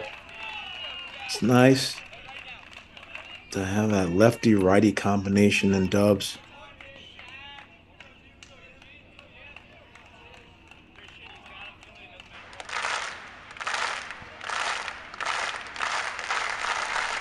Match point.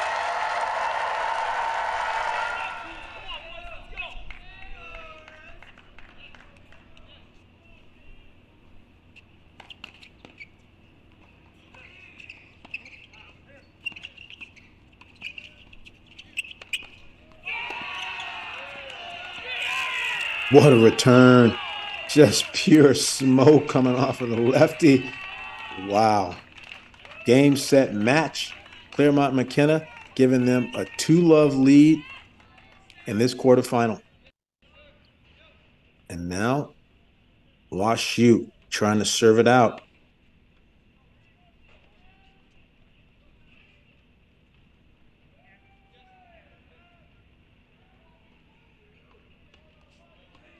Singh and Yamamoto only nine and seven on the year.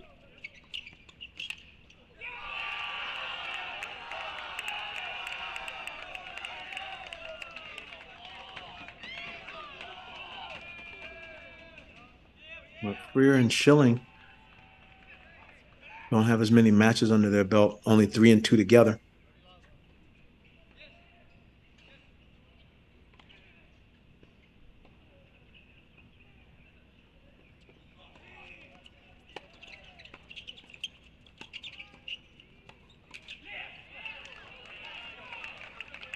Great close. Like I've been saying all day, the, the technique, the volley skills, the movement, well trained collegiate athletes. And doubles is doubles, people. Doubles is doubles. You have to have the right skills and do the right things. I formation, body serve, great choice, free point on the serve, good coverage. This is a great doubles product.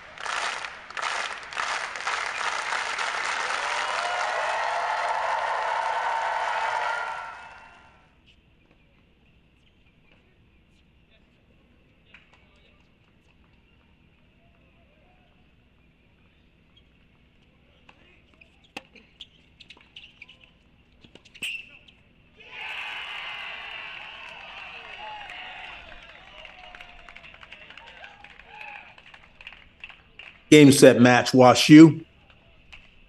Eight games to four.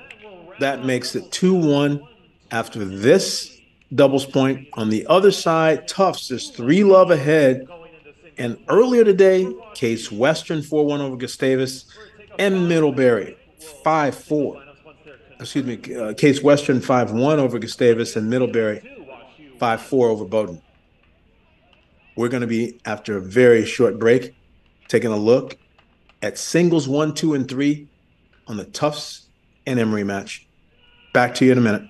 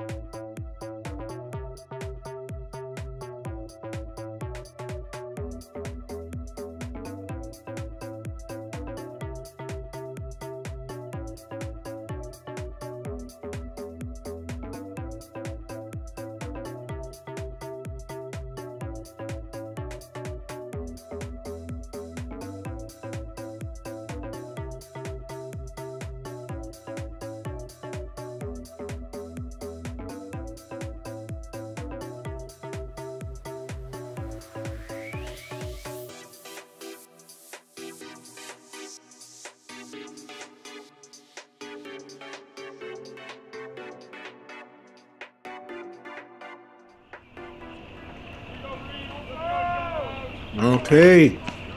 Division three, USTA National Campus.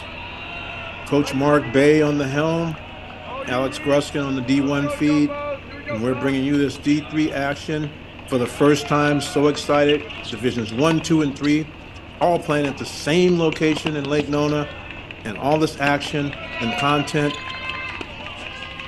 on Cracked Racquets primarily and NCAA.com, and then obviously a little tennis channel for the main Division One semis and finals. So all of this action from first ball to last, May Madness. We are now into the singles portion of our last two men's quarterfinals of Division Three. Earlier today, Case Western 5-1 over Gustavus Adolphus. Middlebury in exciting fashion, 5-4 coming back after being 4-1 down against Bowdoin.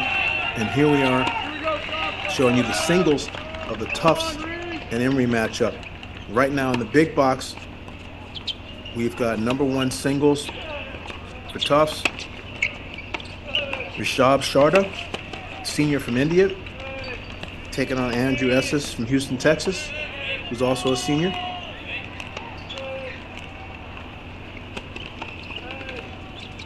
Sharda, top of your screen. Esses on the near side.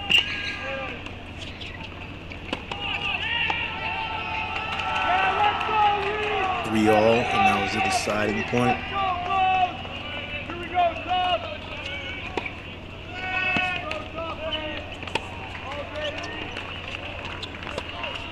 That's 4 3 for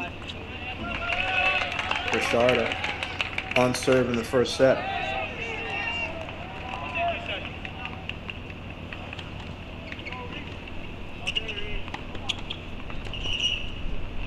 Take a peek at court number two.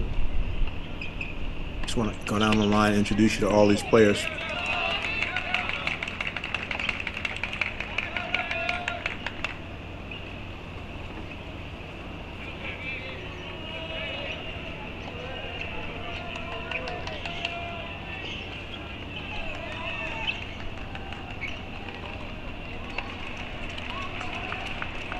My game. Go, baby. I guess we're still here at the at, at position one, Sharda and Estes.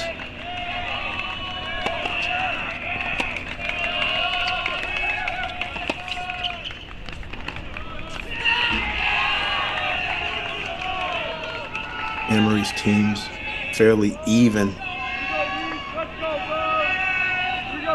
not necessarily as tough at the very top of the lineup, but just very even and deep all the way throughout.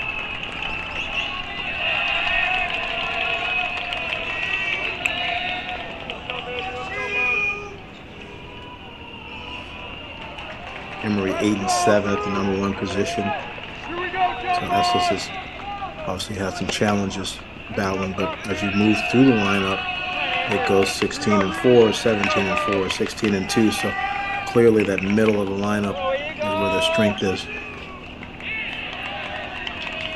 Estes top of the screen, serving 3 4. Let's go. Let's go. Good serve, big forehand, misses the mark. Here we go, Jumbo. Okay. You. Here we go, Bo.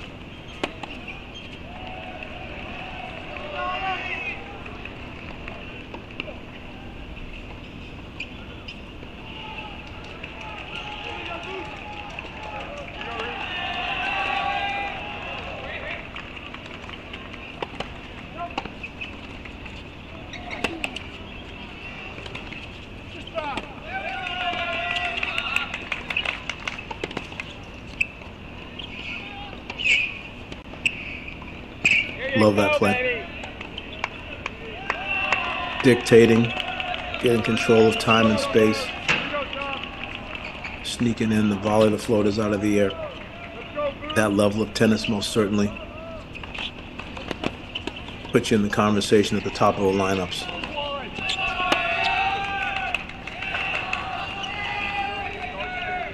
And Tufts is up three love. Dual match they only need to win. Two singles matches to close this out.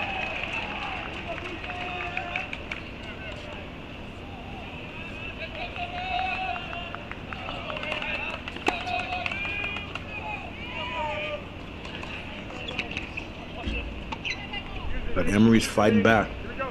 Emory has a lot of positive scoreboard momentum at other positions. At the bottom of our screen, it, it should be 2-1. Claremont McKenna is 2-1 ahead over Wash U after doubles. Their singles just getting underway.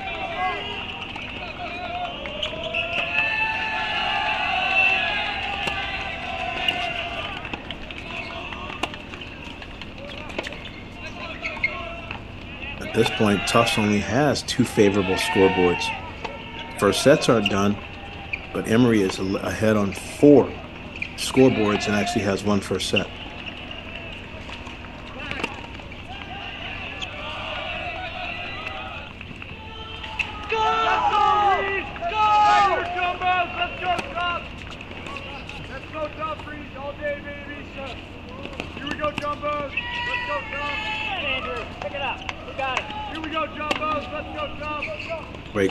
Sharda. Go up 5 3.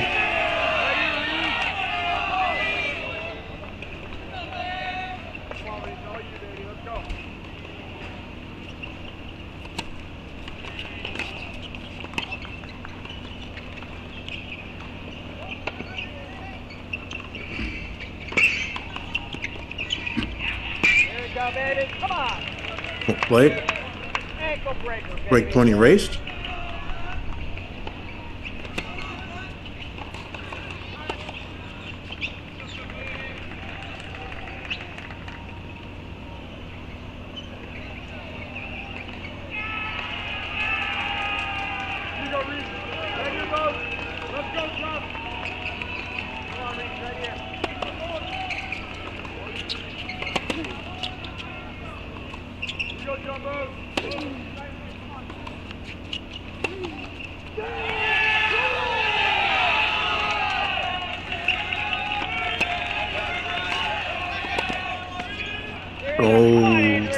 Underspin approach shot didn't seem to be that great of an approach shot, but because it stayed so low, Sharda couldn't get under it.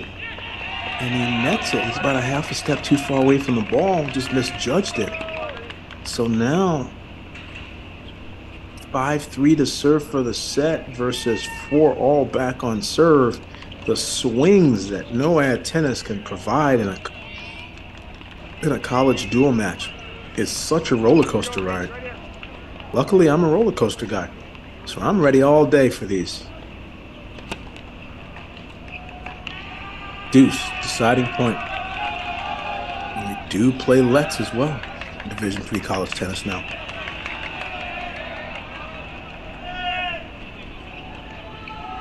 And there's a double fault. And there's a celebration. I don't know that he should be having that big of a celebration. But there's a lot of emotions flowing through the veins of these young men, and everyone gets pumped up. So now Sharda from Tufts will serve for the first set here at number one. We want to try to get your looks on all these different courts. We're going to shift over to court number two. Dean Kamenev, Hinsdale, Illinois, from Chi-Town area, my neck of the woods. Actually just actually just held serve. He actually just held serve to win the first set 6-3. So he gives Emory. We'll come back to this one. Let's shift over to uh,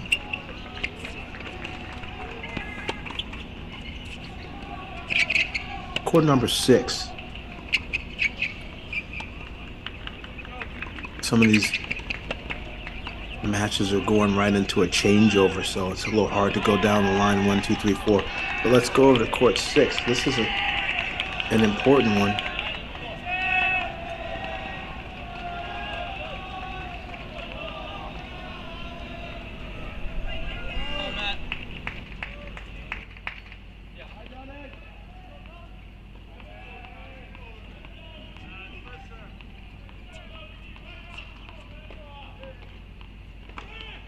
Offs.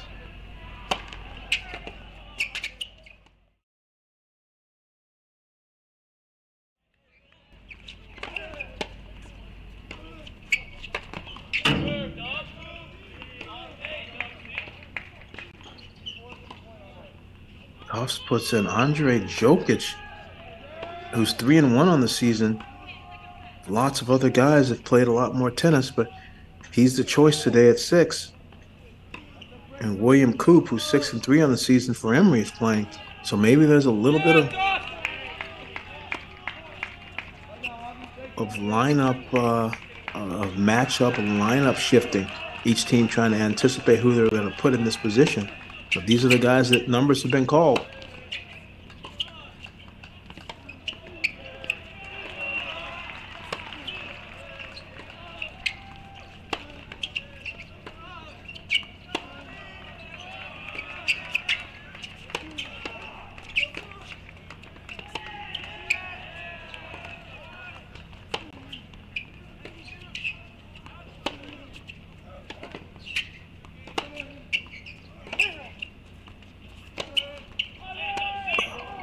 Definitely didn't have his legs under it. He hit a bunch of great forehands in a row.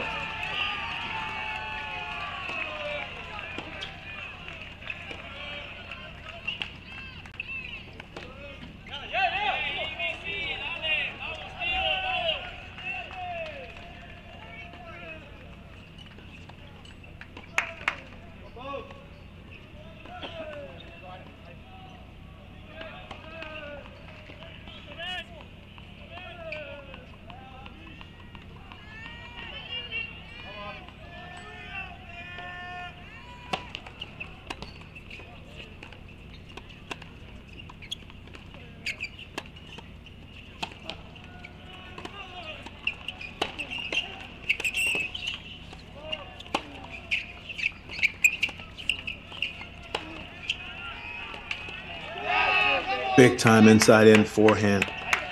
What a shot. Tufts wearing the baby blue shorts and Emory wearing the black shorts with the white shirts.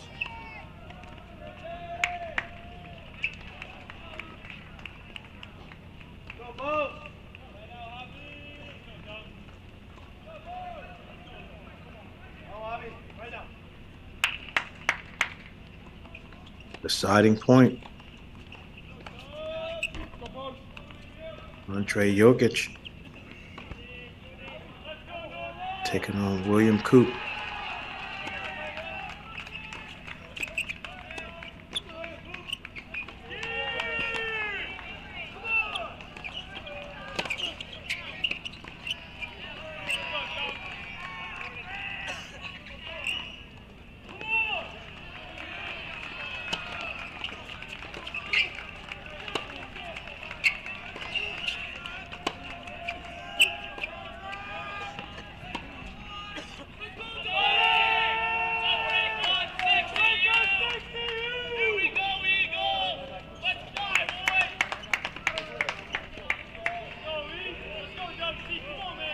To see when that ball was in or out. I'm, I'm a little unsure on the call. 5 4. Emory. But it was wide. Emory is. This is starting to smell like the Middlebury and Bowdoin match. But Tufts up three love after doubles, only needing two singles. Sometimes there could be an emotional letdown relative to that. Let's shift over to court number three, please. Position three.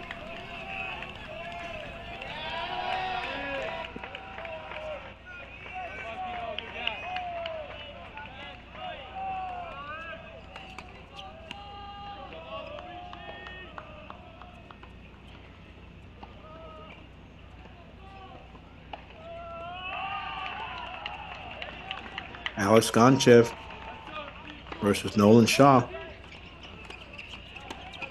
Shaw, junior from New Jersey. Gonchev, freshman from Bulgaria.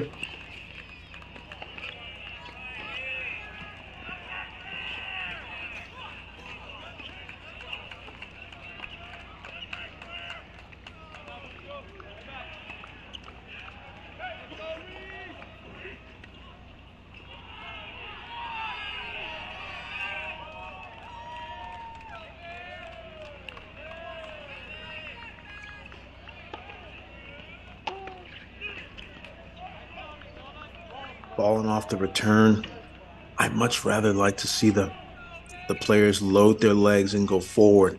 I like the Jimmy Connors, Andre Agassi, Monica Seles, Djokovic school of returning.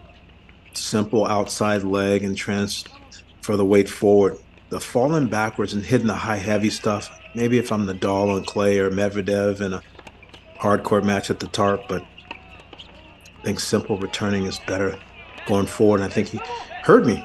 Did better there, got the ball in play. Just simplifies things. Deep up the middle, neutralizing the server. That's really the number one job of a returner.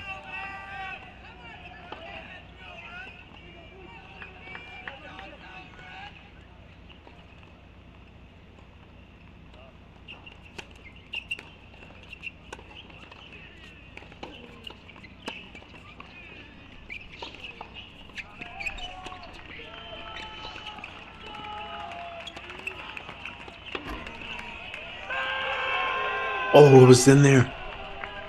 Love the tennis from Shaw, though. Stepping up and dictating with the forehand, playing inside the court, controlling the center. Just snuck in and took the swing volley out of the air, but underplayed it. And Ganchev obviously was able to run it down, but he's also lefty, so it was his forehand.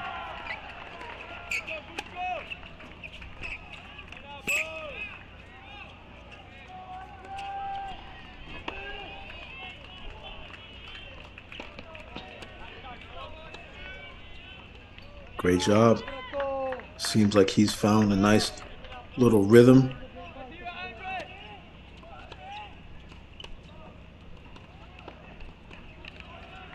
A lot of repetition and balls that you have to hit to get to the position where you can trust your game and you can just play fluid.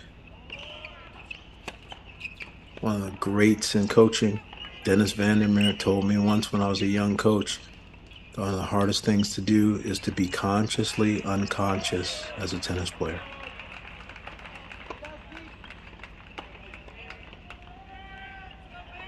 Be able to play with intent, have purpose, but to be automatic and trust your shots over and over and over. And I just jinxed him on the double fault.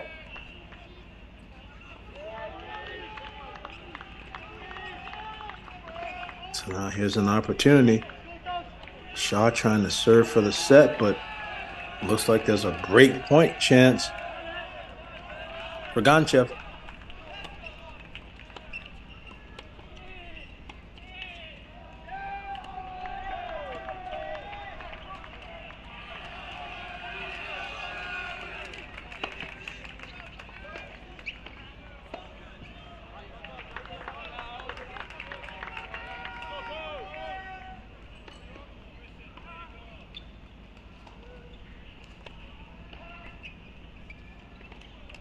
It long.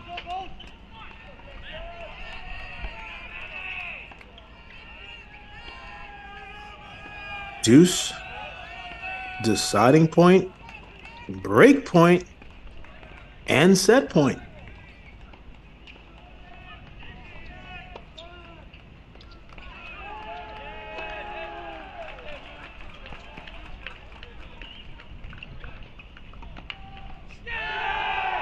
Oh, what a shot. He is pumped. Ball was almost behind him. And he was able to right the ship athletically. It's a great job hanging in there. Let's go back to position two. In position one, number one singles, Sharda did close out that first set 6 3.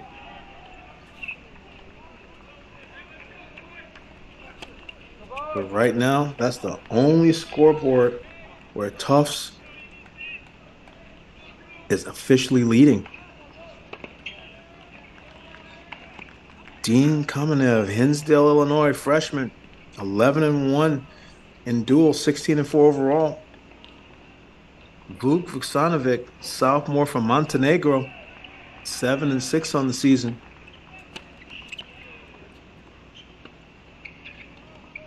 Buddy from Hinsdale is sniopping. That's Chicago language from high school tennis, from his high school tennis days at Hinsdale Central.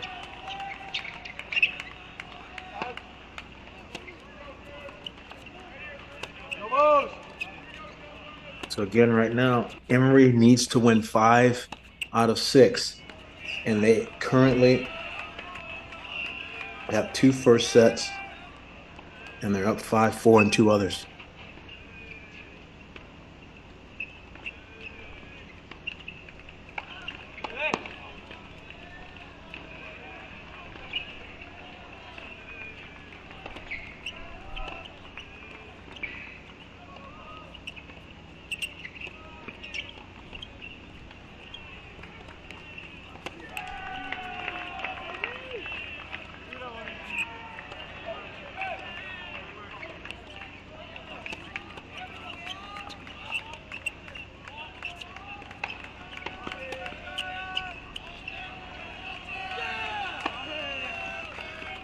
Big time for him.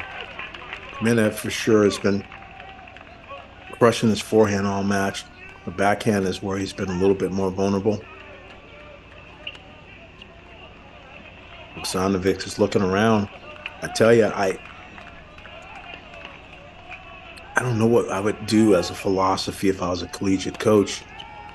Because looking around sometimes can distract you and you start feeling the momentum of the positive momentum if your teammates are doing well, but right now, possibly the negative momentum of a lot of the Tufts players being behind in the scoreboards.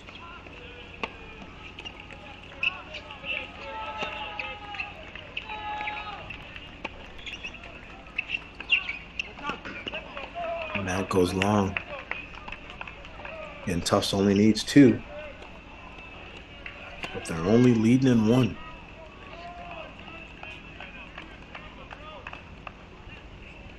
After this point, let's switch over to court number five. Looks like we may be getting close to a set point.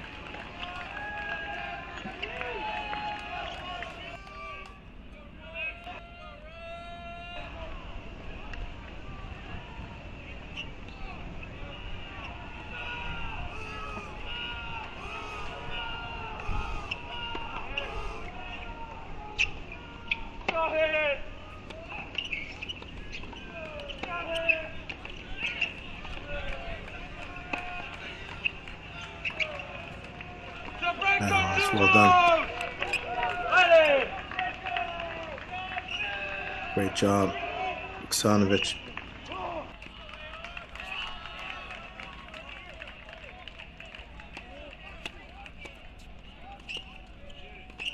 Over court number five. Gonzalez and Van and Van Cotham. Gonzalez, a freshman from Spain. Van Cotham, a sophomore.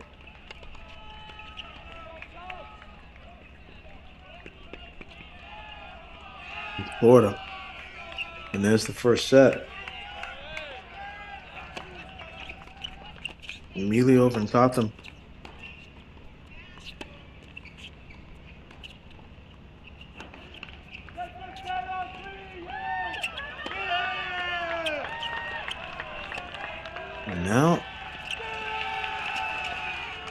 Position three. Shaw gets a set for Emory. So Emory now has first sets at positions two, three, four, and five. Let's go over to four.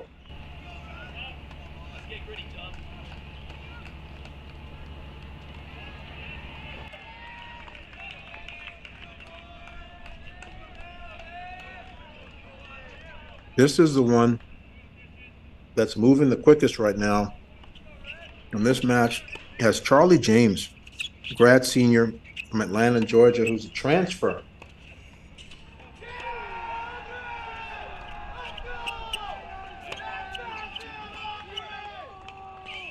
Came over from St. John's and he's been lights out.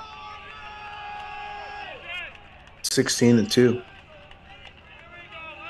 And he's continuing to do the damage here.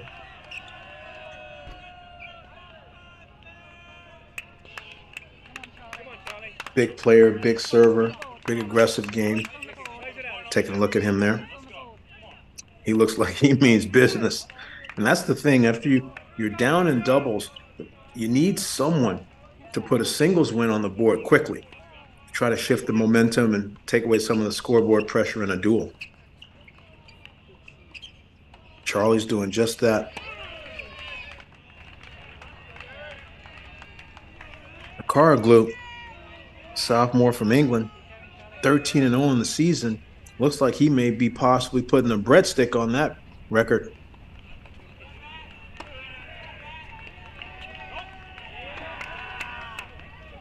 Because Charlie James is on a mission.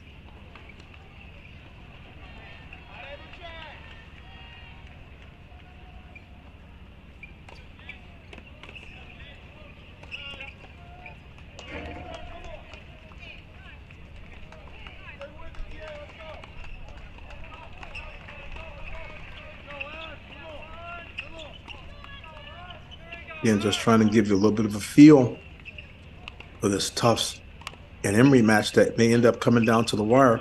We'll be taking you to Wash U and Claremont McKenna shortly. Just wide.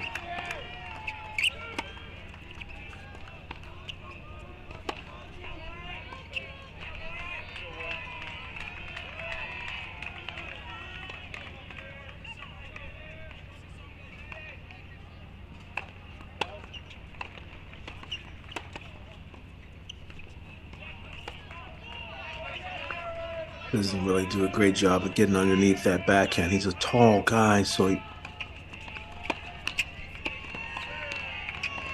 could possibly have some challenges on the move.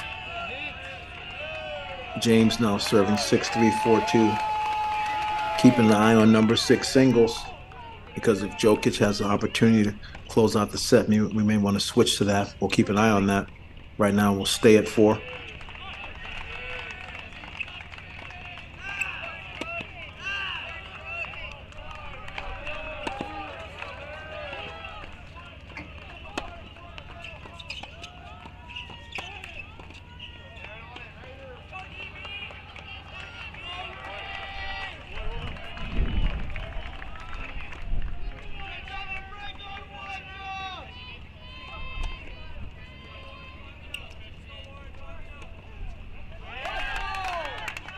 Great shot. James has just been doing such a great job on the big serve, big forehand that I don't. I mean, just looking at him, he looks rather calm. Looks just seems rather confident that he's going to be able to hold serve over and over again. Big serve, opportunity, forehand with time. Yeah, he, he's got this dialed up now. His head on backwards is even so high. I, I'm a head on backwards guy his is so high, I feel like it might fall off, but he's got it under control, just like the serve and the forehand.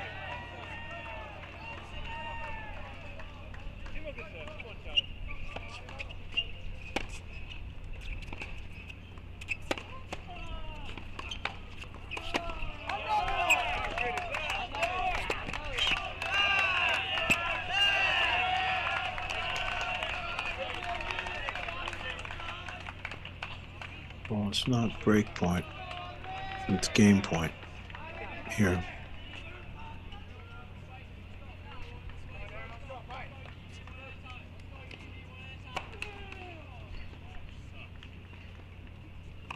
Missing that.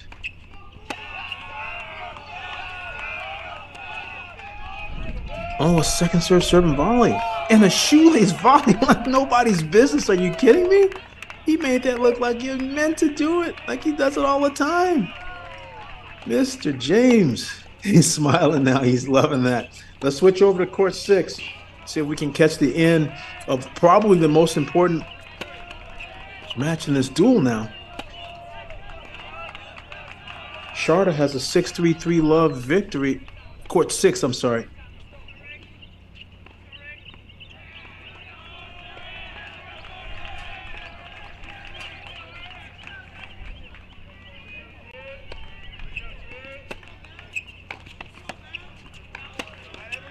keeps coming back to four.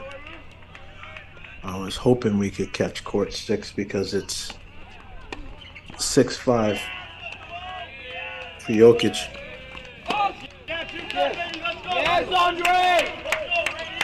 Yeah, six five for Jokic.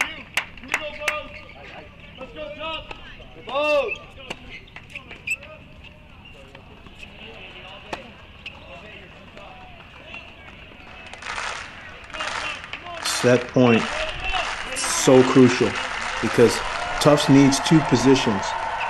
And Sharda at one seems to be in good position at 6-3-3 love, and this is the only other favorable scoreboard. Oh, he misses the backhand into the net. That was T I G H T. Let's go, Andre! Right here! Go both! All day, Andre! Here we go, Jumbo! Let's go, Tom! Deuce, deciding point, break point, set point. Lots of different dynamics in this single point.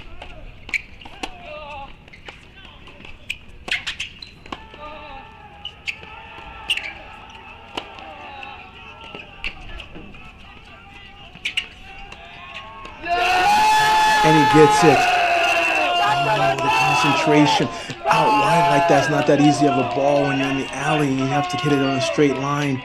But he settled in and took good care of that business. Wow. That was a big moment for this duel. Let's go back to position four. See if Charlie James can close the door.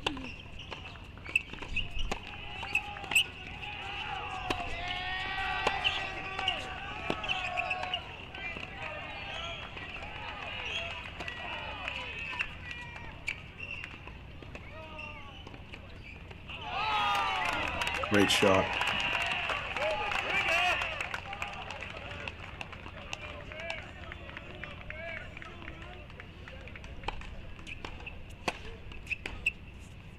James, two points away. 11 and 0 in duels, 16 and 2 overall.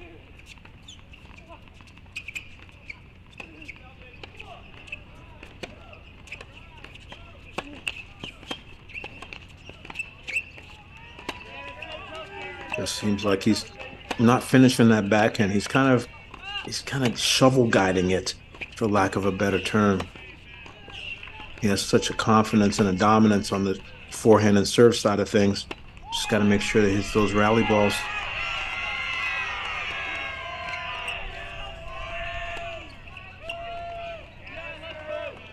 Good pressure. Nice hold. A Carglaw.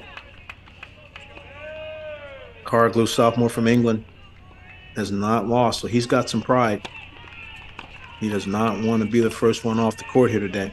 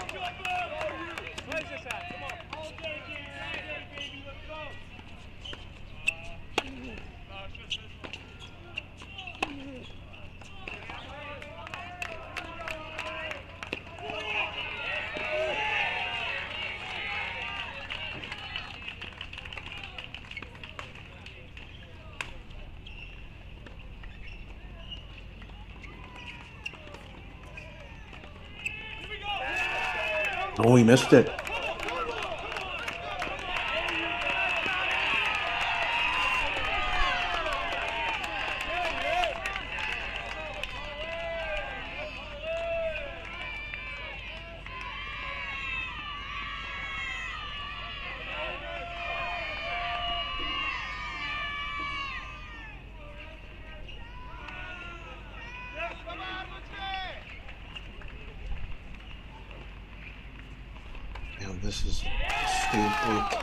dual match.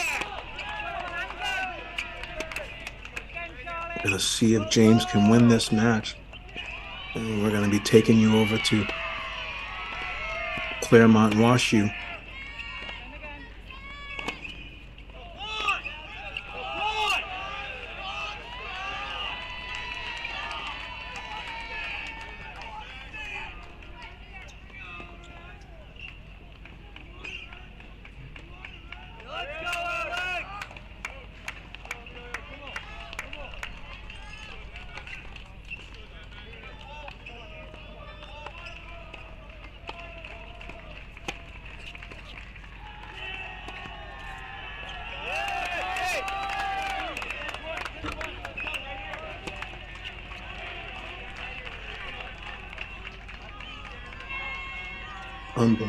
scoreboards on the Claremont McKenna and match 5 4 on every single scoreboard except for one. It's a big serve coming from James. There's the heat. Closing time. Match point.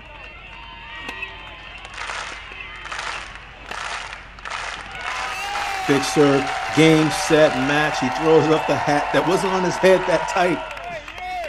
Charlie James, grad senior from Atlanta, Georgia.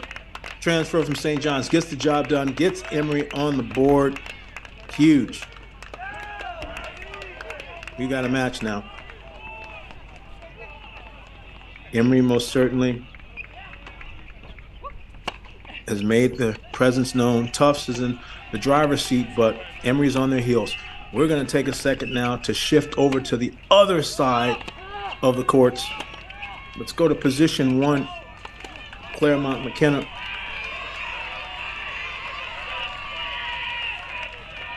Versus WashU.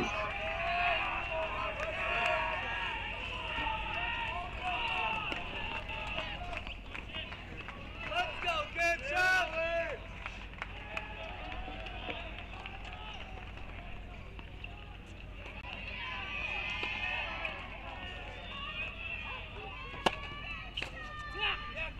There is just almost going to be set points everywhere. It's going to be impossible to catch this. The simultaneous nature of college tennis is such.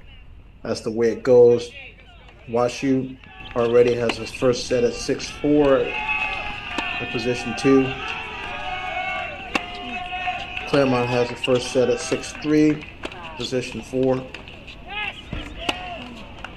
And here we are at number one singles with a set point Claremont freshman.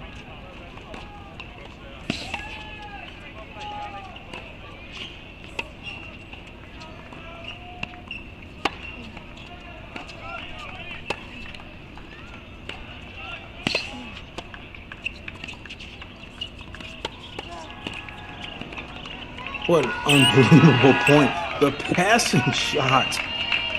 Oh my goodness. Luke Wynn is now has an opportunity to break back. Ivic Marido, freshman from California.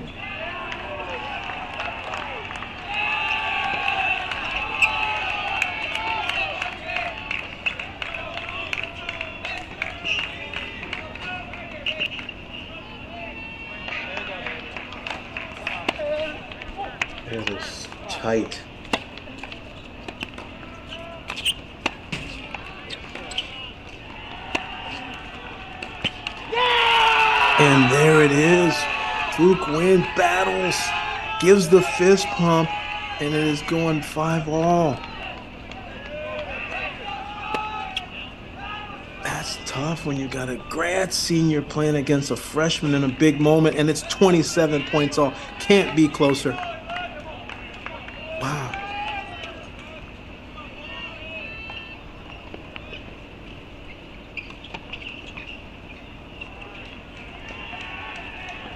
So many close scoreboards. We're just going to keep an eye on it all. We'll get you introduced to all the matches on this other duel. We're going to stay here at number one singles just for a few more points.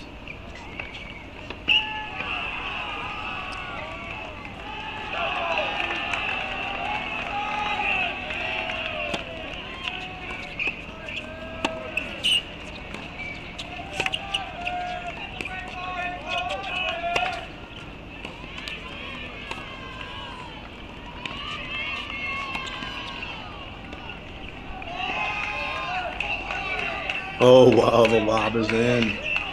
The lob is in.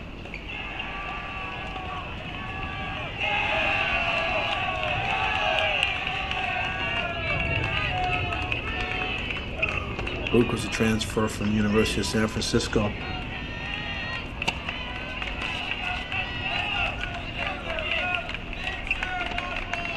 WashU hasn't won a title since 2008.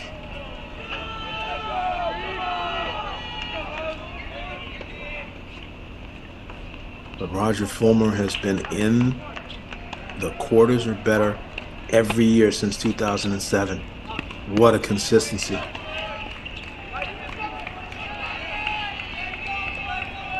That is a love hole after being set points down. Big momentum shift for the grad senior.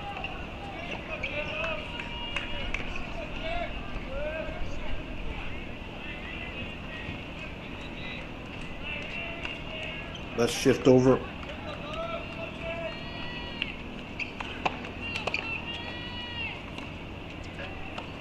Single six. To six singles in this match.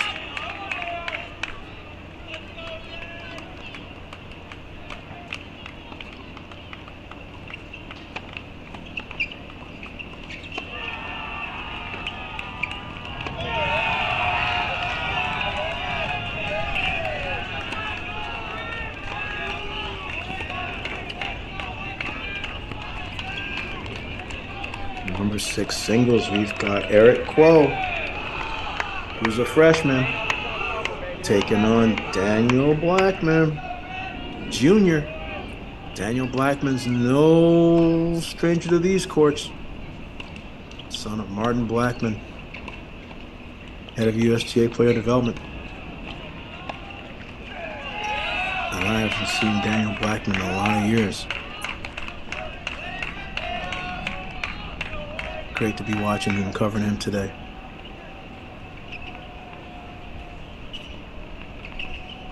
Blackman on the near side, Claremont. Moves up and tries to take the return early. Not a bad idea. Just broke posture a little bit as he was getting ready to produce the shot. So important to keep your head above your waist on returns and anything that's aggressive minded. Cole's 11 and 2 on the season. Blackman 5 and 6 in duels, 7 and 6 overall. That goes wide.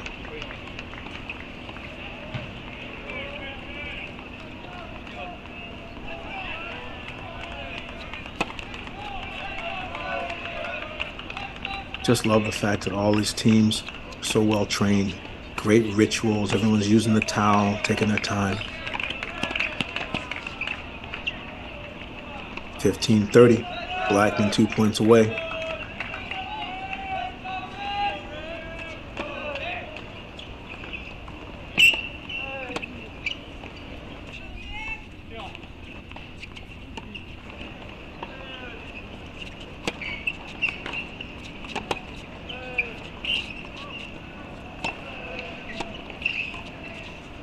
Oh, nice point. There you go, baby. That's what I'm talking about. From the heart. A little bit of high ball sneak. Blackman just a little bit too far away from the volley. Didn't catch it on the sweet spot. Missed it. It looked strange on our screen because it looked like he had made it as a drop volley, but it bounced on his side first. And he was trying to lull Cole to sleep and then sneak in and try to steal one at the net. Not a bad choice. He's definitely trying to look to do some all court things, just haven't worked out for him this game. 30 all.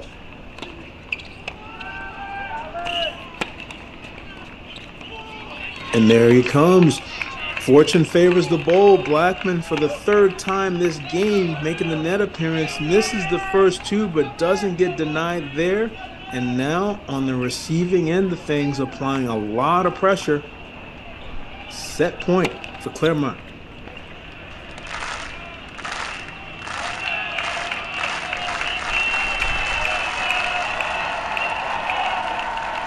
Big first serve by Cole.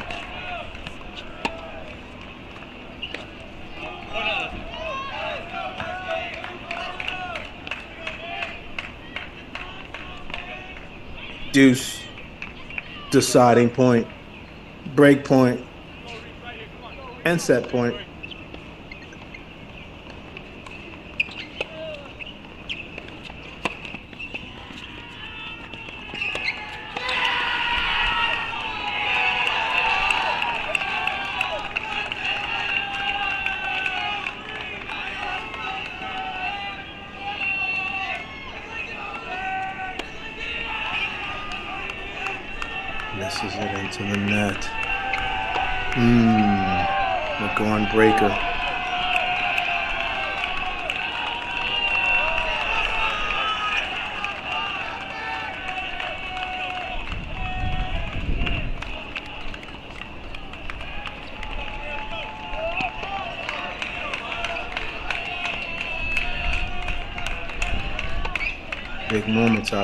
Duel. Here it go. Across the scoreboard. Fook win wins that first set 7-5, which is huge for WashU.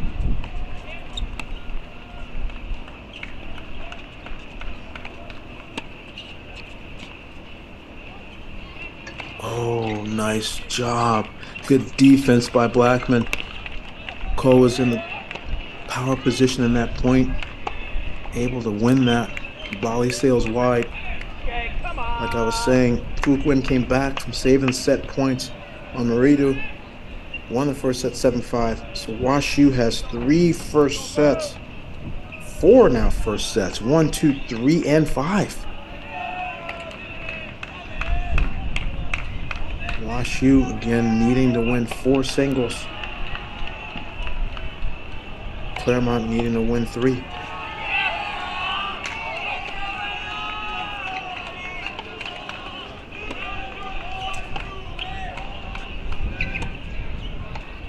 Here it go. Let's go.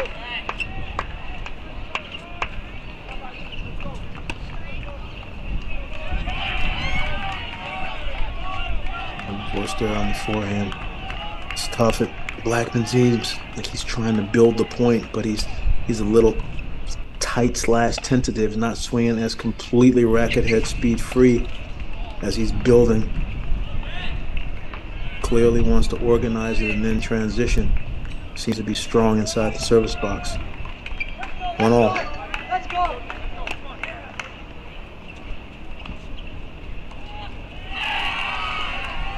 Good serve. Great footwork there. Eric Quillis doing his job. Holding serve, sending the balls to the other side, putting the pressure pressure on Blackman keep pace in this breaker.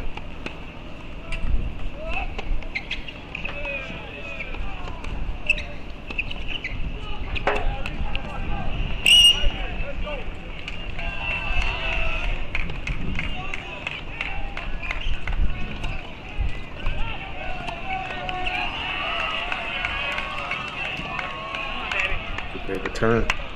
Taking the ball early, put some pressure on Blackman. Blackman's been the one applying most of the pressure, but here, Coach trying to flip the script.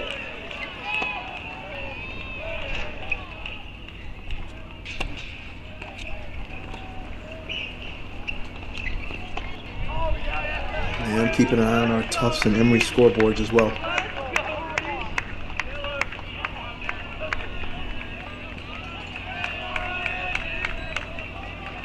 3 1 Tufts after a sweep in doubles and a Charlie James victory for Emory.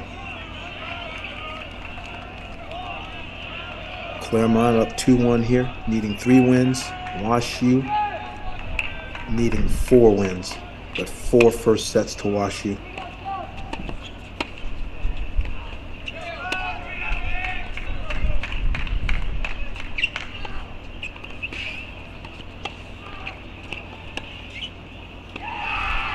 What a point!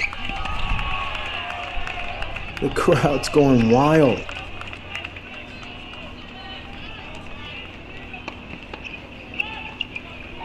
I guess it was called wide. I couldn't tell from the screen. I guess Blackman's pass passing shot was called wide. 4-2 Eric Kuo.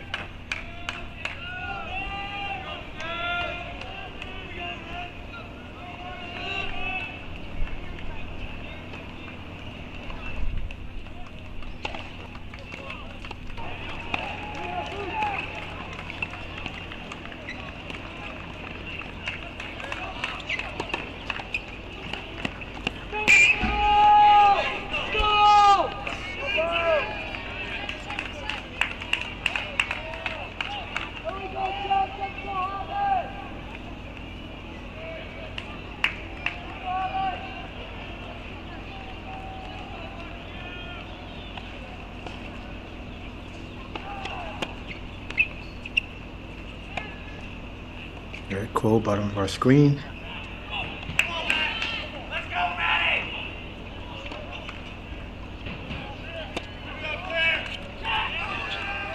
Blackman is yeah, was a little bit of a half in, half out there. He's been so aggressive on the returns, been applying pressure. It looked like he wasn't sure how big he wanted to go. Didn't get outside of get out of the way of the ball and a little bit too close to it. So now it's 5-2 with the free point. Blackman serving 2-5. It's a big moment for this duel. Here we go. Come on.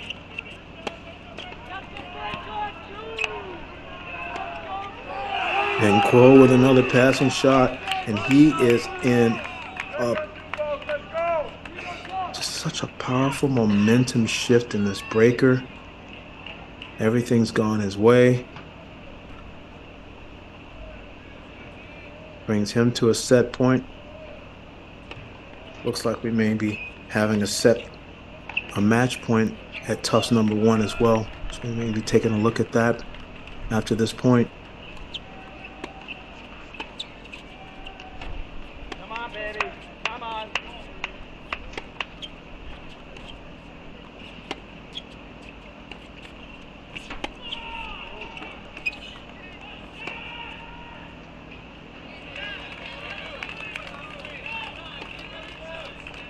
Nice job by Blackman showing that he can play the longer points and just be steady and make balls. There's always a portion of the match where you have to have that no miss mentality in tennis, regardless of what your aggression levels are like.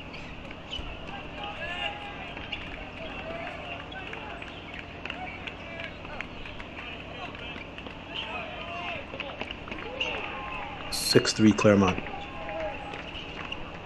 Let's go. Come on. Come on. Here we go, both.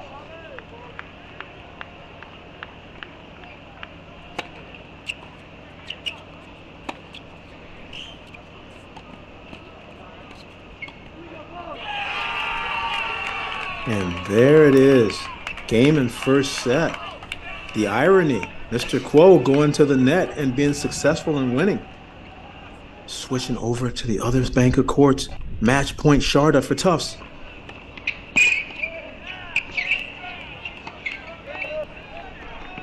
Oh, and the volley. Estes with the volley save. Here we go, Tufts.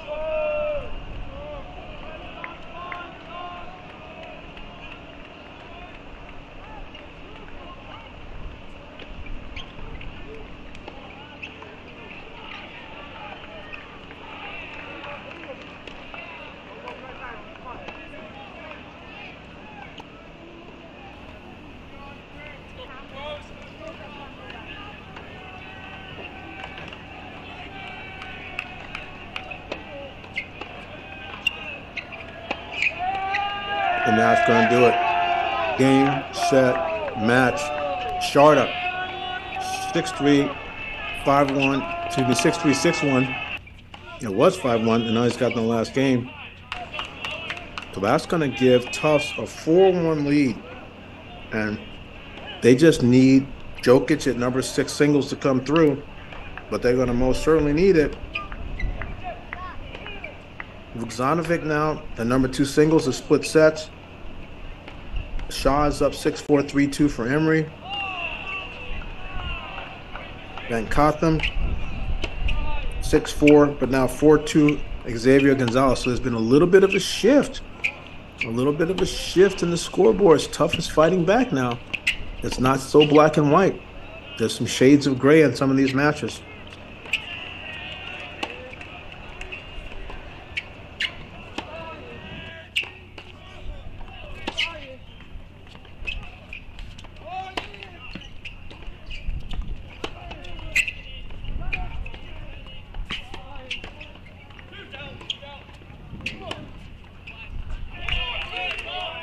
Oh, he gets a little stiff there.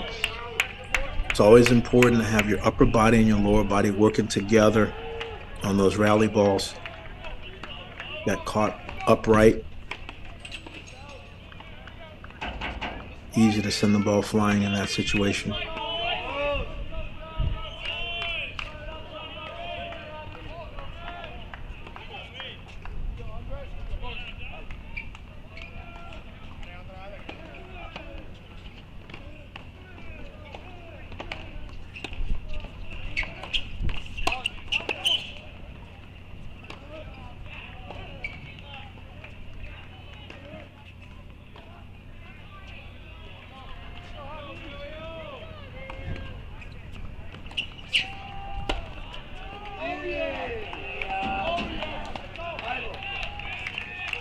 Time forehand.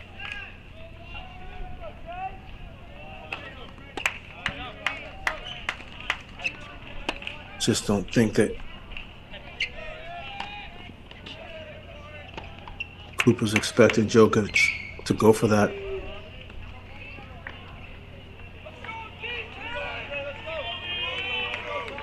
It's so easy to slip into saying Djokovic instead of Jokic.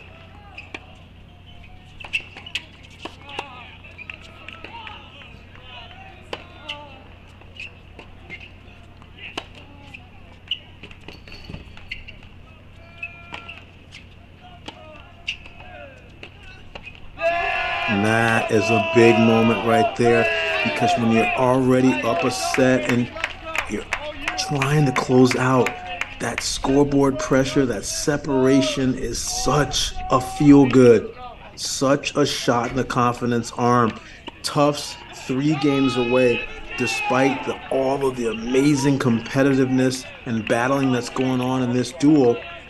Emory will come up a little short if number six singles goes the way of Tufts.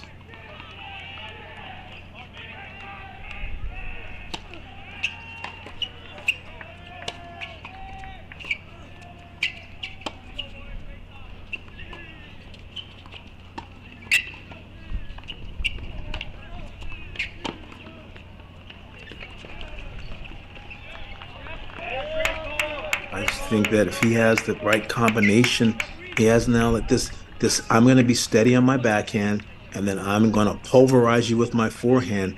That mentality he's in right now is probably the best place he could be and gives this team an opportunity, in my opinion, to close. Just shows you how important all of those tiebreakers and doubles were. Doubles point enormous in college tennis.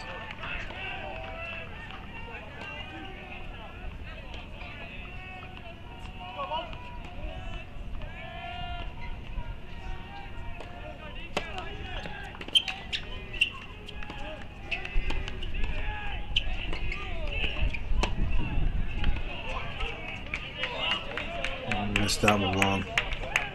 Lost a little bit of his forehand hitter mentality on that.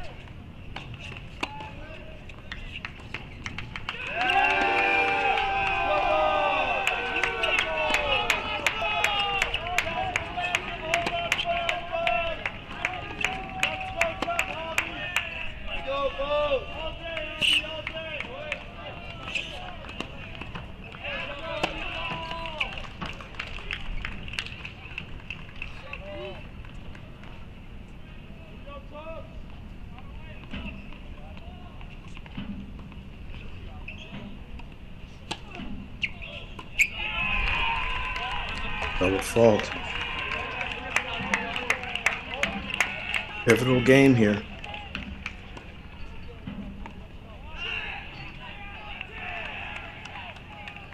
Looks like Gonzalez at number five singles is trying to force a third set.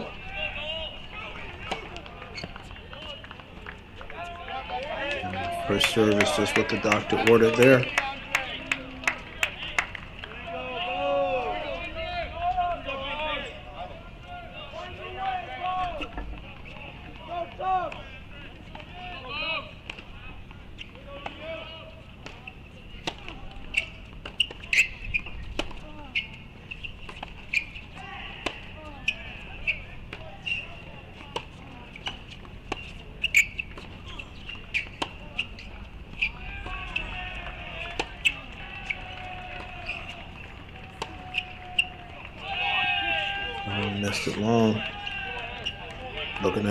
For encouragement.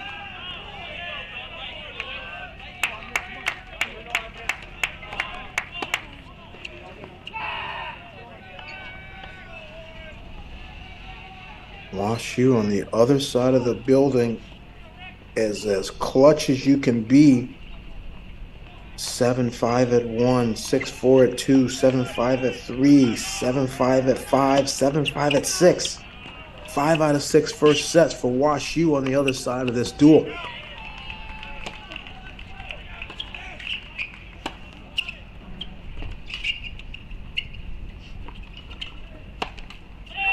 Oh my goodness. No such thing as an easy shot in tennis. That overhead is missed. Coop is back in business, back on serve. We're going to shift over to court number two in the Tufts and Emory match. Court number two.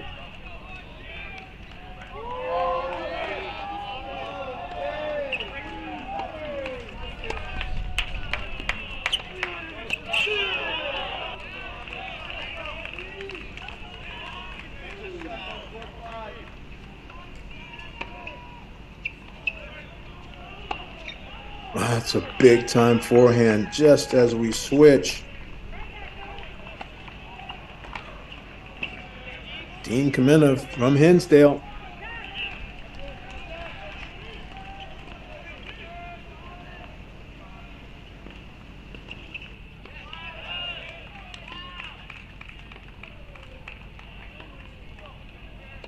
It's an overplayed Vuk Vuksanovic. Montenegro, the sophomore, up a break in the third, but Kamenev is trying to break back here. This becomes critical match as well. Not that they all are, but in terms of closest to a, a possible victory, where Tufts only needs one more.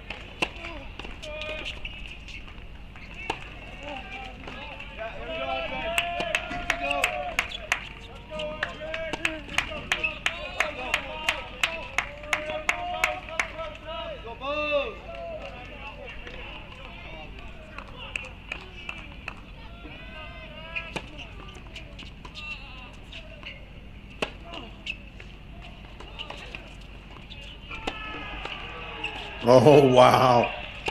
Halfway through the point, it almost looked like the point was over, but it wasn't.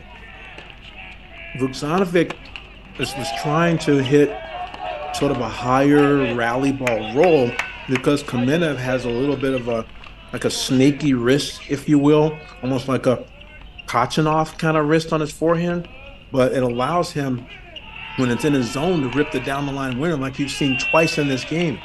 So the the strategy for Vuksanovic to, to hit the high roll cross court, he's got to get some more weight behind that shot. Otherwise, Kamenev's going to get the best of that rally.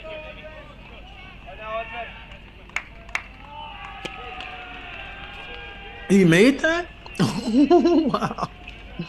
ESPN highlight reel. He, he's making sure everybody saw it. You better not celebrate too long. 2 2 in the third is an important period. You got to stay on top of the task at hand. But erasing that break that he was down in the third really just gives his team a shot in the arm. So many body blows in these dual matches.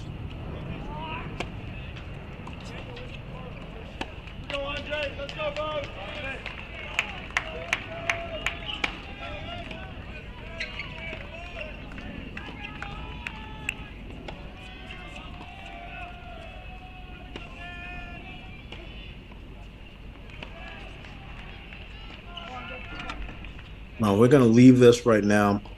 We're going to shift over to position two in the Claremont McKenna and Wash U match.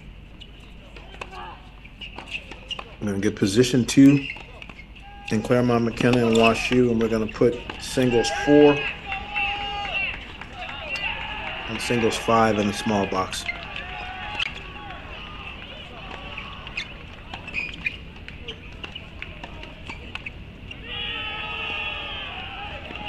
Abi Ramareddy, senior, he has had a lot of experience in some of these big match moments. Unfortunately, some of them didn't go his way. Got clinched on a couple times the last couple of years. Wasn't was great throughout the season as one of the hottest players for Wash U coming in. 14 and 3.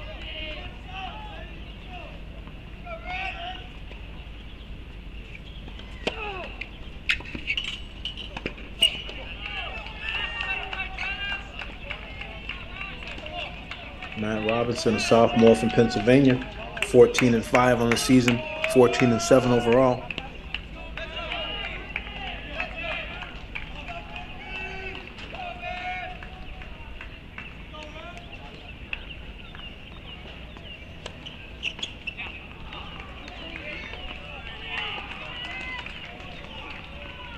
Lefty on the near side of your screen, serving.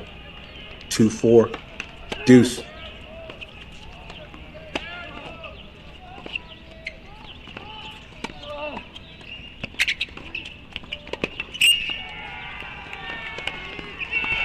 Wow, that is some ball. Heavy roll into the backhand, draw the short ball, crush the inside out forehand, and thump the overhead with authority.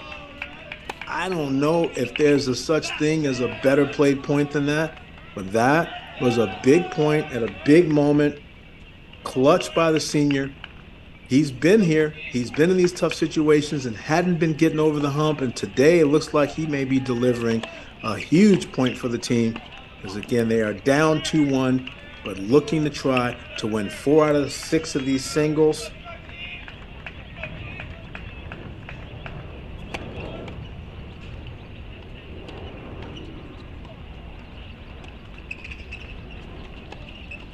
Gaurav Singh Jr. Oh.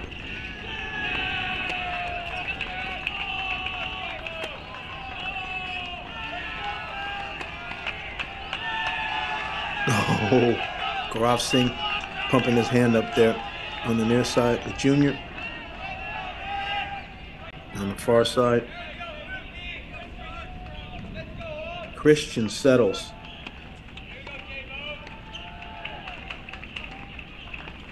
Settles eight and eight in duels, ten and ten in the season. Son of Coach Paul Settles.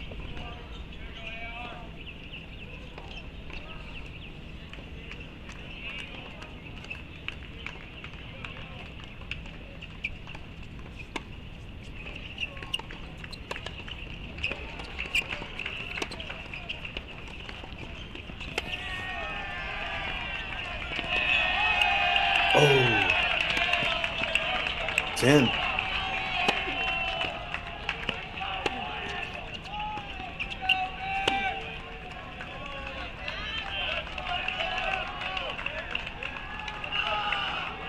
We are in Division Three pandemonium, United States National Tennis Center, Collegiate Center, Lake Nona, Florida. For those that don't know, that's just outside the Orlando airport, one of the best facilities in the world.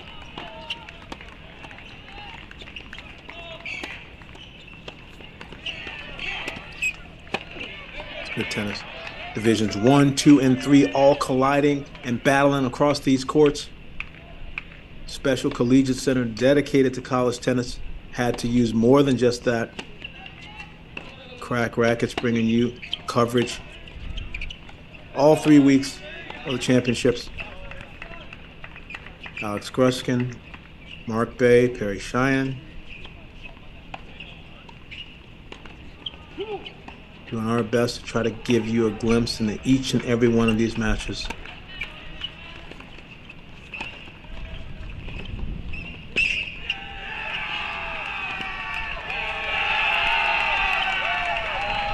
Rice backhand draws the error.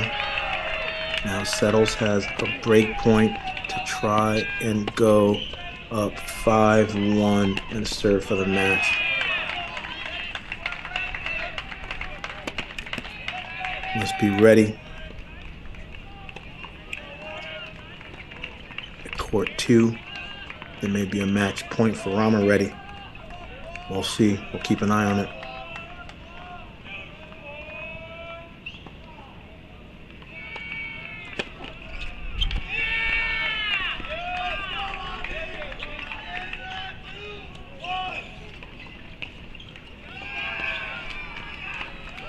Oh, he guesses right and gets the pass. There's the 5 1. Let's switch over to court number two.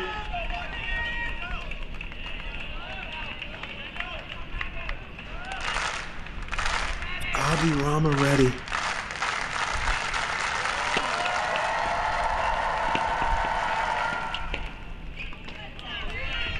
Oh. Passing shot by Robinson is in. Gutsy call on the match point. Trying to go for the gusto on the serving volley play. Robinson found his toes. He volleyed up, but volleyed up to his forehand and on the run. Robinson gets the pass by him. Still two match points.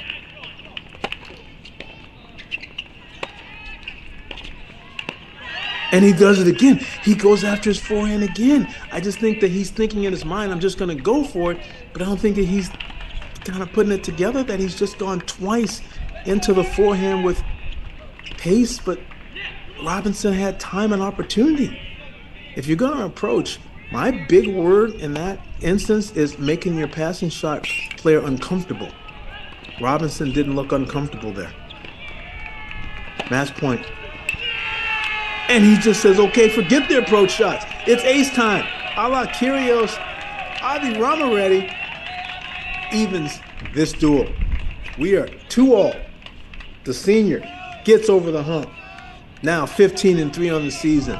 That is huge with a capital H for Coach Roger Follmer and WashU.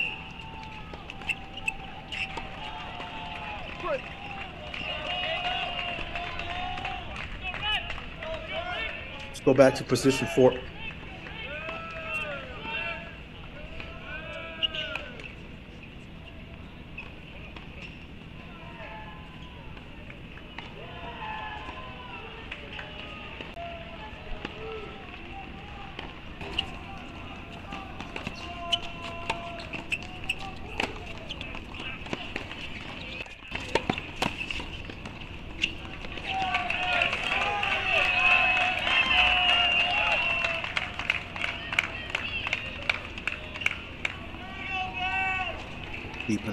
A eye on Tufts and Emory.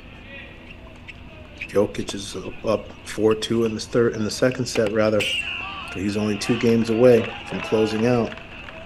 We'll keep an eye on that. Right here.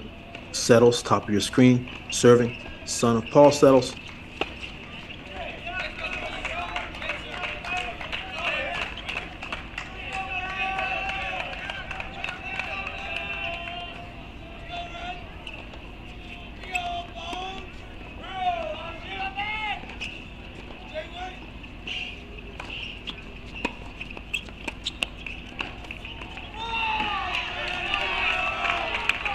Oh my gosh, what a point. Gaurav Singh. I, I am just shocked that Settles is going 100% Conti. He just went slice and dice exclusively the entire point. Looking maybe to draw an unforced error there, but ended up coughing up a short ball and allowing Singh to dictate and finish. It's time to close out the match. You're up 6 3 5 1. A little surprised at the 100% Conti point there.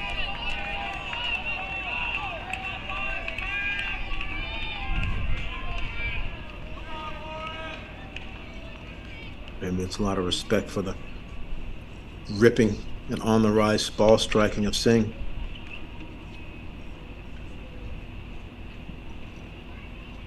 Thirty all.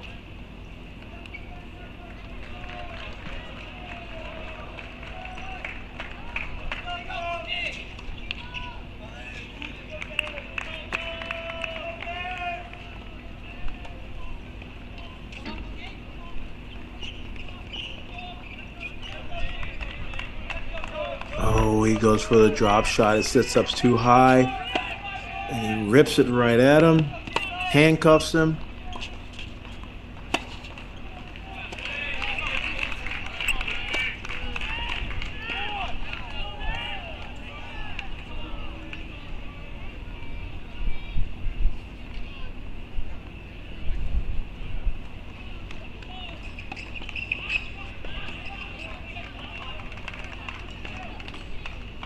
He's he kind of bluffed him. He hit sort of a weaker serve and kind of gave a, a, stutter step forward like he was going to serve and volley, but he wasn't. Just enough to distract him. Oh, it was a cat and mouse move there. He is a coach's son.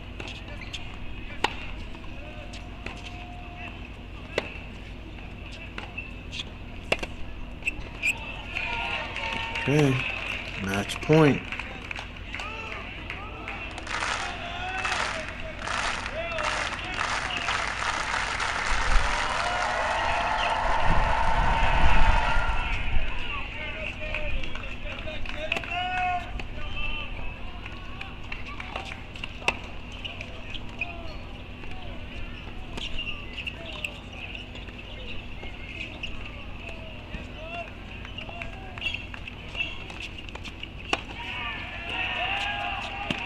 Oh, that's big time. What a play. Well, we're going to have to come back for a match point here. We need to get some eyes on some other courts. We need to shift over.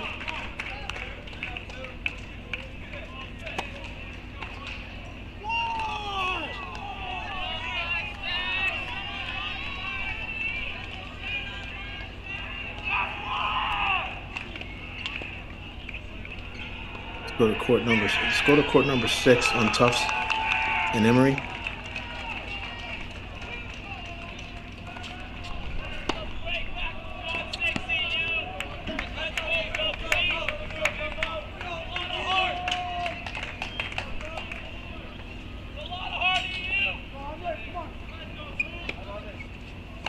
Well, looks like we just missed the deciding point. Sorry we missed it. And it was won by Emory. Oh, that is enormous. So that that plot's gonna thicken for a little while longer. Let's go back to to to uh,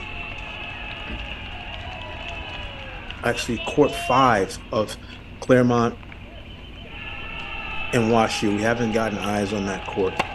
Court five. Claremont and WashU.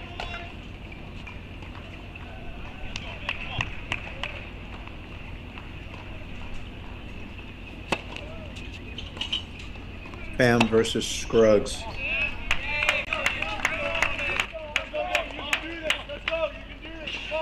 Court 5, WashU, Claremont.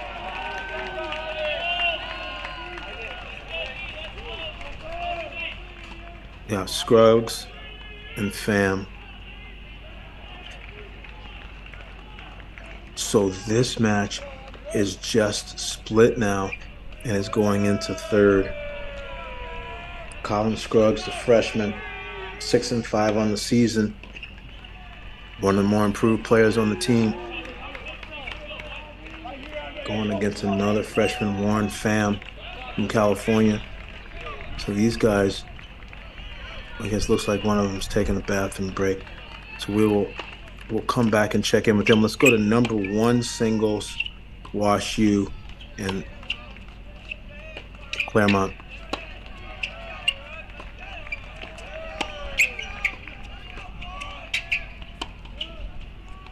Oh, here they come.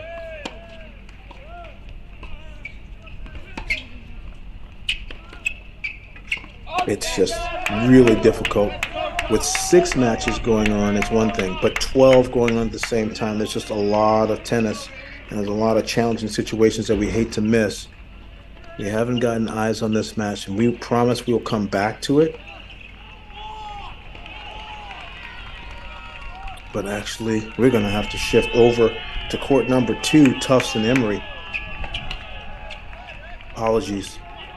We're going to shift over to court two, Tufts and Emory. My apology.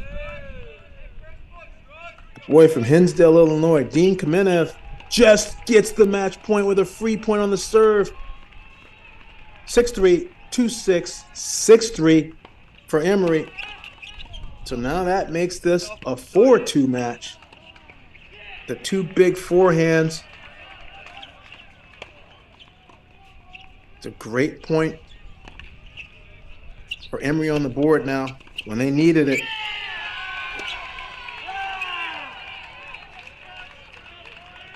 And now the dominoes start falling. Let's go to court three, Tufts and Emory.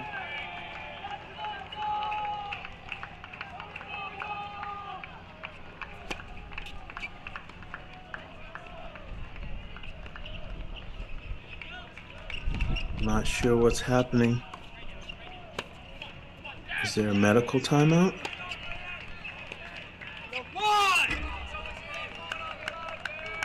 Guys are running across the court, but I'm not sure where the players are.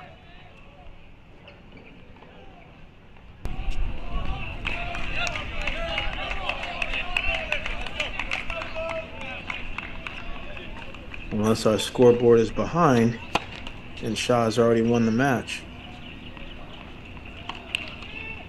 I'll double check.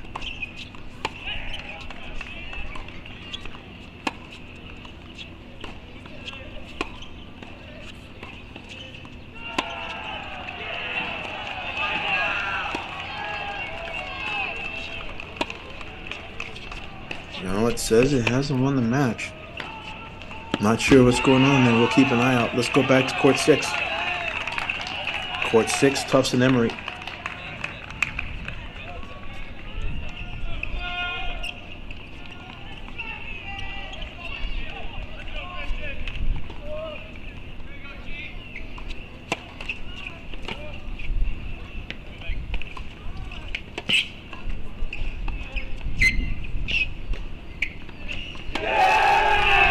That goes long. Jokic.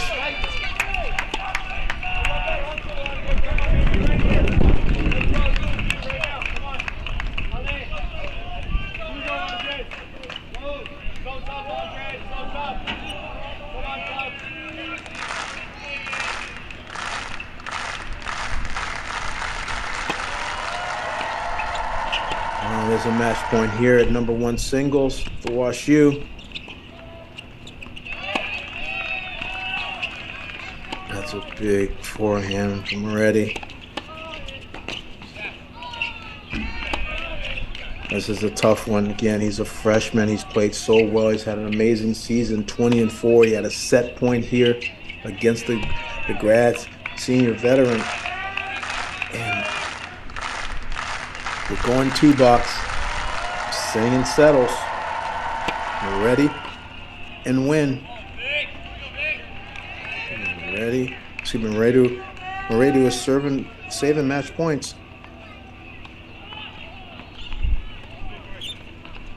Match point for Singh.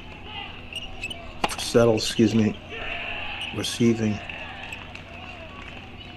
And he's sticking with the Continental.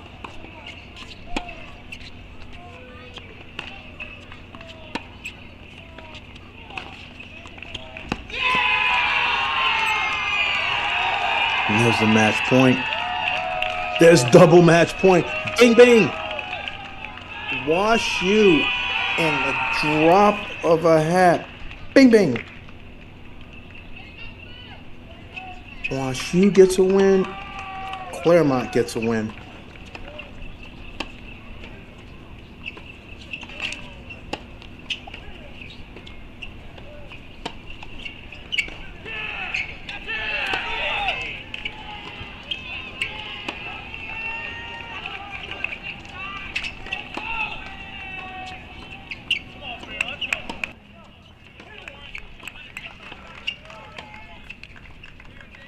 Oh, this is so. That goes long. Oh. Two games in a row with deciding points after being up 4 2 in the third, and he loses them both. He could have been done, and he knows it. He knows mentally that he could have been done, and the match is still going. Tennis is so difficult. This is not football where you run out the clock in the fourth quarter running the ball. This is not basketball where you get fouled and shoot free throws and run out the clock. This is tennis. You got to do the work and all the work until the finish line is over. College tennis, one of the most dynamic athletic endeavors.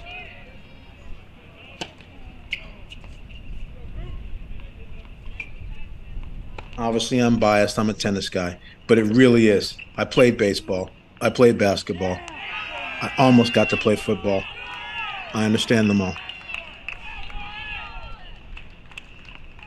These matches coming down to the wire, going into the, the tiebreakers in the last match on is almost like penalty kicks in a World Cup soccer.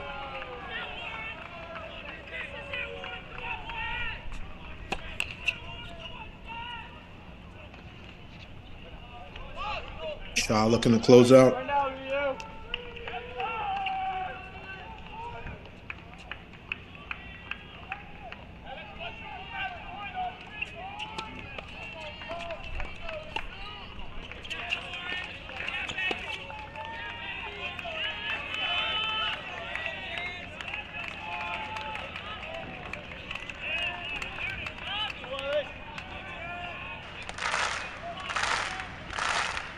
Match point for Shaw.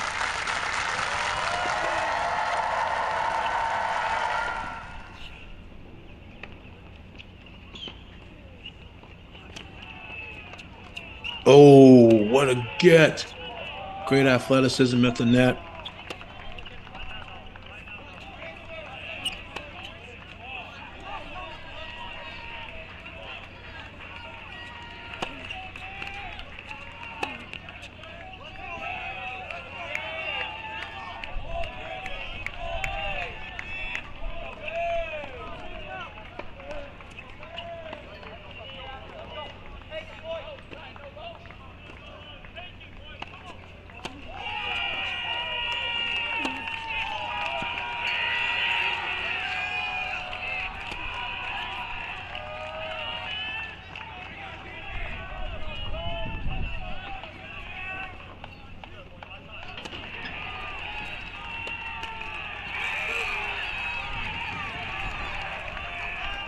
Oh, the screen. Lost the ball.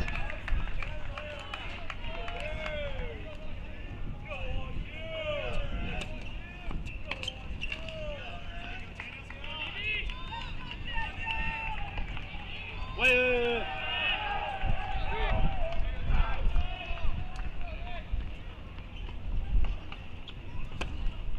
Another match point for Shaw receiving.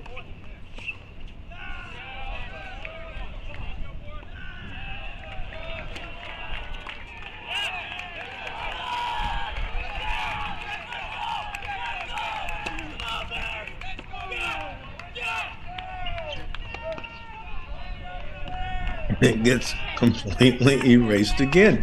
He is also playing super tight. These moments, being able to keep yourself loose and keep swinging free when you know what's at stake. Always easier said than done.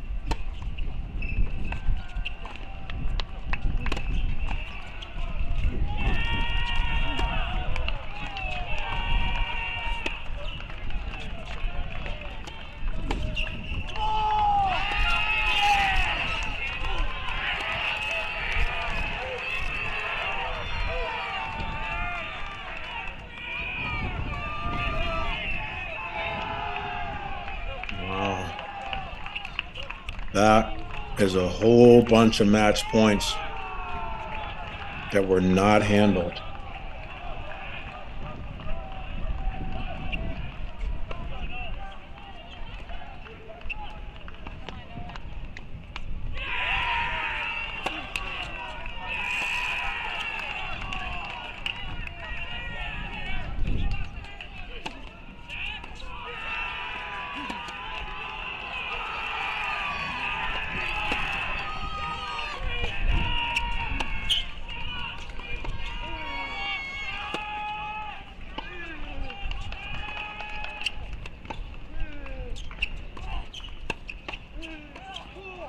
Like that. Like that. Good quality. I think we need to just go two box with number numbers three and six of Tufts and Emory. Two box with numbers three and six, Tufts and Emory.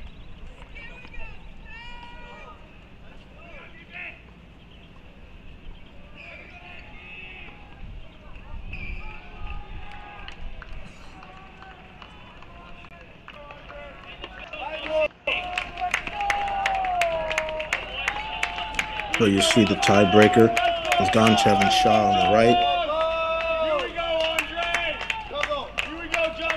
Jokic on the left of our screen, trying to close the door and end it for Tufts.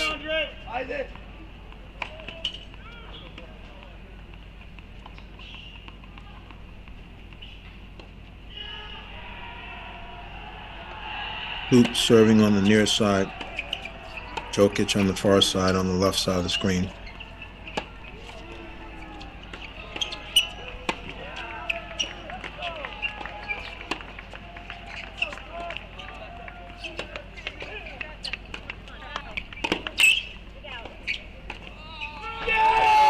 And that is what has been the recipe all day long. Jokic has been hitting those forehands, having all kinds of time and opportunity to move forward, picking his corners with the short balls and having his way. Three points away. And again, the momentum with Shaw blowing all the match points. Now he's down three love in this breaker.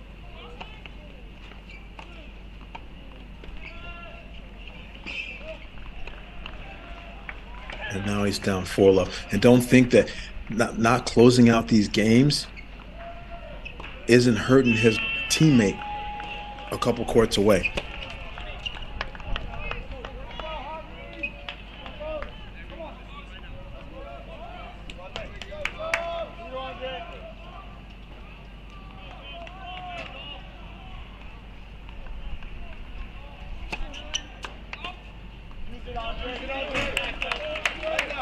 I think that was called a double fault. Come on, Andre. Here we go, Andre. Right now. Right here, Andre. Here we go, Andre. Let's go.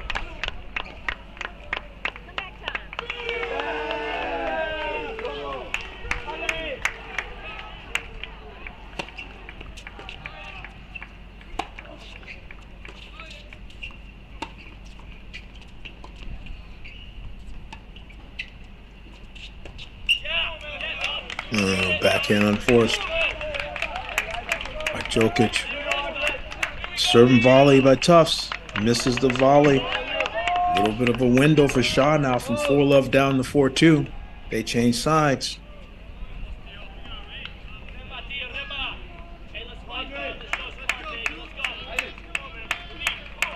Come on, Andre. Let's go, Andre.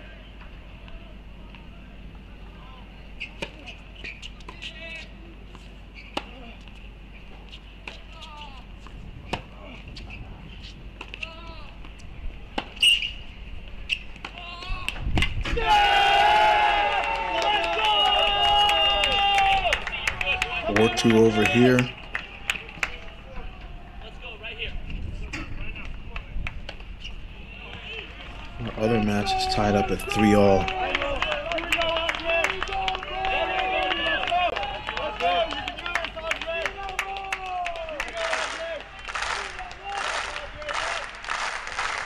lot of discussions with the coaches here, taking a lot of time. We are at triple team match point.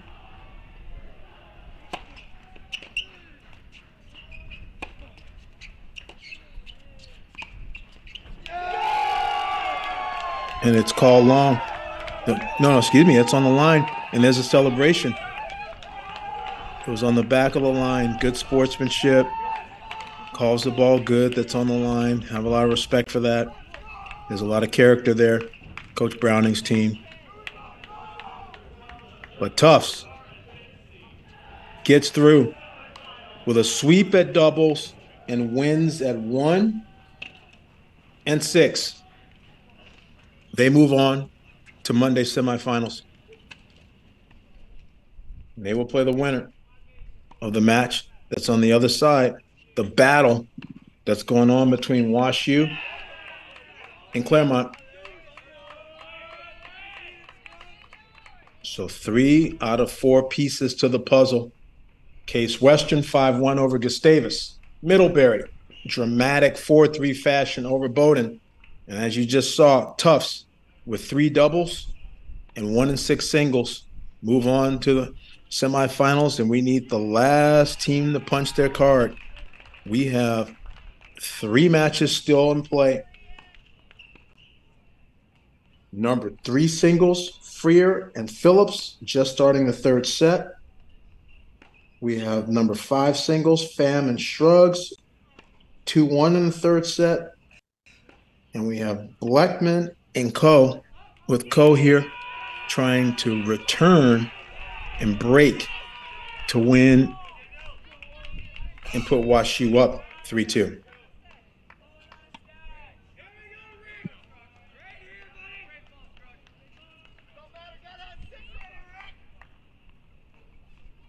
Daniel Blackman, serving top of the screen.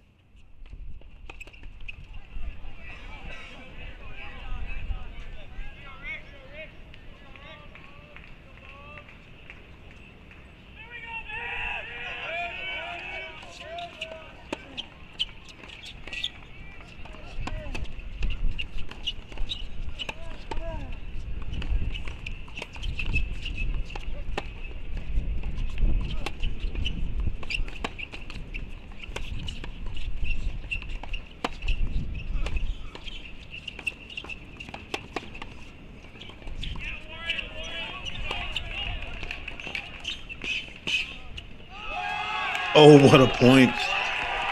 Daniel Blackman just kind of playing possum there and trying to grind and see if he could induce an unforced error. And it just ended up leaving one a little shorter. Eric Kuo decides to take it, rip it, follow it, does so, but had to make a shoelace backhand volley to get the point. It's a great start to the game. If you're St. Louis fan,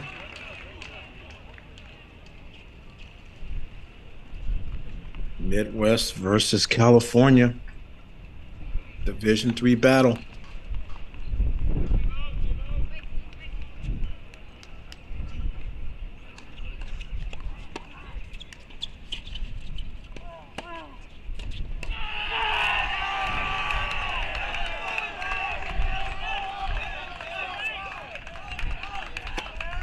Forehand misses the mark. Love 30.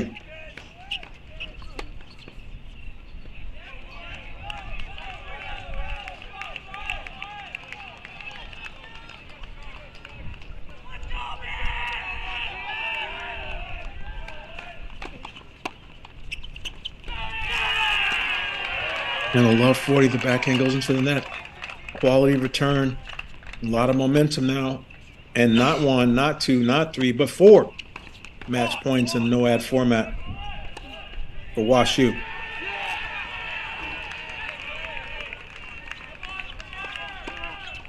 Serving volley by Blackman. And the pass. What a pass up the line. Great first volley by Blackman, but he gets denied. And the match is over at number six singles. And we are now in a two horse race. Wash U only needs one more. Claremont needs them both.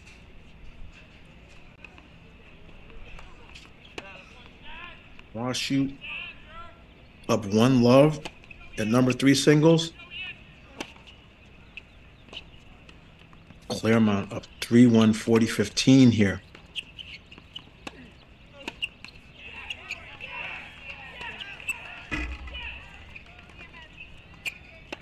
And now Claremont is up 4 1 at position five. Let's concentrate just on court uh, three for a little bit. Let's just go full screen court three.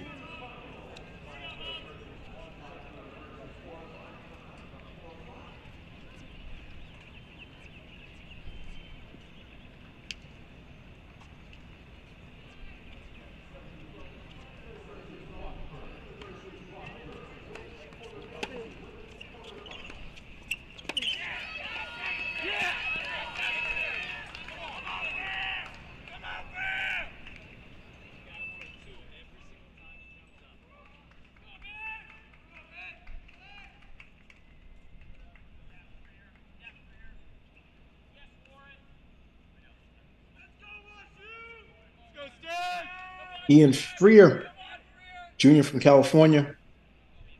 Jared Phillips.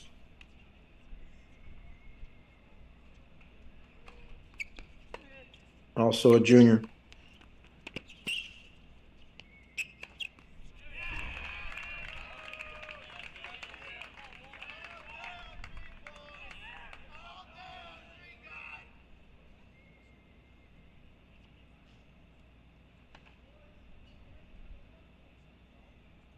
Fans are getting to see exactly why college tennis is so exciting and why it's deserving of coverage. People need to see, watch, observe, feel these moments, not just read about them.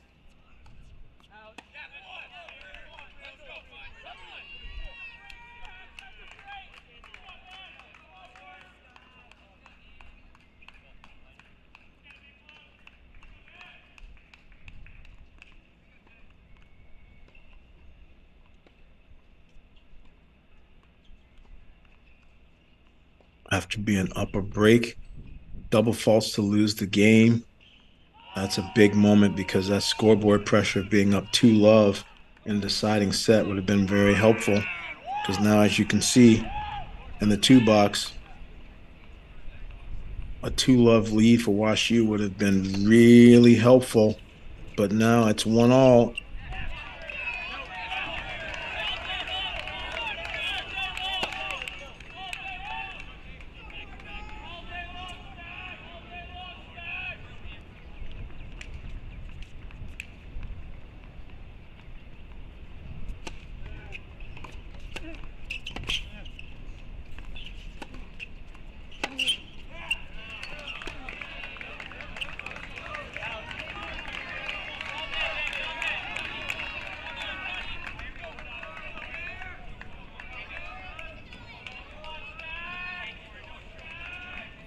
screen, position five. On the left of your screen, position three. The only two matches left in this duel.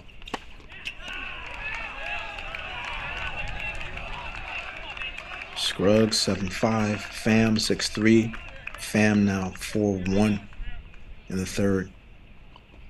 Phillips 7-5, Freer 6-4, one all great comebacks from Claremont after Wash U won both sets 7 5 in the first.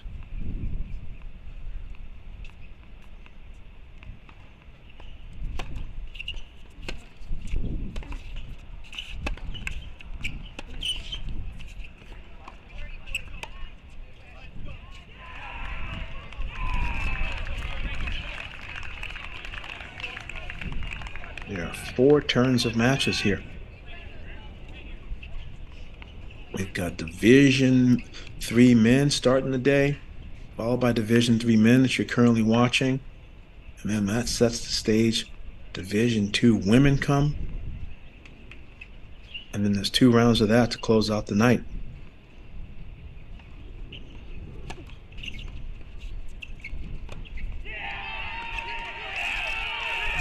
Great approaching.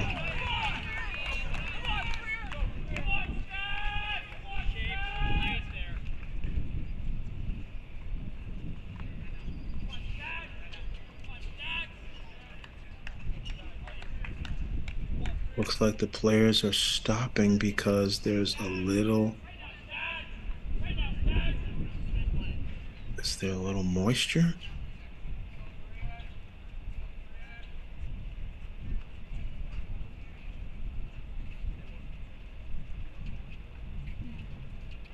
Hmm, there may be a little moisture.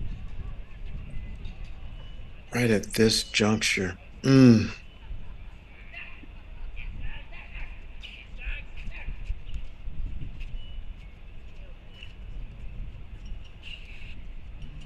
And whenever you see the line judges taking their foot and going across the line, that's always a sign that Mother Nature has come to join the party. Hopefully, this is just a very light amount and not a strong, because most certainly we'd like to be able to conclude this one sooner than later. It's such a business end of this this dual match. WashU just needing one more, but Claremont needing both. Claremont in great position at position five. So again, to recap, Case Western 5-1 over Gustavus. Middlebury 4-3 over Bowdoin. Tufts 5-2 over Emory. And our current match, WashU 4, Claremont 3, with two matches left to go. We are now in a little bit of a delay.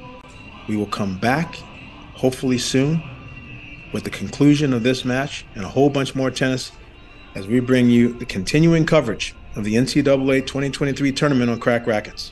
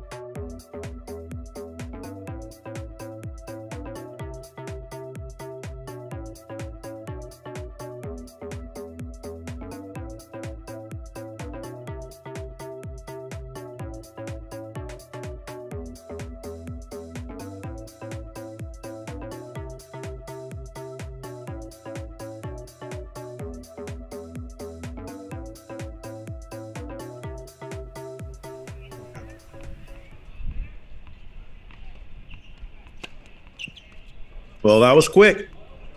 Only a couple little sprinkles. We're back in action. Division Three Men's Championships, the last quarterfinal match to finish. The winner of this gets to take on Tufts on Monday. Currently, 4 3 WashU. Claremont won two out of three doubles. WashU has taken three out of four singles, and we have two left to play. Again, WashU needing to win five singles. Claremont only needing to win three singles. Excuse me, WashU only WashU needing to win four singles. I'm sorry, Emory needed to try to win five in that match against Tufts, and that just proved to be too much. Still shows, even though the, the doubles formats are different, still shows how significant being ahead either by one point, two points, or excuse me, by one point or three points, it is for the doubles.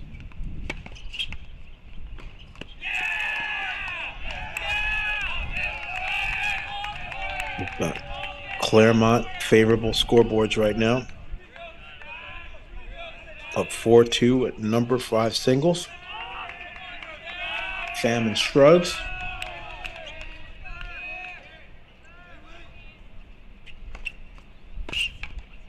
Both freshmen.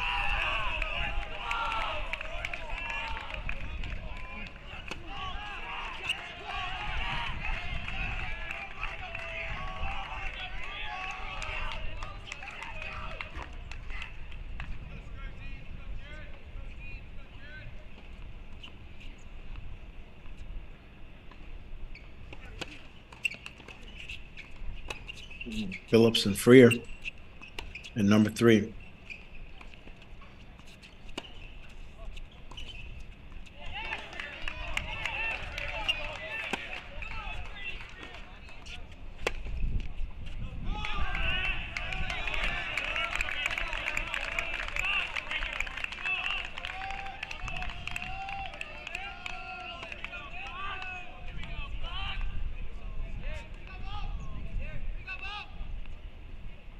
Serving one, two on the left of your screen.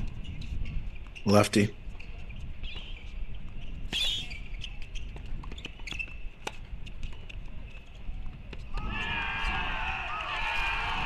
A great pass. Nice athleticism. Good one hander. Like Freer trying to come forward and put some pressure on him.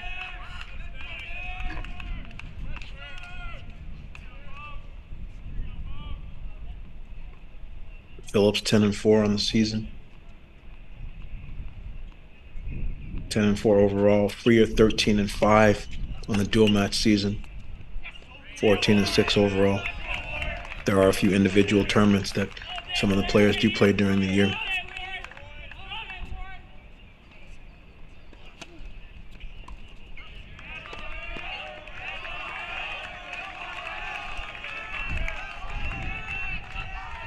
These teams do go and play in the national indoor championships where the teams that are in the what they call the NESCAC, New England schools, they don't go and play the national indoor because that's in February and they have a rule that you can't compete until March. So the Tufts and the Middleberries of the world are not part of the national indoors, which can sometimes maybe explain why there's not seedings at this tournament.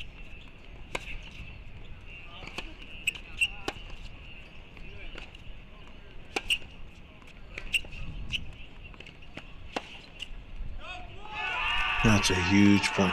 Maybe called just wide. It's a big point there number five singles. Players are jockeying for position. Even being up a break, you're not really safe, and no ad scoring, things can turn on a dime.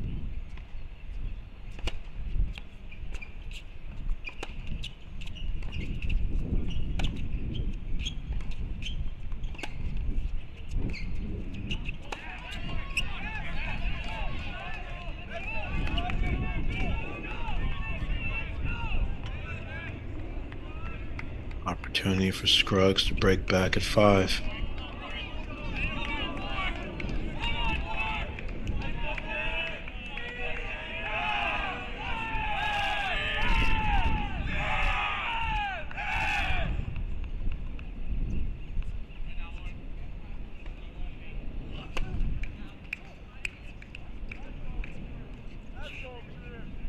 I'm sorry, to hold actually.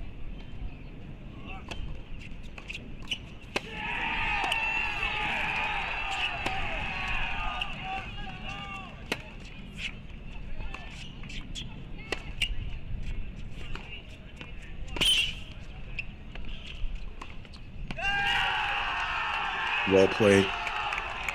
Big decision to go up the line on the forehand and pay dividends. Able to close out the game. Keep that score just as tight as possible. On the break, Pham will be serving 4 3. Uh, this is a good look at Ian Freer, junior from California, serving at the top of the screen. He was able to break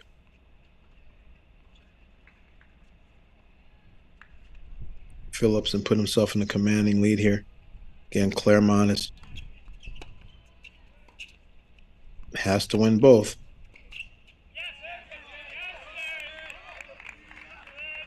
And at this point, are up a break in both and are in position to do so. Still a long way from being done. But they're a little closer to a finish line than WashU at present moment.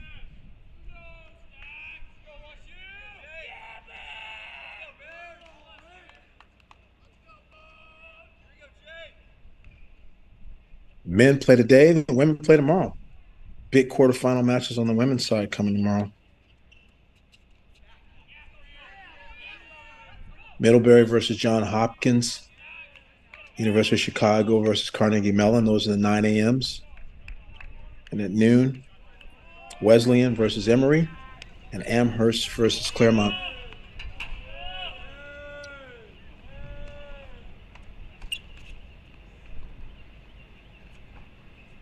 Back to the two box screen as you can see.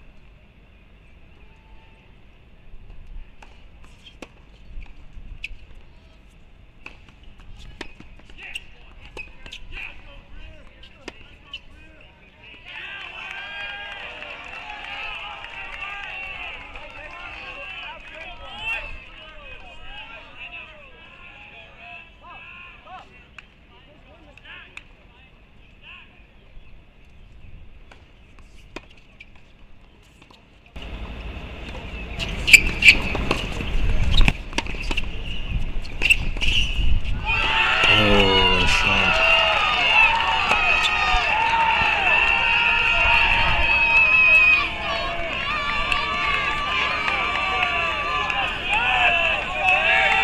This is a tough, tough duel match. So many psychological back and forths in this.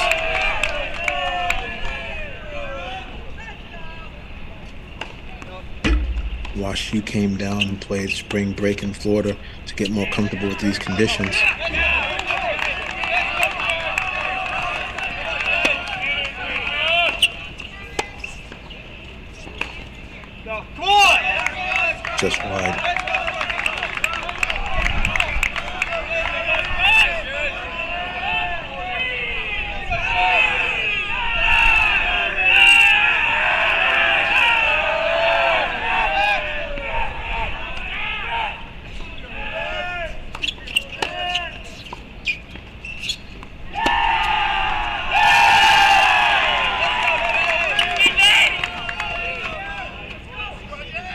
Just joining us, in the doubles point, number one doubles, Claremont 8 3.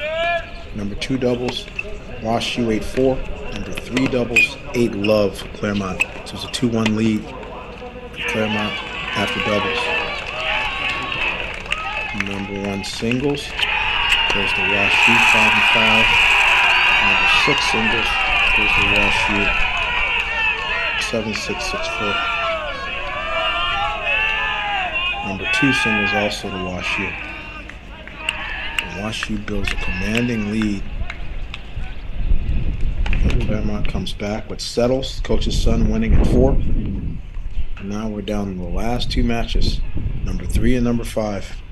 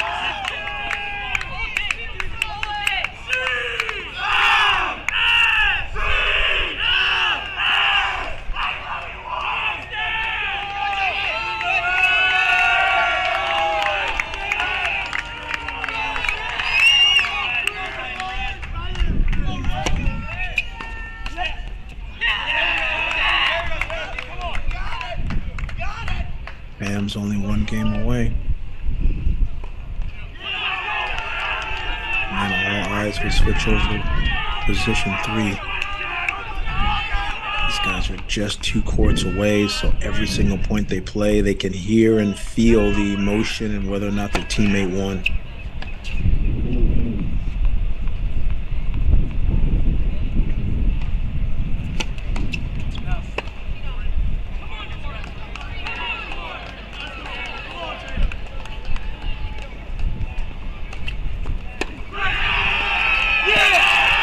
Big return. Freer's feeling it. He's swinging Freer. Unintended.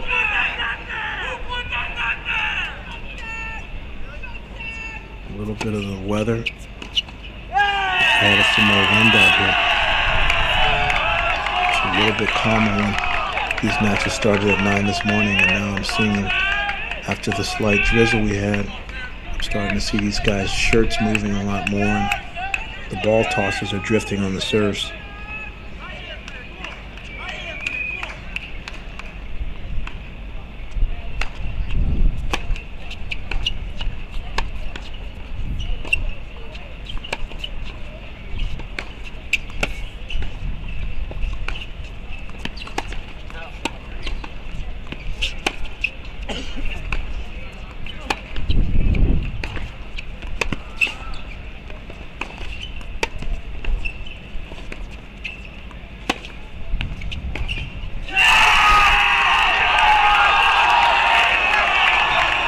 It's tough on the screen for us a little bit there. My apologies. We go, Stan!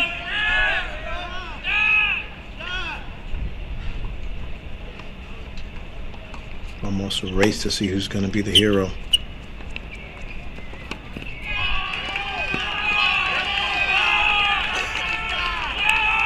Freer breaks for 5-1 lead. Now we're in match game on both courts.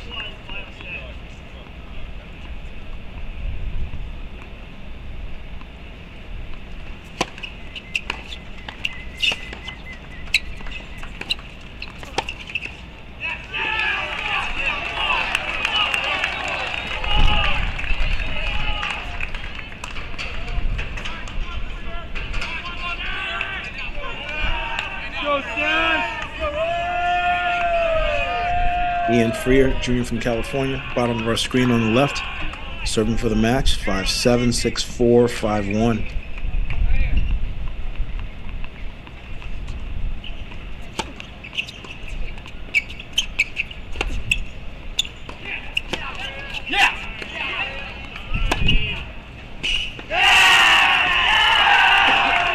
Big shot.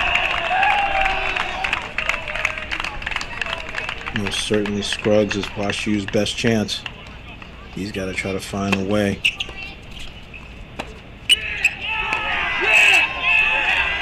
Because Phillips looks like he may be done. Errant backhand missing. His aggressive, athletic lefty game. He, he's he's almost no, not a poor man Shapovalov, but he, he definitely is playing a sort of an up-tempo lefty style. Division One guy that he reminds me of a little bit is Justin Boulais from Ohio State.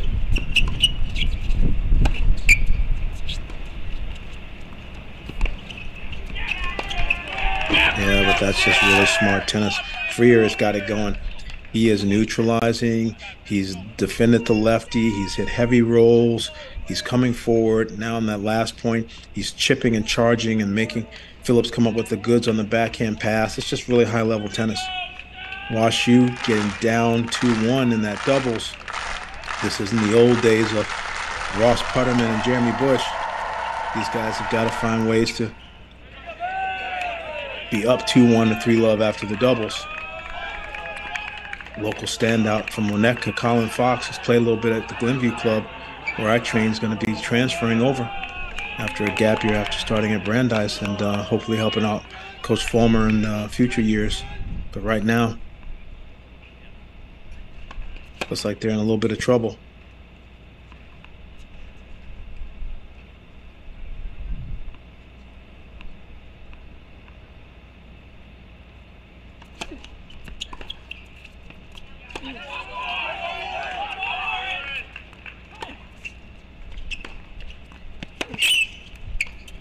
Oh, what a shot to win. What a shot to win. He is amped. His teammates come over, big hug from Blackman. Everybody's letting him know how big and how clutch that was. That set after Phillips had a, a break lead and had a chance to go to love, it just turned and went south in a hurry. Now all eyes on and Scruggs.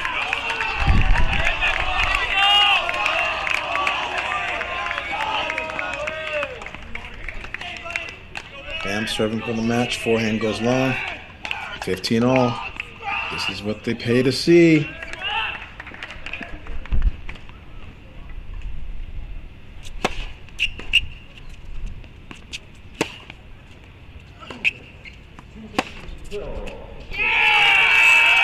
a shot.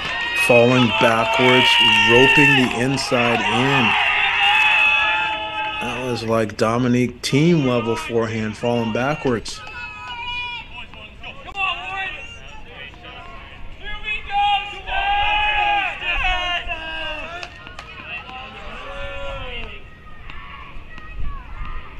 30 15.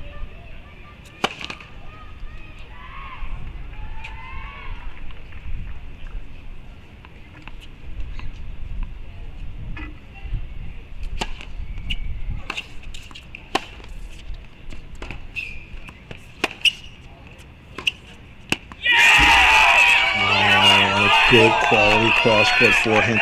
That wasn't the time to change direction. You got to stay the point there. Have to hang in there. It's not, not the moment to take the risk. It's too much riding on that. Match point, Claremont.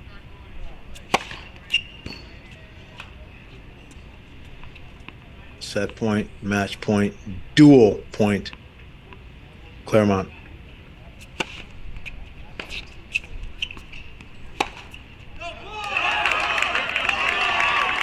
Much time to think about it. Overplays it wide. Here we go, boys! Here we go, Steph! Steph! Let's go, boys!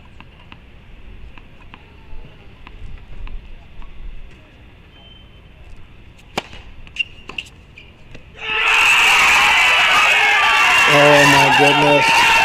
Pandemonium. They come and they pile on. That's the way it happens in collegiate tennis. I still would like the guys to shake hands before the pile on unless it's the actual national championship match. That's just a little sportsmanship guy in me, but you got to give it up. Claremont gets what they need. Gut out two matches after losing 7-5 first sets to get over the hump and get this completely done now. We know who is in the semifinals of this year's 2023 Division Three National Championship. So the stage is set. What a day already. So much more coming up with the ladies division two. But right now, taking the horns from Alex Gruskin this morning and pulling away here. It's been Case Western 5-1 over Gustavus in pretty dominant fashion, but then Bowdoin up 4-2, losing three in a row in the singles, and Middlebury sweeping the last three to beat them 5-4. And then obviously on our first match on this one, Tufts sweeps the doubles by winning two breakers and then getting wins at one and six to get over the hump.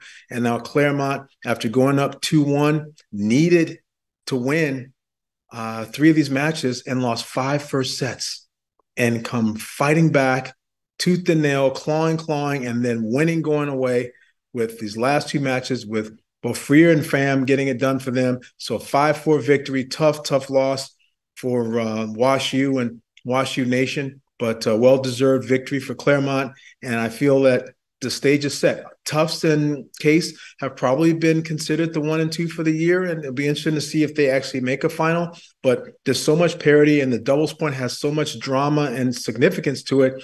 I think that that's always going to set the stage and uh, allow for uh, probably the best finish that we've had in Division Three in a while. And I'm just so happy to be part of the Cracked Racquets continuing coverage, as well as the fact that all Division One, Two, and Three are all at one place. It's just such a synergistic time, amazing year, and I, I just can't wait to be part of every single you know uh, extra point and part of the action that finishes. I, I'm tuned in, I'm dialed in, I'm locked in, and obviously I'm happy to be helping out with the coverage. We're going to stop for now for a very short period of time and be bringing you back the women's division two coming up here shortly, those quarterfinals. So for now, we're signing off. But again, thank you for watching Cracked Racquets, and please continue to follow all the streams and all the action uh, because it's definitely going to be exciting. And it's been a full three weeks of May Madness, and it's going to continue. We'll see you soon.